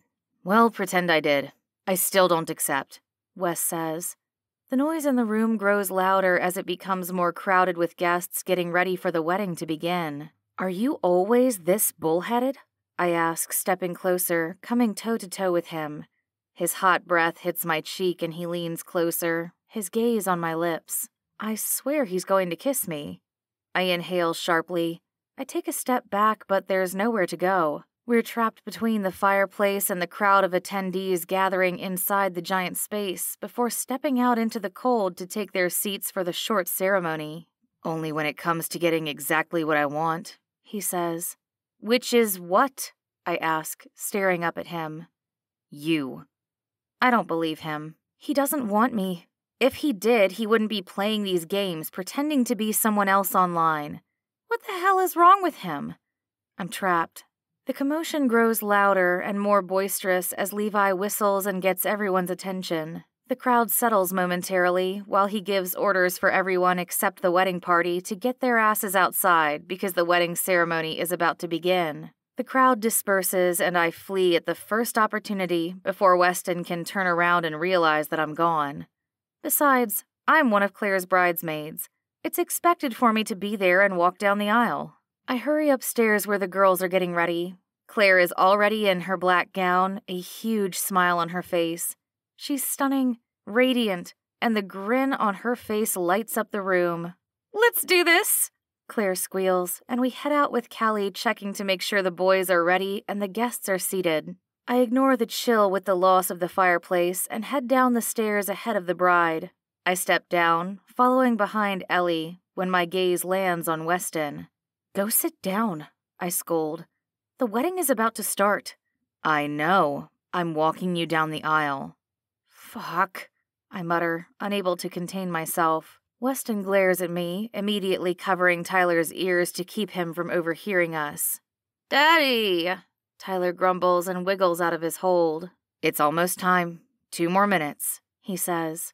We're all crowded near the door, wanting to watch while also trying to maintain some semblance of order. Weston takes Tyler's hand and watches from the open door, waiting for the music to begin. The flower girls go first, starting with Amelia, Levi's daughter. She sprinkles black rose petals along the packed snow covered ground as she gracefully strolls down the aisle. You're next, Remember what we talked about? Weston hands Tyler a small black pillow with a ring tied on by a dark red ribbon.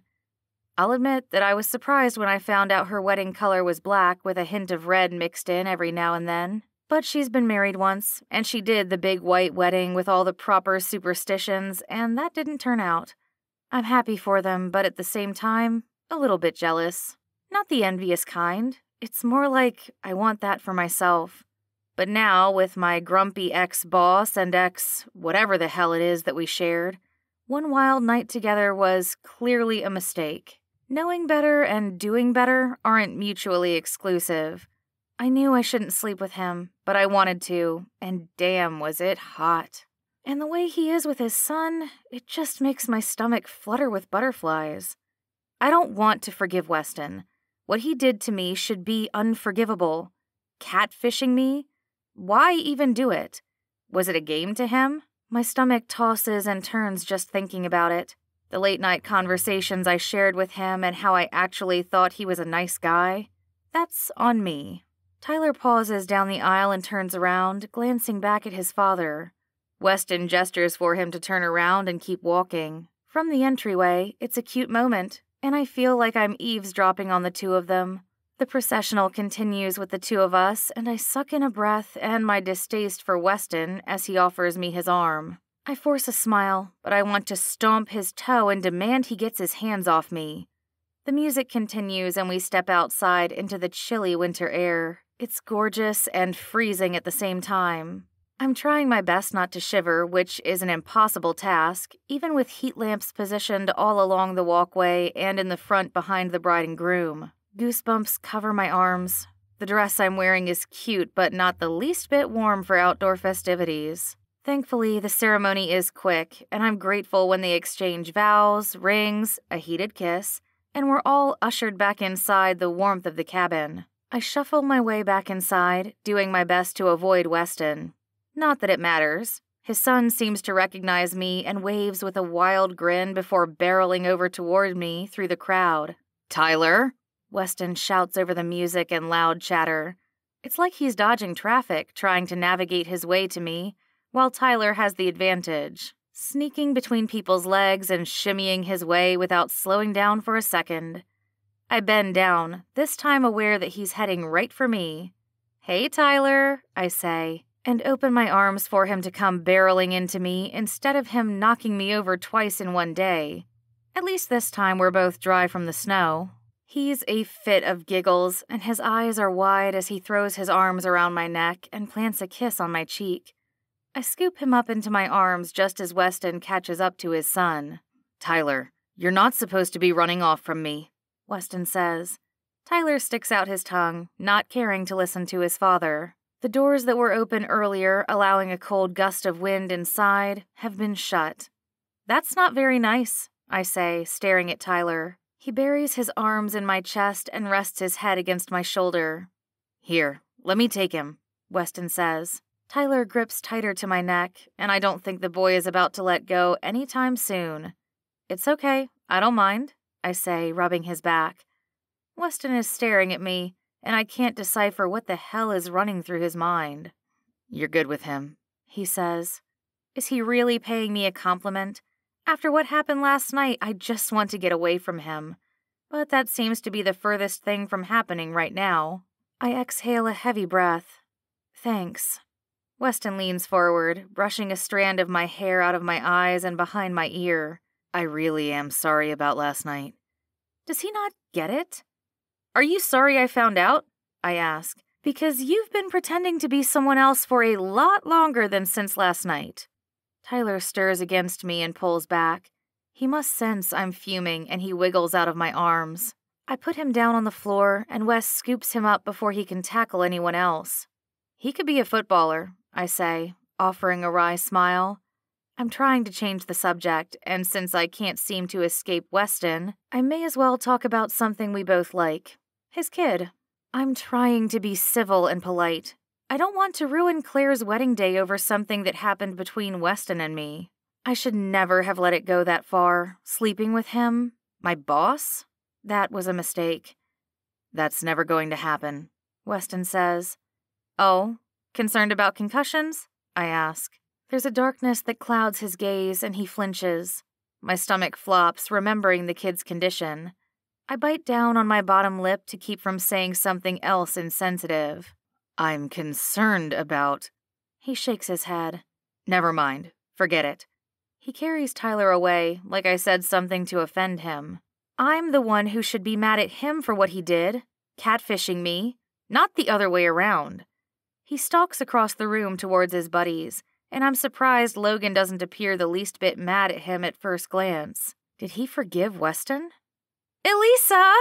Callie squeals and throws an arm around me. We met the previous night, but apparently we are now best friends. Hey, I say and force a smile. Having fun? She has a glass of wine in one hand and a little boy on her hip. He has his mother's hair and most definitely his father's eyes. I didn't realize that she had kids. Are all of Weston's friends parents? Yeah, Claire and Levi have such a lovely home, I say, taking in the atmosphere. How are things with you and Weston? Callie asks, getting right to the point. I mean, that was a total dick move that he made with the online profile. I glance from Callie to her son, surprised by her language. Complicated, I say, as if that sums up everything that's happened. You look bored. Come hang out with me and the girls, Callie says, insisting that I follow her. Ellie and Tally are standing next to Logan, speaking with Weston and another girl who's definitely a teenager. My stomach is back to being all butterflies when I join them, and my gaze lands on Logan. It's weird to have thought that I'd been conversing with him when, in fact, it had been Weston all along. Elisa! Tyler squeals and throws out his arms to me once again, like I wasn't just holding and cuddling the kid five minutes ago. I think you've had enough Elisa time for a while, kiddo, Weston says. It's okay, I say, offering to take Tyler for a few more minutes. It's a distraction from last night, from the lies, from everything that makes me uncomfortable. I'd rather hide and not be the least bit social, but that's not why I'm here. It's Claire's wedding day. And since Weston isn't leaving, I need to find a way to deal with him. Tyler throws his arms around me again and drops kiss after kiss on my cheek. I swear if I didn't know any better, he has a massive crush on Elisa. Kelly says. The room is suddenly warmer. Like father, like son, I say, and bite my bottom lip. Tyler gives me a giant hug and I ruffle his hair, watching him bat his eyes up at me. The kid is absolutely adorable. Daddy, I have to potty, Tyler interrupts, and I hand him back to Weston to find the bathroom. Weston and Tyler hurry through the crowd, and I breathe a sigh of relief. It's kind of cute how they both have a crush on you, Callie says. Yeah, but Weston isn't actually Tyler's biological father, Logan says to Callie. I told you that story, didn't I? What? That catches me off guard. He's not? Tyler is his nephew. His sister died in childbirth. I'll let Weston tell you the rest, but he's a tad overprotective given the circumstances surrounding her death. My stomach drops to the floor. He never said a word about being Tyler's uncle or whatever happened to his sister. Overprotective? Not my place to say, but I'm glad you're talking to him, Logan says. I've known Weston since we served together, and while he's a bit dumb for stringing you along online, he likes you. I think the fact that you both work together just complicates matters. No kidding.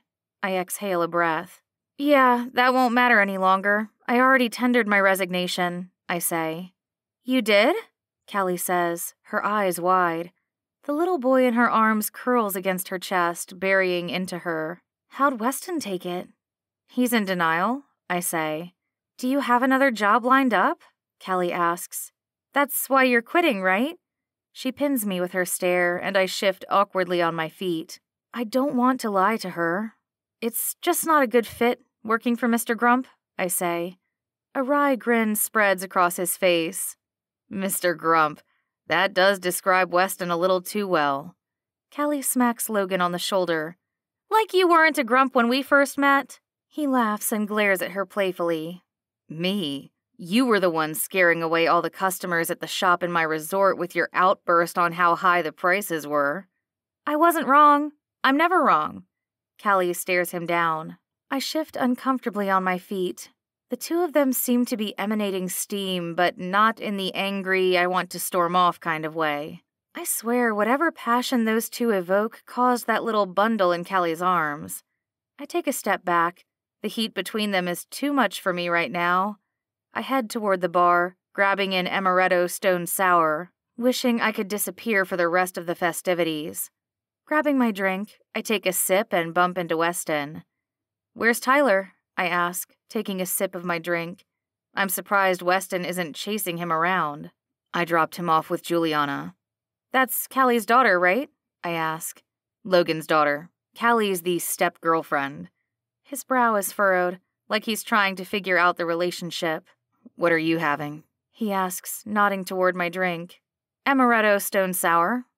Girly. Well, I am a girl. I shift on my feet.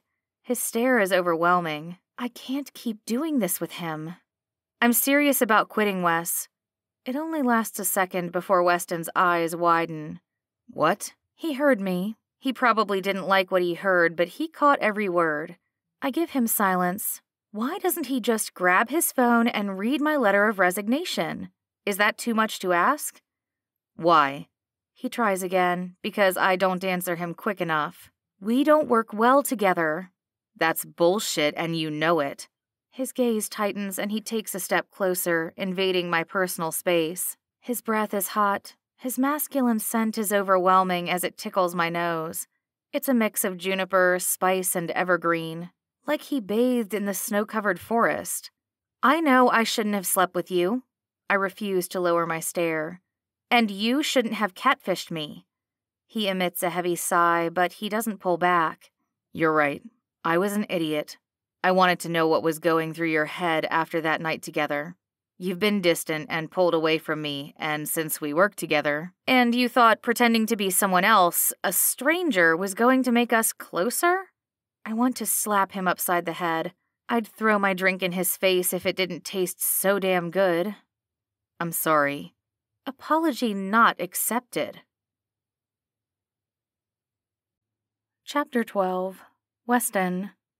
She can't seriously be quitting. All because of me? I realize she's angry with me for catfishing her. That was a dick move, even for me. But she can't quit. I don't accept your resignation. It's not up to you. You can't force me to work for you. No one's forcing anyone to do anything. I growl at her. Why the hell does this woman frustrate me so damn much? She stares at me, sipping her sweet drink, her gaze never wavering. Good. We never should have slept together, I mutter. It doesn't matter how good it was, how right it felt. This disaster of epic proportions is entirely my fault. I should have kept my dick in my pants. No shit she mutters and takes another sip. I pull the glass from her hands, tossing it back, swallowing every last drop. What the hell? She smacks my arm and her nose twitches. I think she might actually lose it, and I wouldn't blame her. I deserve her wrath. I slam the glass down on a nearby table, my arms long enough to reach without having to move the slightest bit away from Elisa. Get your own drink, she scowls and kicks me in the shin. Fuck. I grimace and, without thinking, shove her back up against the wall, pinning her against the wooden slats. Involuntarily, she shivers. I imagine it's the cold surface and doesn't have anything to do with me pressed up tight against her. You're an asshole. She stares up at me. I never claim to be nice or gentle. That isn't me. You're certainly not a gentleman, she seethes.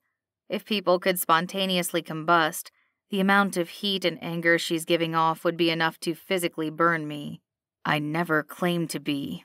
I growl and capture her lips with mine, ending our argument with a fiery kiss. She bites my bottom lip, but I don't pull away. My hands wrap snugly around her waist, pulling her tighter and pressing her up against me. I want her to feel what she does to me. She gasps, and I take it as an opportunity to shove my tongue into her mouth. The anger seeps away slowly at first, like ice being chiseled away.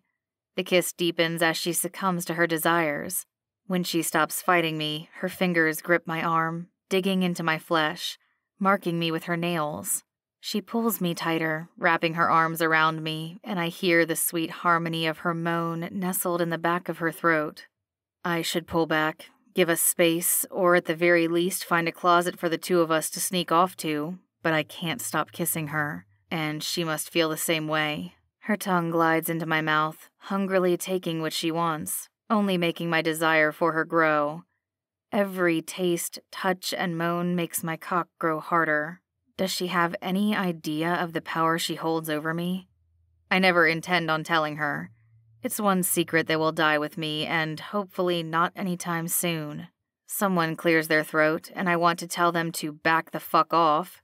But we are at a wedding, and I don't think this is what Levi had intended when he said he wanted his guests to enjoy the reception at his cabin.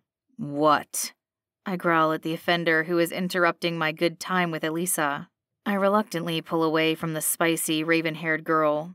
Her cheeks are flushed, and her chest rises and falls with soft pants as she tries to catch her breath.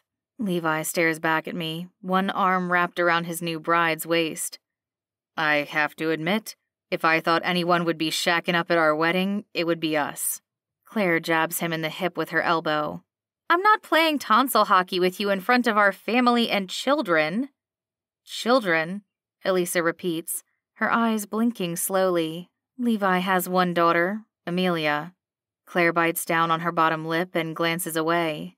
There are plenty of children here that don't need to learn about the birds and the bees from us, or from the two of you. Nice save there, airplane girl. Claire jabs him a second time in the ribs. Watch it, panty thief, she retorts. Panty thief. I lock my gaze on Levi. This is a story I haven't heard. There has to be some type of explanation for how he earned the nickname. But do I want to know? Tormenting him should be pleasure enough. And you're not going to hear it, Levi says, cutting me off. I'm happy to see the two of you getting along, but let's not give the guests an X rated show. We were just kissing, Elisa stammers, as if they didn't just catch the two of us making out. Yes, which leads to. Claire rests a hand on her abdomen. Wait, are you pregnant? Elisa gasps and brings her hand up to her lips. Shh. Claire gestures for her to lower her voice. We haven't told anyone yet. Congratulations times two, I say, wanting to mirror the sentiment, but the thought of having a kid honestly terrifies me. I've got my nephew whom I'm raising, and the thought of two kids, I don't know how Levi and Claire will manage. Although I suppose Amelia is a few years older than Tyler and doesn't have the health issues that he's faced with either. Levi pulls Claire against him. We should make the rounds, he says. Then get you seated and something to eat. I'm pregnant, not fragile, Claire mutters. She gives us both a smile before he ushers her toward other guests. Can we talk? Elisa asks, staring up at me, her eyes bright and wide. I exhale a sharp breath. Yeah, that's probably a good idea. As much as I want to go back to what we were doing, it's not going to solve anything. I don't want her to quit over what happened between us. I'd rather she not quit at all but I can't force her to work with me. And if we continue to work together, we can't sleep with one another. Not that there's a lot of that happening. It was one time. And so easily, I can recall what it feels like to be buried inside her. My cock twitches with the memory. It's snowing outside, a light dusting and frigid. Instead of opting for outside, I lead her up the back stairwell and find a quiet room for the two of us to talk. Wordlessly, she follows. I open the door, flip the light switch, and gesture for her to step inside. Her heels clack over the wooden floorboards as she steps into the room. It's clearly Amelia's bedroom, with a princess canopy over the bed and purple, sparkly curtains. Elisa tugs her bottom lip between her teeth and folds her arms across her chest. That kiss downstairs. We shouldn't. We can't, Weston. Why? I ask pinning her with my gaze. You already quit. I'm no longer your boss. If that's the reason, I'm not letting her use it as an excuse. I step closer, invading her personal space. It's more than that, Elisa says, staring up at me. You were a shit to me, Weston. And I'm sorry, I say. I shouldn't have pretended to be someone else online. That was a dick move. Yes, it was, Elisa says, and slowly I see the resolve crumble around her, like the wall built up around herself is breaking away. She shuffles her feet and I step closer. Tell me the real reason you're quitting. She huffs softly under her breath, her gaze staring down, unwilling to meet my stare. Elisa. I want her to answer me. Do you honestly expect me to come back into the office? Her tongue darts out, sticking out to the side as she exhales a heavy sigh. I'm giving you space. It's what we need. Maybe if we weren't next door neighbors. We won't be for much longer. What? That catches her attention, and she glances up at me. It doesn't bother you that we work together, only that we live next door to one another? I'm a bit perplexed by her logic. That isn't it. Didn't you just move into the building? It was a temporary arrangement. My house is getting renovations done since they found asbestos in the siding and roofing, and in addition, lead paint in the original trim work. You mean you don't live in a condo? of course you don't. You're a billionaire. You could own the entire building. The response she mutters more to herself than to me. I ignore it, well aware of how much I make and my net worth. Pretty soon, I should be moving out. The arrangement was never intended to be permanent. But you'd still be my boss if I stayed. She chews her bottom lip. Yes, that is what I'm suggesting. She pinches her eyes shut momentarily. You frustrate me. Do you realize how much you drive me crazy? And what was Logan going on about downstairs with Tyler being your nephew? He told you that. I can't help but feel anger shoot through me like a bolt of lightning. He had no right. Don't shoot the messenger, she says, scowling. She's toe to toe with me and refusing to back down. That wasn't his place to talk about what happened with my sister or Tyler. Her hand reaches out, brushing gently against my arm. He didn't tell me anything about your sister. Only that you can be a tad overprotective. I don't have another choice. I bite out. Someone has to look out for Tyler. He's too young to understand his condition. I never told you about Wren being his mother because I didn't want you to look at me or like Tyler the way you're staring at me right now. How am I staring at you? Elisa asks, her voice soft. With concern? She laces our hands together, giving my palm a firm squeeze. I know you care about Tyler. Damn right. I'd give my life for his. I would trade away his condition if I could, and I swear I've tried. You'd think being a billionaire would help. I run fundraisers, I donate to medical research, and have an entire suite dedicated to researching his condition. But it isn't enough. It will probably never feel like enough, Elisa says.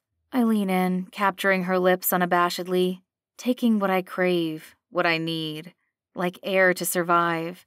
She doesn't stop me. Elisa doesn't so much as pull away. Instead, I'm met with eagerness and warmth as her fingers fist the lapels of my suit coat. Please, don't quit. I don't want to beg or plead for her to stay, but if she's leaving because of me, abandoning her job because I'm the asshole, that isn't fair to her. I can't be making out with my boss, she whispers, staring up at me. Her intense gaze makes my insides burn, wanting another taste, craving to steal her breath away. Does that mean you're not leaving me? I growl. The question comes out possessive, gruff, and like she belongs to me. Her tongue darts out and her gaze tightens. I will stay on one condition, she says, and I swear she's on her tiptoes, teasing me with those ruby lips. Her breath mingles with mine, I want to lean in again and kiss her, taste her, press her against the wall, and fuck her. I refrain from answering with anything, because that's how I feel right now. I don't want her to walk away from the job, or, more importantly, from me. Dance with me, she says, and a wry grin spreads across her face. That's it? She smirks and grabs my arm, her hand sliding down until she reaches my fingers intertwining our digits as she pulls me downstairs toward the dance floor through the crowd of guests. The music slows as we approach the dance floor, and the smile vanishes from her lips. Like she was comfortable with a fast paced, trying to embarrass me dancing out on the floor. Where are you going? I ask, pinning her with my stare, gripping her hand to keep her from sneaking away. The beat. I can't dance to this, Elisa stammers, and I pull her close against me. You don't know how to dance with a partner? I rest one hand at her lower back, and the other stays clutched to her hand. I didn't say that, she answers, staring up at me. Her eyes sparkle like diamonds, and my breath catches in my throat at how easily I could get lost in her gaze. Elisa, is that you? A gentleman interrupts us. Her eyes widen and she spins around to face him. The dance floor is crowded, and she brushes up against me. Instinctively, I wrap an arm around her waist. I can't see the look on her face with her back to me, but he's got a wide grin and he's definitely checking her out. I don't like him already, and I haven't the slightest notion of how they know one another, but I guess it's intimate. At least he wants it to be, based on the way his gaze is fascinated with her body. She doesn't emit the same vibe that he does.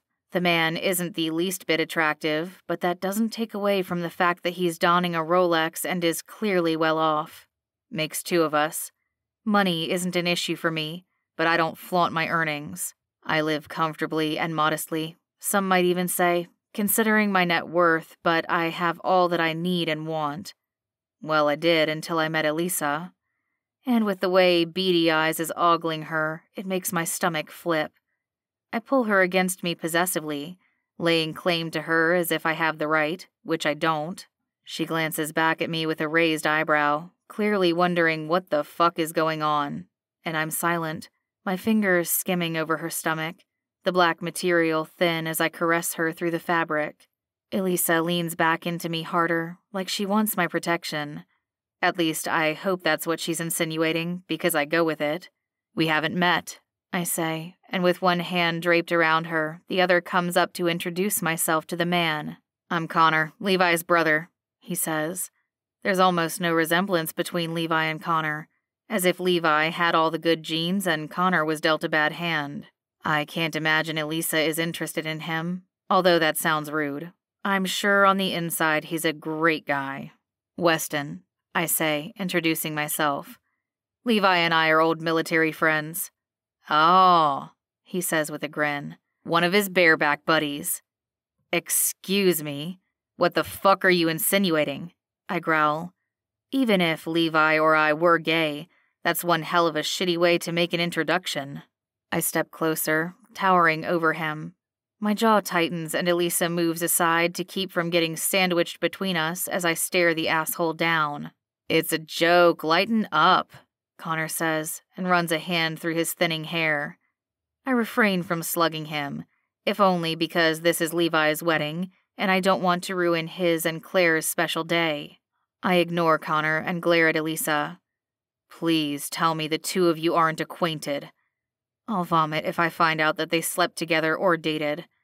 I'm not typically the jealous type, probably because I don't have time for relationships. My son is the center of my world, and when I'm not taking care of him, I have a business to run. We're mere acquaintances, Elisa says, perhaps witnessing the steam that's emanating off me. If you'll excuse us, she says with a polite smile as she clutches my hand and drags me away from Connor. What the hell was that? I ask when we leave him standing on the dance floor. It was about to be his funeral, she mutters and grimaces when she sees Tyler running toward us. A teenage girl is chasing after him, maneuvering through the guests. Juliana Henderson, Logan's daughter. Sorry, Juliana says apologetically. Daddy, can we play in the snow? He points outside as the day has turned to night and a fresh blanket of snow is beginning to fall around the cabin. I refrain from grumbling, trying to lighten my mood after the run in with Connor, but I can't quite shake the anger that ruminates through my veins. No, I say a little too gruffly. Please? Tyler whines, and his bottom lip pouts up at me. The kid has a knack for getting what he wants. Elisa drops to her knees, meeting my son at eye level. How about we find the dessert table and steal a cupcake? I open my mouth to object, and she raises an eyebrow, silently warning me to zip it. I gesture for her to go and exhale a heavy sigh. I'm sorry, Mr. Grump, Juliana says. I tried to keep him entertained with Amelia. It's quite all right, I say. I appreciate your helping look after him. Juliana exhales a breath, like the weight of the world has been lifted off her shoulders. Go have fun. Enjoy the wedding, I say, gesturing for her to get on the dance floor. Juliana gives a bright smile and saunters off. Am I really that much of a grump that she was worried I'd be upset about Tyler? I grumble under my breath and catch sight of Tyler wearing light pink frosting all over his lips and cheeks. He's a mess.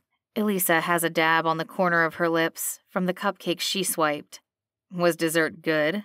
I ask and lean in, stealing a kiss, tasting the smear of frosting.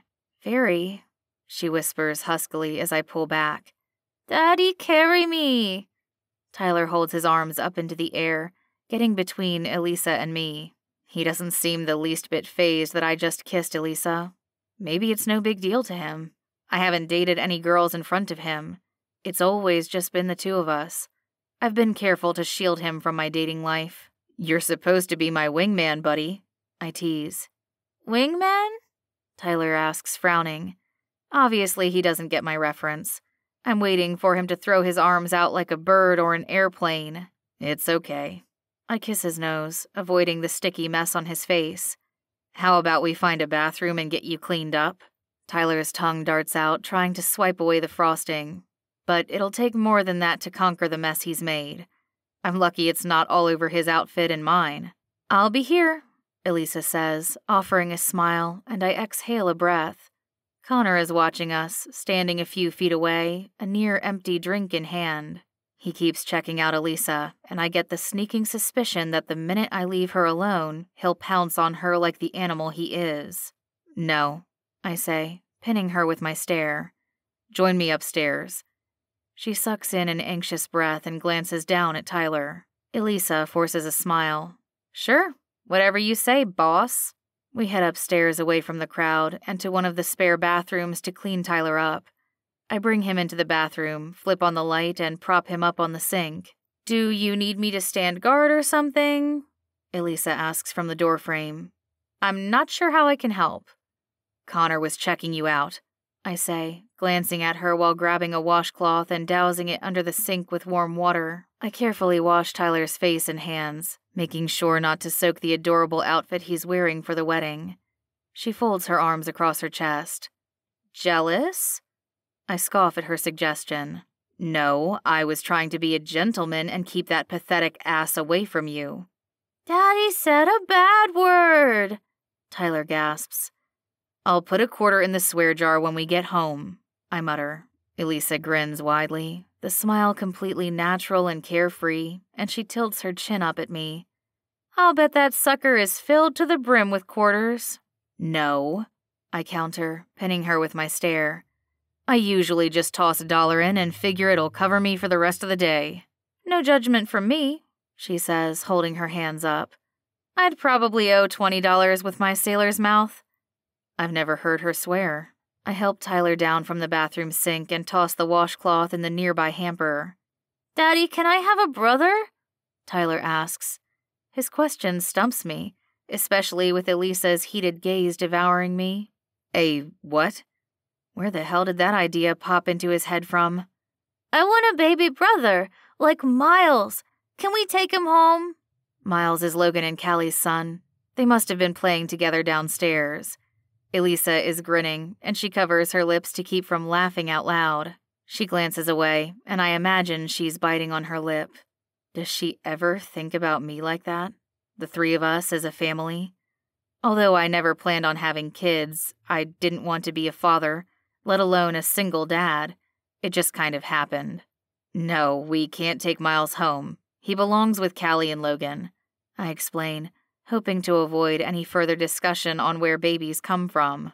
He knows it's not a stork, and the kid's picture book that explained the basics about mommies and daddies probably didn't help with any lack of confusion, given the fact his mother is my sister.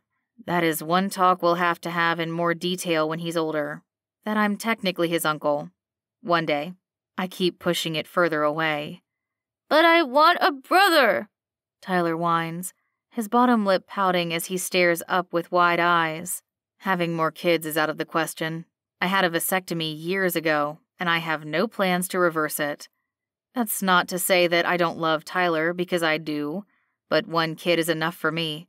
I can't imagine juggling two kids, especially given Tyler's condition. How about we go back downstairs to the party and you play with Miles? Elisa says, ruffling Tyler's hair. He stares up at Elisa with a toothy grin, eyes sparkling like the kid would do anything she asks of him. Okay, he chimes with reddish cheeks and dimples that are absolutely adorable. He looks remarkably like a young Wren with the dimples and grin from our childhood photographs. He clutches Elisa's hand. I'll take him back downstairs, Elisa says, glancing over her shoulder at me. Stay here? I raise a curious eyebrow, wondering why. I'll be right back, then we can talk. My stomach flops at those words. We are still trying to figure out what the hell we are. hating one another and her threatening to quit one minute, and I'm kissing her the next. She's right, we do need to talk, but I can't help but worry she's going to let me down gently. Be quick, I say with a confident smirk, not wanting her to see the pain tearing me apart inside.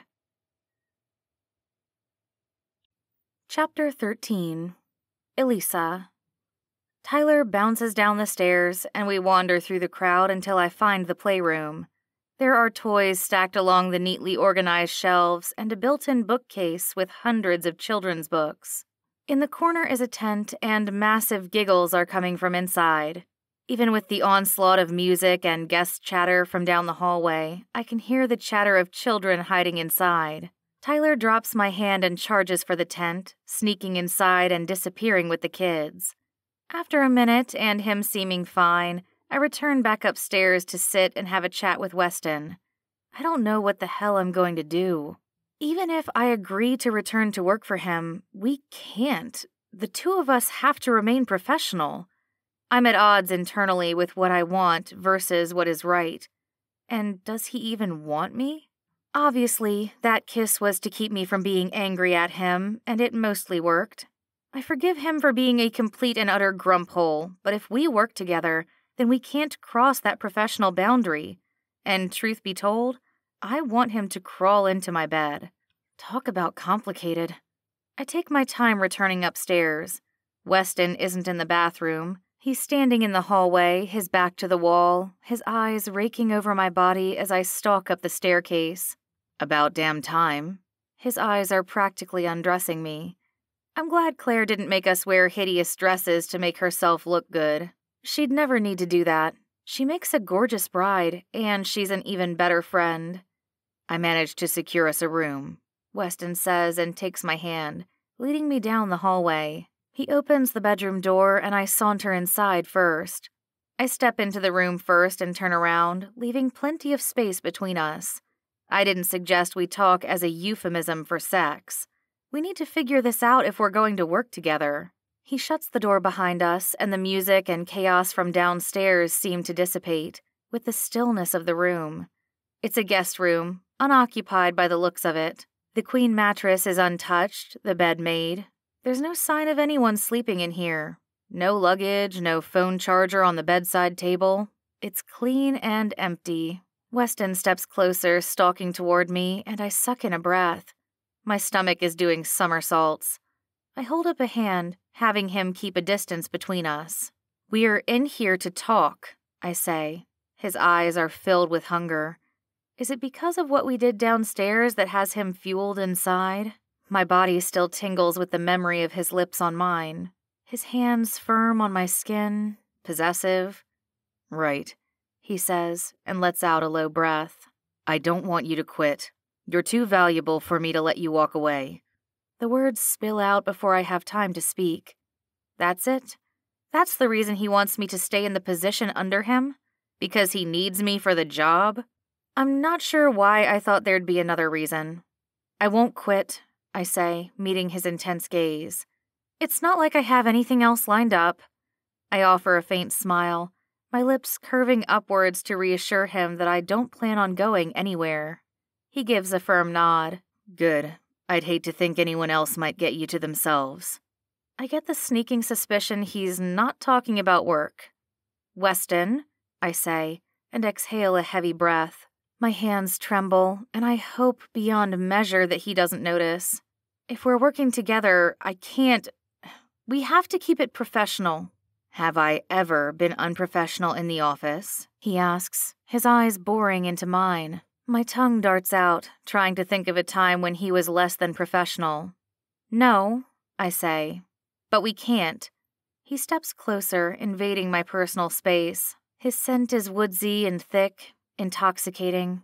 I should move back, keep a safe distance to remain level headed, but I don't want to slip out of his grasp. His hand comes up, his thumb strokes my cheek, a very unprofessional gesture from my boss. I don't want to keep things business between us. I want you, and I want you to work for me. I inhale sharply. Weston, I whisper, staring into his heated dark gaze. He sucks me in and makes my body warm and tingly in the most intimate of places. What you're asking is for us to find a way to make both work. It can't, I say, regretfully voicing the words that I don't want to be true. You have a son. You need to think of him. And a business. I'll always come in third, and when staff finds out, they won't find out. Weston insists. I laugh under my breath. Seriously? You just made out with me downstairs at Claire's wedding. People talk. The two of us just being friends, it's all I can offer. He wraps an arm around my waist, pulling me closer, tighter. I feel his erection pressing into me. It's not good enough. I want you, Elisa, all to myself, for work, for pleasure, all of it. His fingers tangle in my hair, undoing the clip holding my locks up, and he grabs a fistful, keeping my head tilted up at him. I don't think he intends to undo the clip, but maybe he does. I've never seen such a brash and bold side of my grumpy boss before, and dare I say, I might easily fall in love with him. You're mine, he growls. His lips land hard on mine, claiming me, marking me bruising me with a kiss so intense, even if I wanted to pull away, I couldn't. I don't want to move anywhere but closer to him. The heat of the room intensifies, the temperature escalates, and the fiery kiss leaves my lips aching along with my other parts, longing for more. And what about your other employees? I whisper as he breaks apart the kiss. I don't want to sleep with them, Weston whispers, and his lips trail roughly down my neck nipping, biting, licking my skin. I shudder involuntarily and glance down to see the smile growing on his face. With one hand, his fingers guide up my thigh, seeking his intended destination. You're wet for me, he whispers into my ear. My eyes slam shut, not wanting to admit how turned on he's made me tonight. I feel ashamed that I want to fuck my boss. I don't just want to crawl under the covers and make love to him. I want him to claim me, dominate me, and show me that I am his and his alone. Look at me, he commands. My eyelids flutter open, staring up into his heated dark stare as he swipes his fingers over my wet panties. He pushes the thin fabric to the side, and I gasp in anticipation. But he doesn't touch me. Beg me, he orders, and kisses my lips hungrily, rough and demanding. Never. I rasp, but I'm already close to my breaking point. He walks me backward toward the mattress. The backs of my knees hit the soft material. Beg me, Elisa. I don't beg, I whisper, challenging him. Just because he's my boss, that doesn't mean we're not equals in the bedroom. Weston takes a step back and loosens his tie. I inhale sharply, sitting at the edge of the bed, waiting to see what happens next. Is he going to walk away and leave me aching for release because I didn't follow his orders?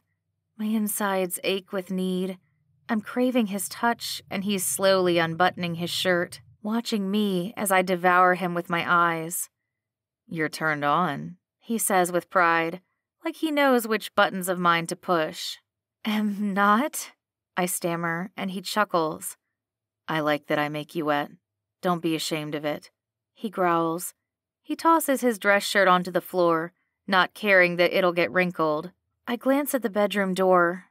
Did we lock it? I ask. Weston smirks. Nope. There's amusement in his tone. Someone could walk in. I gasp and move to climb off the mattress, but he blocks me. Let them. Unless you don't want this. He's giving me an out, a chance to say no, to keep things professional. But it's not what I want. I want him. My silence he takes as acceptance and guides me farther onto the mattress, straddling me. He grabs a condom from his wallet and removes his trousers while I work the zipper on my dress. Leave it, he commands. He lifts the hem of my dress, pushes my panties aside, and his fingers dance over my slit, discovering my wetness. It coats his fingers, and he plunges two thick fingers inside to ensure that I'm ready for him. He teases me, his lips covering mine as his fingers fuck me, and I clench onto him. I want more. He's rough, but it's exactly what I need and crave in this moment. He tugs my panties down in one swift movement and opens the condom, putting it on before repositioning himself at my entrance. He pauses, staring down at me. Are you sure? He asks for my consent, and I nod in acceptance. I need to hear it. He stares down at me. My fingers move over his abs, inching down his body. If he doesn't do it soon, I'll roll us around, take command, and fuck him myself. I want you, I say, staring up at him. To fuck me. My words set off an instinctual fire between us. He growls and buries himself inside me all at once. It's intense and rough, and my fingernails dig into his forearms as he stretches me to accommodate his size. He bites down on my lower lip, his kisses rough and exploratory as he pushes his tongue into my mouth while his cock drives into me. It's heaven and sinful all at the same time. I wrap my legs around him, dragging him closer, tighter, deeper. I want to feel him buried inside me as he comes. He grabs my arms, pinning my hands against the mattress, our fingers tangling together as he fucks me. My eyes slam shut, the first warmth of euphoria spreading through me like wildfire. Look at me, he commands. My eyelids are heavy, and my breath is raspy as my lips part, and I slowly open my heavy lids to stare up at him.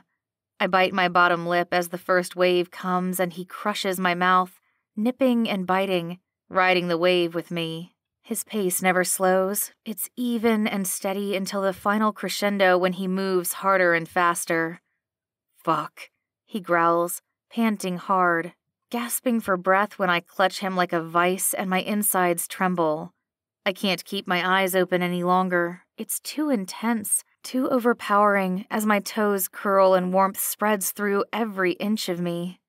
Come for me, he rasps into my ear, and his breath sends another tantalizing shudder rippling through my body. I tremble and clench on as though my life depends on it for survival. Weston is right there, claiming me, capturing me, and crushing his lips on mine as he rides the euphoric wave with me. Both of us reach our peak together.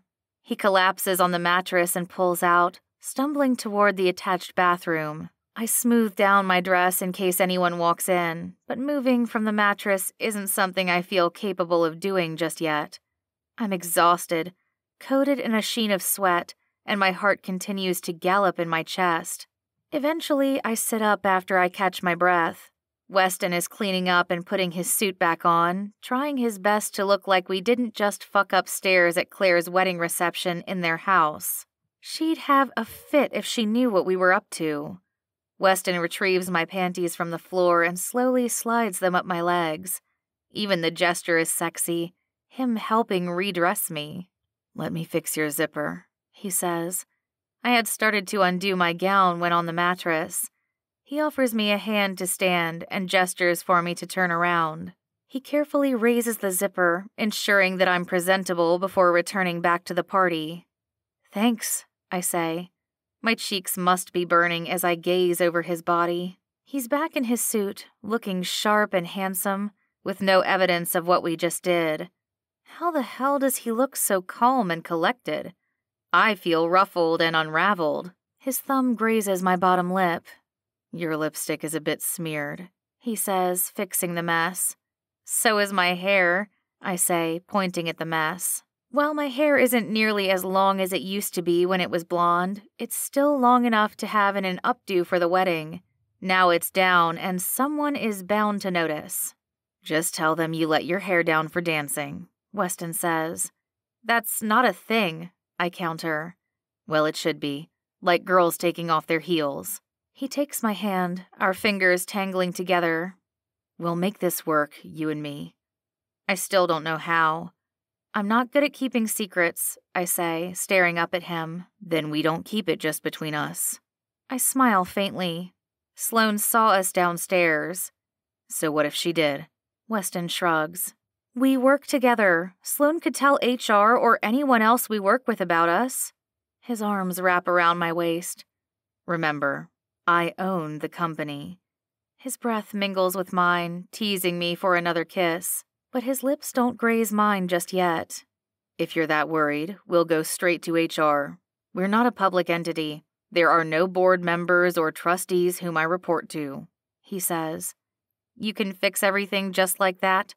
I say, snapping my fingers. Like he can make everything fine and I'm the one overreacting. Well, there is Marjorie in HR. She'll probably make us both sign something that stipulates it's consensual and that I'm not taking advantage of you. And that I won't sue you when things end sourly, I add, already knowing it's more for his protection than my own. His fingers tangle with mine. Who said anything about it ending? How many relationships have you had that didn't end? He pulls me against him, crushing me with his chest in a tight embrace. No one has ever made me feel the way that you do. I chuckle and wrap my arms around his waist. And how's that? I ask, glancing up at him. Frustrated? Annoyed? Irritated? In love? His words catch me by surprise. I loosen my grip, prepared to take a step back, but he doesn't loosen his hold. You can't mean it, I whisper. We're always butting heads, and this relationship is new and fresh. With Weston, I feel magnetically drawn toward him, but I'm not sure I'm ready to describe that feeling as love. The only time I'd been in love or thought I had, I'd been mistaken. The man had lied to me, betrayed me, and forgotten to mention that he was married. He guides my chin up, forcing me to meet his stern gaze. If I have to prove to you every day that I love you, I will, Weston says. My breath catches in my throat. You shouldn't have to do that, I stammer. His words catch me off guard. And I really like you too. A lot. His lips brush against mine. I should hope so, after what we just did on that mattress. I quickly reclip my hair up, but it likely doesn't look the same as earlier. He pulls me with him to follow downstairs, and I worry that all eyes will be on me, but no one seems to notice or care that we were upstairs. I stalk past one of the windows and gasp. Snow blankets the recent path where Claire and Levi exchanged their vows. What had been a few flurries is quickly turning into a snowstorm. A few guests have already left, and the room is far less crowded, but not everyone has ventured home. Levi stalks toward us the minute he lays eyes on us. Does he know what we were just doing upstairs? The roads will be impassable soon. You both should stay here tonight. We'll find space for everyone. That isn't necessary, I say. It is. Both Levi and Weston say in unison. Claire saunters over, wrapping her arm around Levi's waist. I was just telling them they should stay the night, Levi says.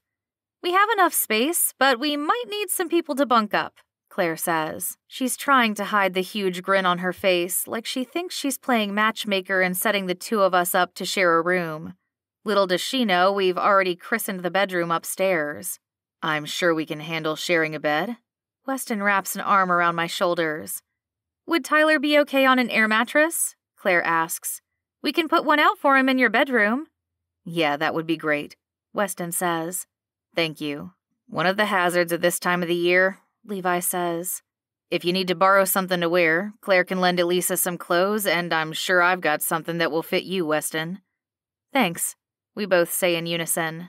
While I wouldn't ordinarily be concerned about what I'm wearing to bed, the fact is, Tyler will be sharing a room with us, and I'm not wearing the fancy dress to bed. The remainder of the evening is spent dancing, drinking, and enjoying the wedding. Claire and Levi are all over each other on the dance floor. It's cute and sickeningly sweet at the same time. Amelia keeps popping up every so often with Tyler in tow. I think he's got a crush on her, Weston says, nodding toward Tyler and Amelia on the dance floor.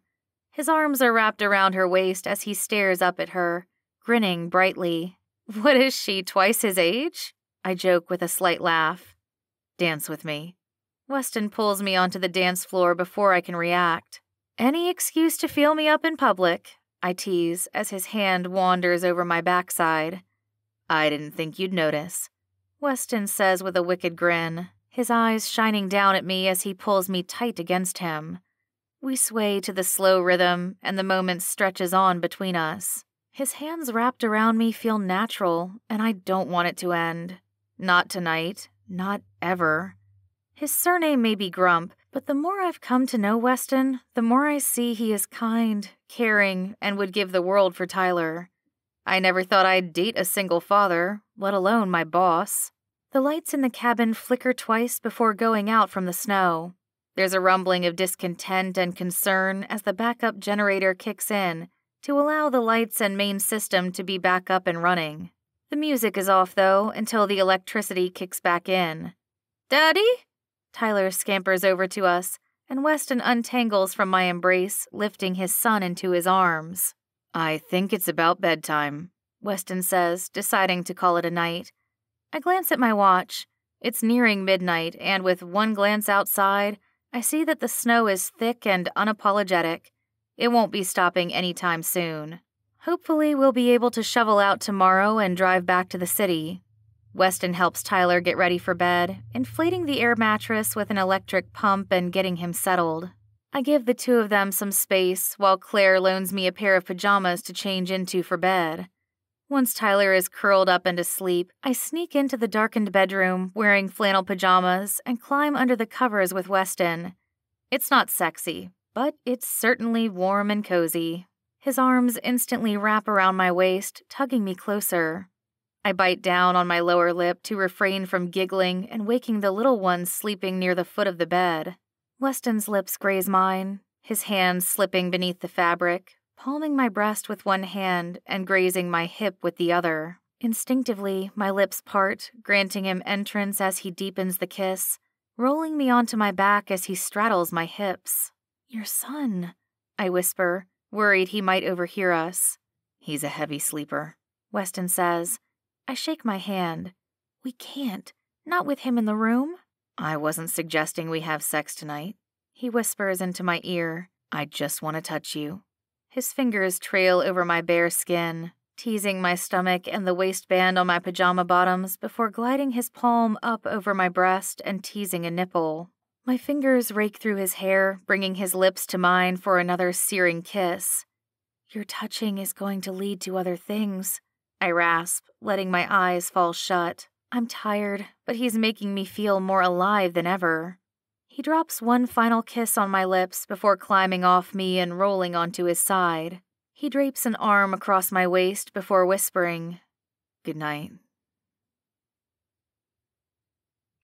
Chapter 14 Weston.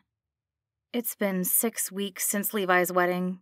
Elisa doesn't spend every night at my place, She's over a few times a week, and I know that will be less frequent with me moving back to the house. The movers have packed up the condo, and it'll be vacant until the lease is up. No sense in living in the building anymore when I can return home. Except for the obvious fact that I'll miss my next door neighbor. You're actually leaving, Elisa says, standing in the hallway outside as I carry our luggage out of the condo, heading for the elevator. Can you watch Tyler for me while I pack this stuff into the car? I ask, glancing at her over my shoulder as I hit the button for the elevator. While the movers have all the boxes and big ticket items, there are plenty of toys, clothes, and whatnot that need to be brought home. Tyler would miss his stuffed dinosaur among his other favorite toys if I waited for the movers to handle everything. And while they're efficient, they're not me. I'm a bit of a perfectionist and a control freak. It's something I'm working on at the moment. Never thought I'd see a billionaire carrying his own luggage, Elisa says with a smirk. She closes her front door and saunters into my place to watch Tyler. Camden called in today. He's got the flu. The elevator doors open and I shuffle inside with two giant suitcases, a backpack, and a laptop bag. Thank you. Don't mention it. I hurry down into the bone chilling winter air and load up the trunk as quickly as possible. The hazard lights are flashing while I'm double parked, I hurry back upstairs and inside to see Elisa sitting with Tyler on the sofa, reading a book together. She pauses when she sees me grab the last of the luggage to take downstairs. I'm going to miss having you as my neighbor. I smile and lug the duffel over my shoulder. It's not like we won't see each other at work every day. I let the words hang in the air. It will be harder to have late night rendezvous without Tyler noticing. Although Elisa does tend to spend a few nights a week waking up in the morning with me. That's been a newer occurrence lately. I don't like when she disappears during the night or early morning without waking me up first. When did I become so weak that I hate the thought of her not being around? I've never depended on anyone but myself, but I don't have to feel that way around Elisa. She's been a lifeline, helping with Tyler, being supportive, and so much more. I've contemplated asking her to move in with me, but that's a huge step, and I'm not sure it's something she's ready for a full time position as Tyler's stepmom. Not that I'm asking her to marry me, but if she moves in, that's where it's heading, at least in my mind. I finish loading the car with the last of the luggage before coming back to grab my son. His car seat is already in the back seat. I just have to buckle him in before heading to the house. Elisa finishes the last of the book, she chews profusely on her bottom lip, like she has something to say but is holding back. Tyler climbs onto his knees, wrapping his arms around her neck, clinging to her. The kid loves her. He's not the only one. That thought hits me with brevity, and I inhale sharply. Is everything okay? Elisa asks, glancing at me over her shoulder. She moves to stand, but Tyler hasn't let his hold loosen, and she hugs him holding him to her as she walks across the room toward me. I avoid answering the question. You should come by my place tonight. Help me unpack. Is that the only reason you want me to come over? She asks with a growing smile on her face. Not the only reason, I say, leaning in and dropping a kiss on her lips. Tyler monkeys from around her neck to mine, clutching onto me. Gross, he says, scrunching his nose as we kiss. Do you have the address? I've already put it into her phone for her, but I want to make sure she knows how to get to my place. Of course. Don't you know I've been stalking you? Elisa jokes. Her smile brightens up the room, and I can't stop myself from planting another kiss to her lips. Stalk me all you want. There's a prominent knock on the door. It's Theo, one of my personal assistants. He's been helping with the move, handling the logistics, initiating contact with the movers, and is hanging around to facilitate everything. Come in, Theo, I say, gesturing him inside.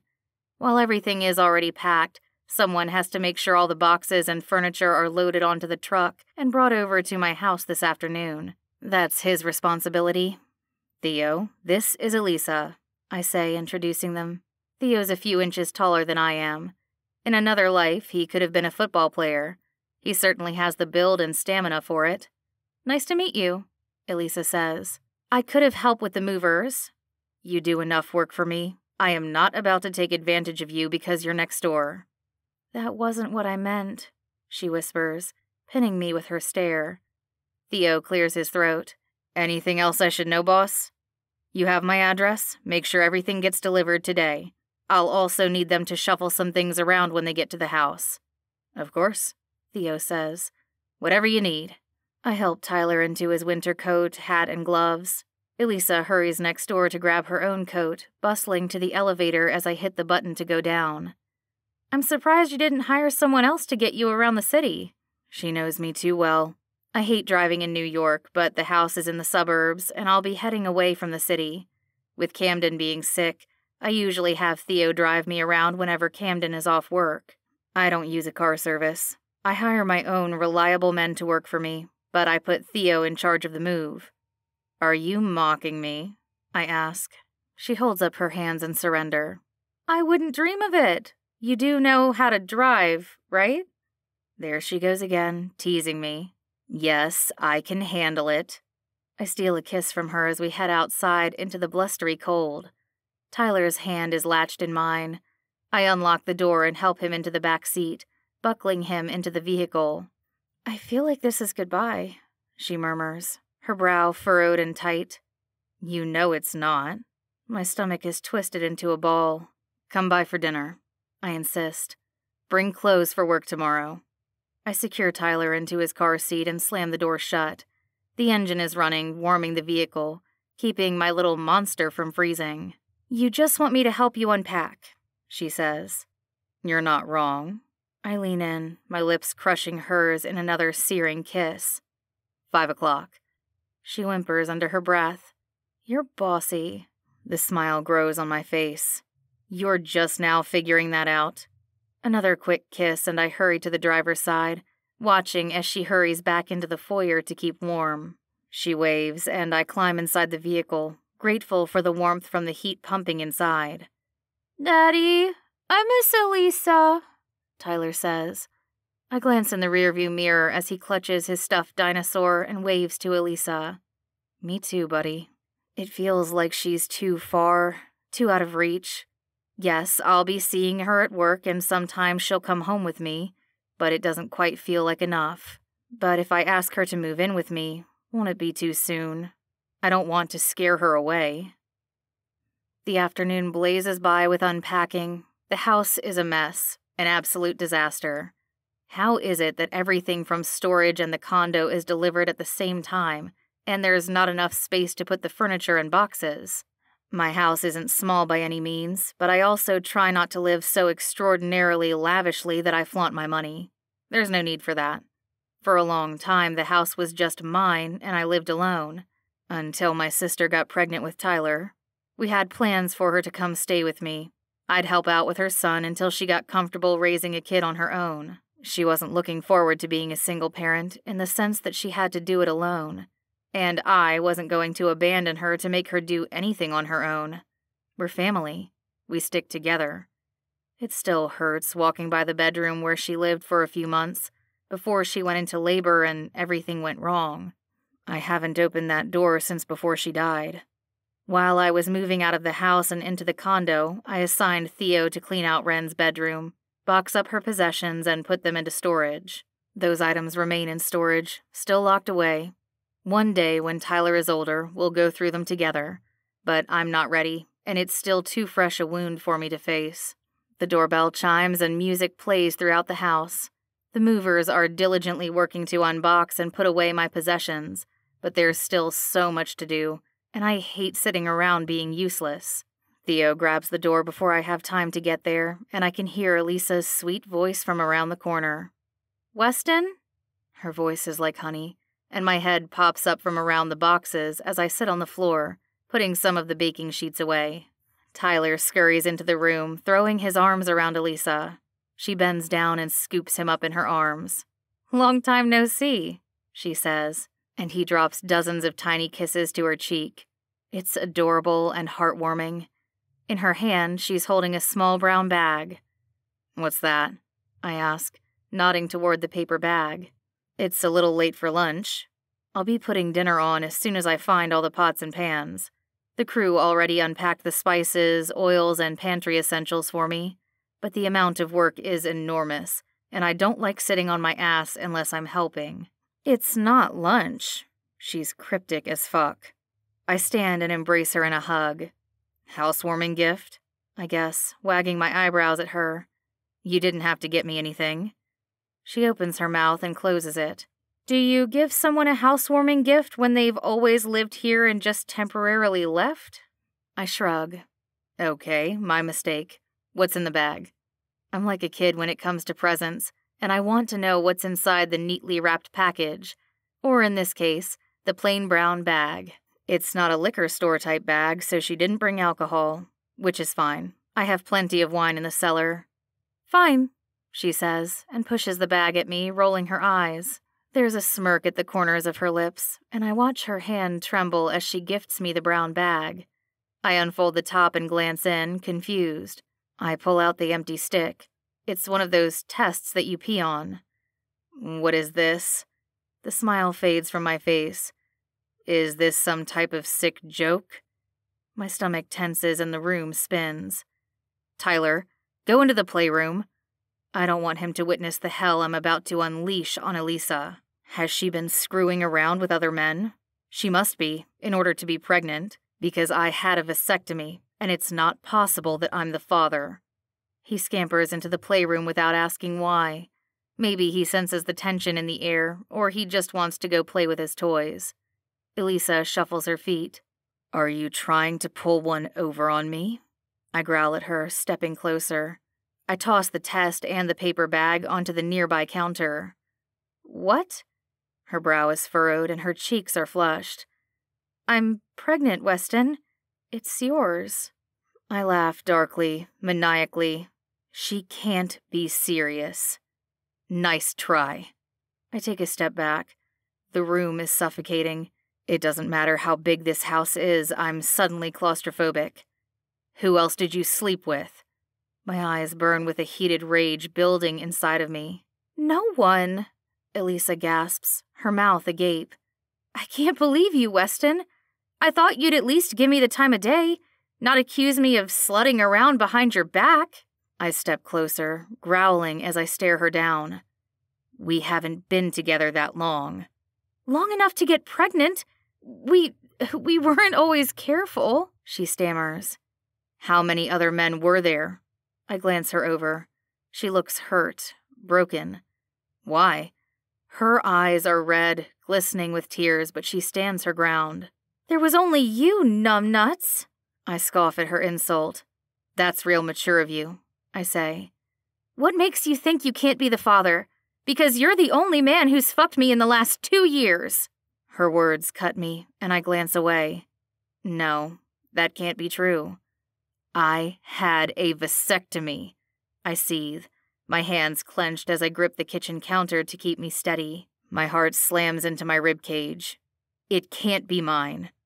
Those aren't always effective, Elisa says. I swear, Weston, I didn't sleep with anyone else. Stop being such an ass.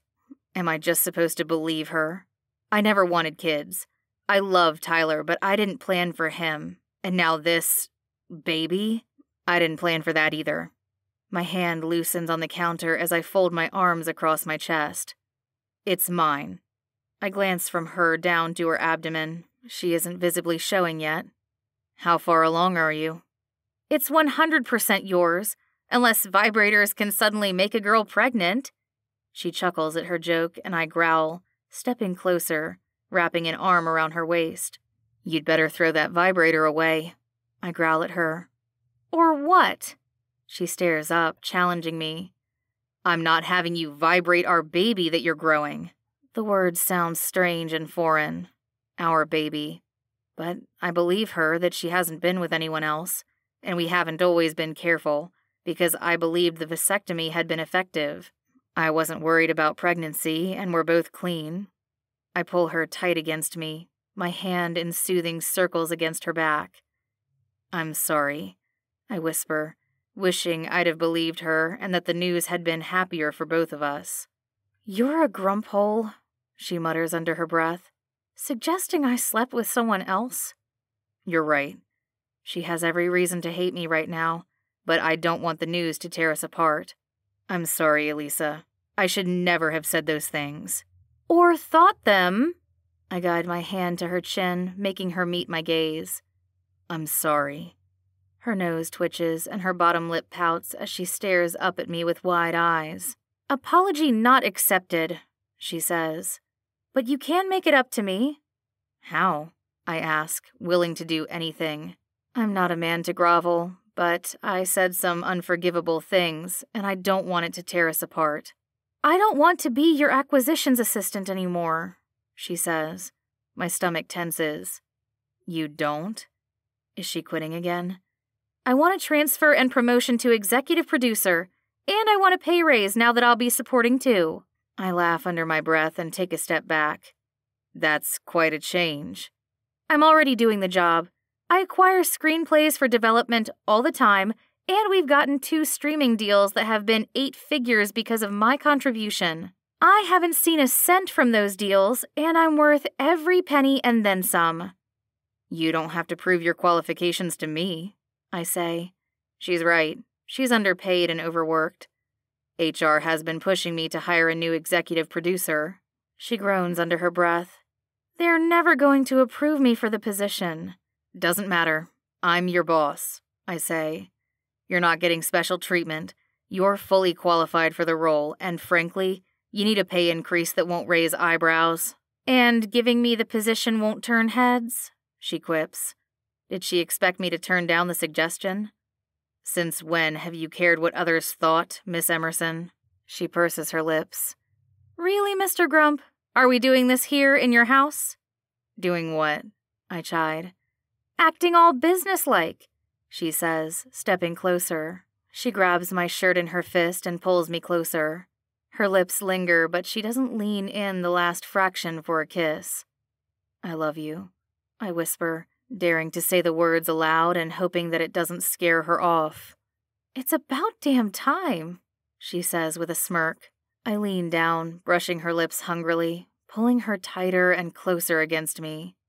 I love you too, she says with a huge grin. Now, when can I move in? Epilogue Elisa. I don't waste any time when it comes to moving in with Weston. Sloane helps me do a little packing, but Weston hires the same movers, or rather, his assistant does, to handle bringing everything to his place. At first, it feels strange moving in with him, but we find our rhythm together long before our little bundle enters the world. Tyler wants a baby brother, and Weston and I will be happy with whichever we're provided. He's a doting father with Tyler, and I know without a doubt he'll be great with our daughter or son. We balance each other out. Where he tends to be overprotective with Tyler, I've come to understand his son's condition and have helped to make sure that Tyler is safe while still enjoying his childhood. He doesn't need two helicopter parents. I struggle to get around the house, my pregnant belly protruding and making it difficult for me. When the day finally arrives and Weston rushes me to the hospital, we're overcome with joy at the little boy in our arms. I'm lying in the hospital bed nursing our little one while Tyler watches from beside me, curious and attentive to his little brother. What's his name? Tyler asks. It's the one thing we've both been struggling to decide. We swore when we saw our son or daughter we'd know. I want to name him Lawrence, I say, glancing at Weston. He's quiet, not rejecting the name yet.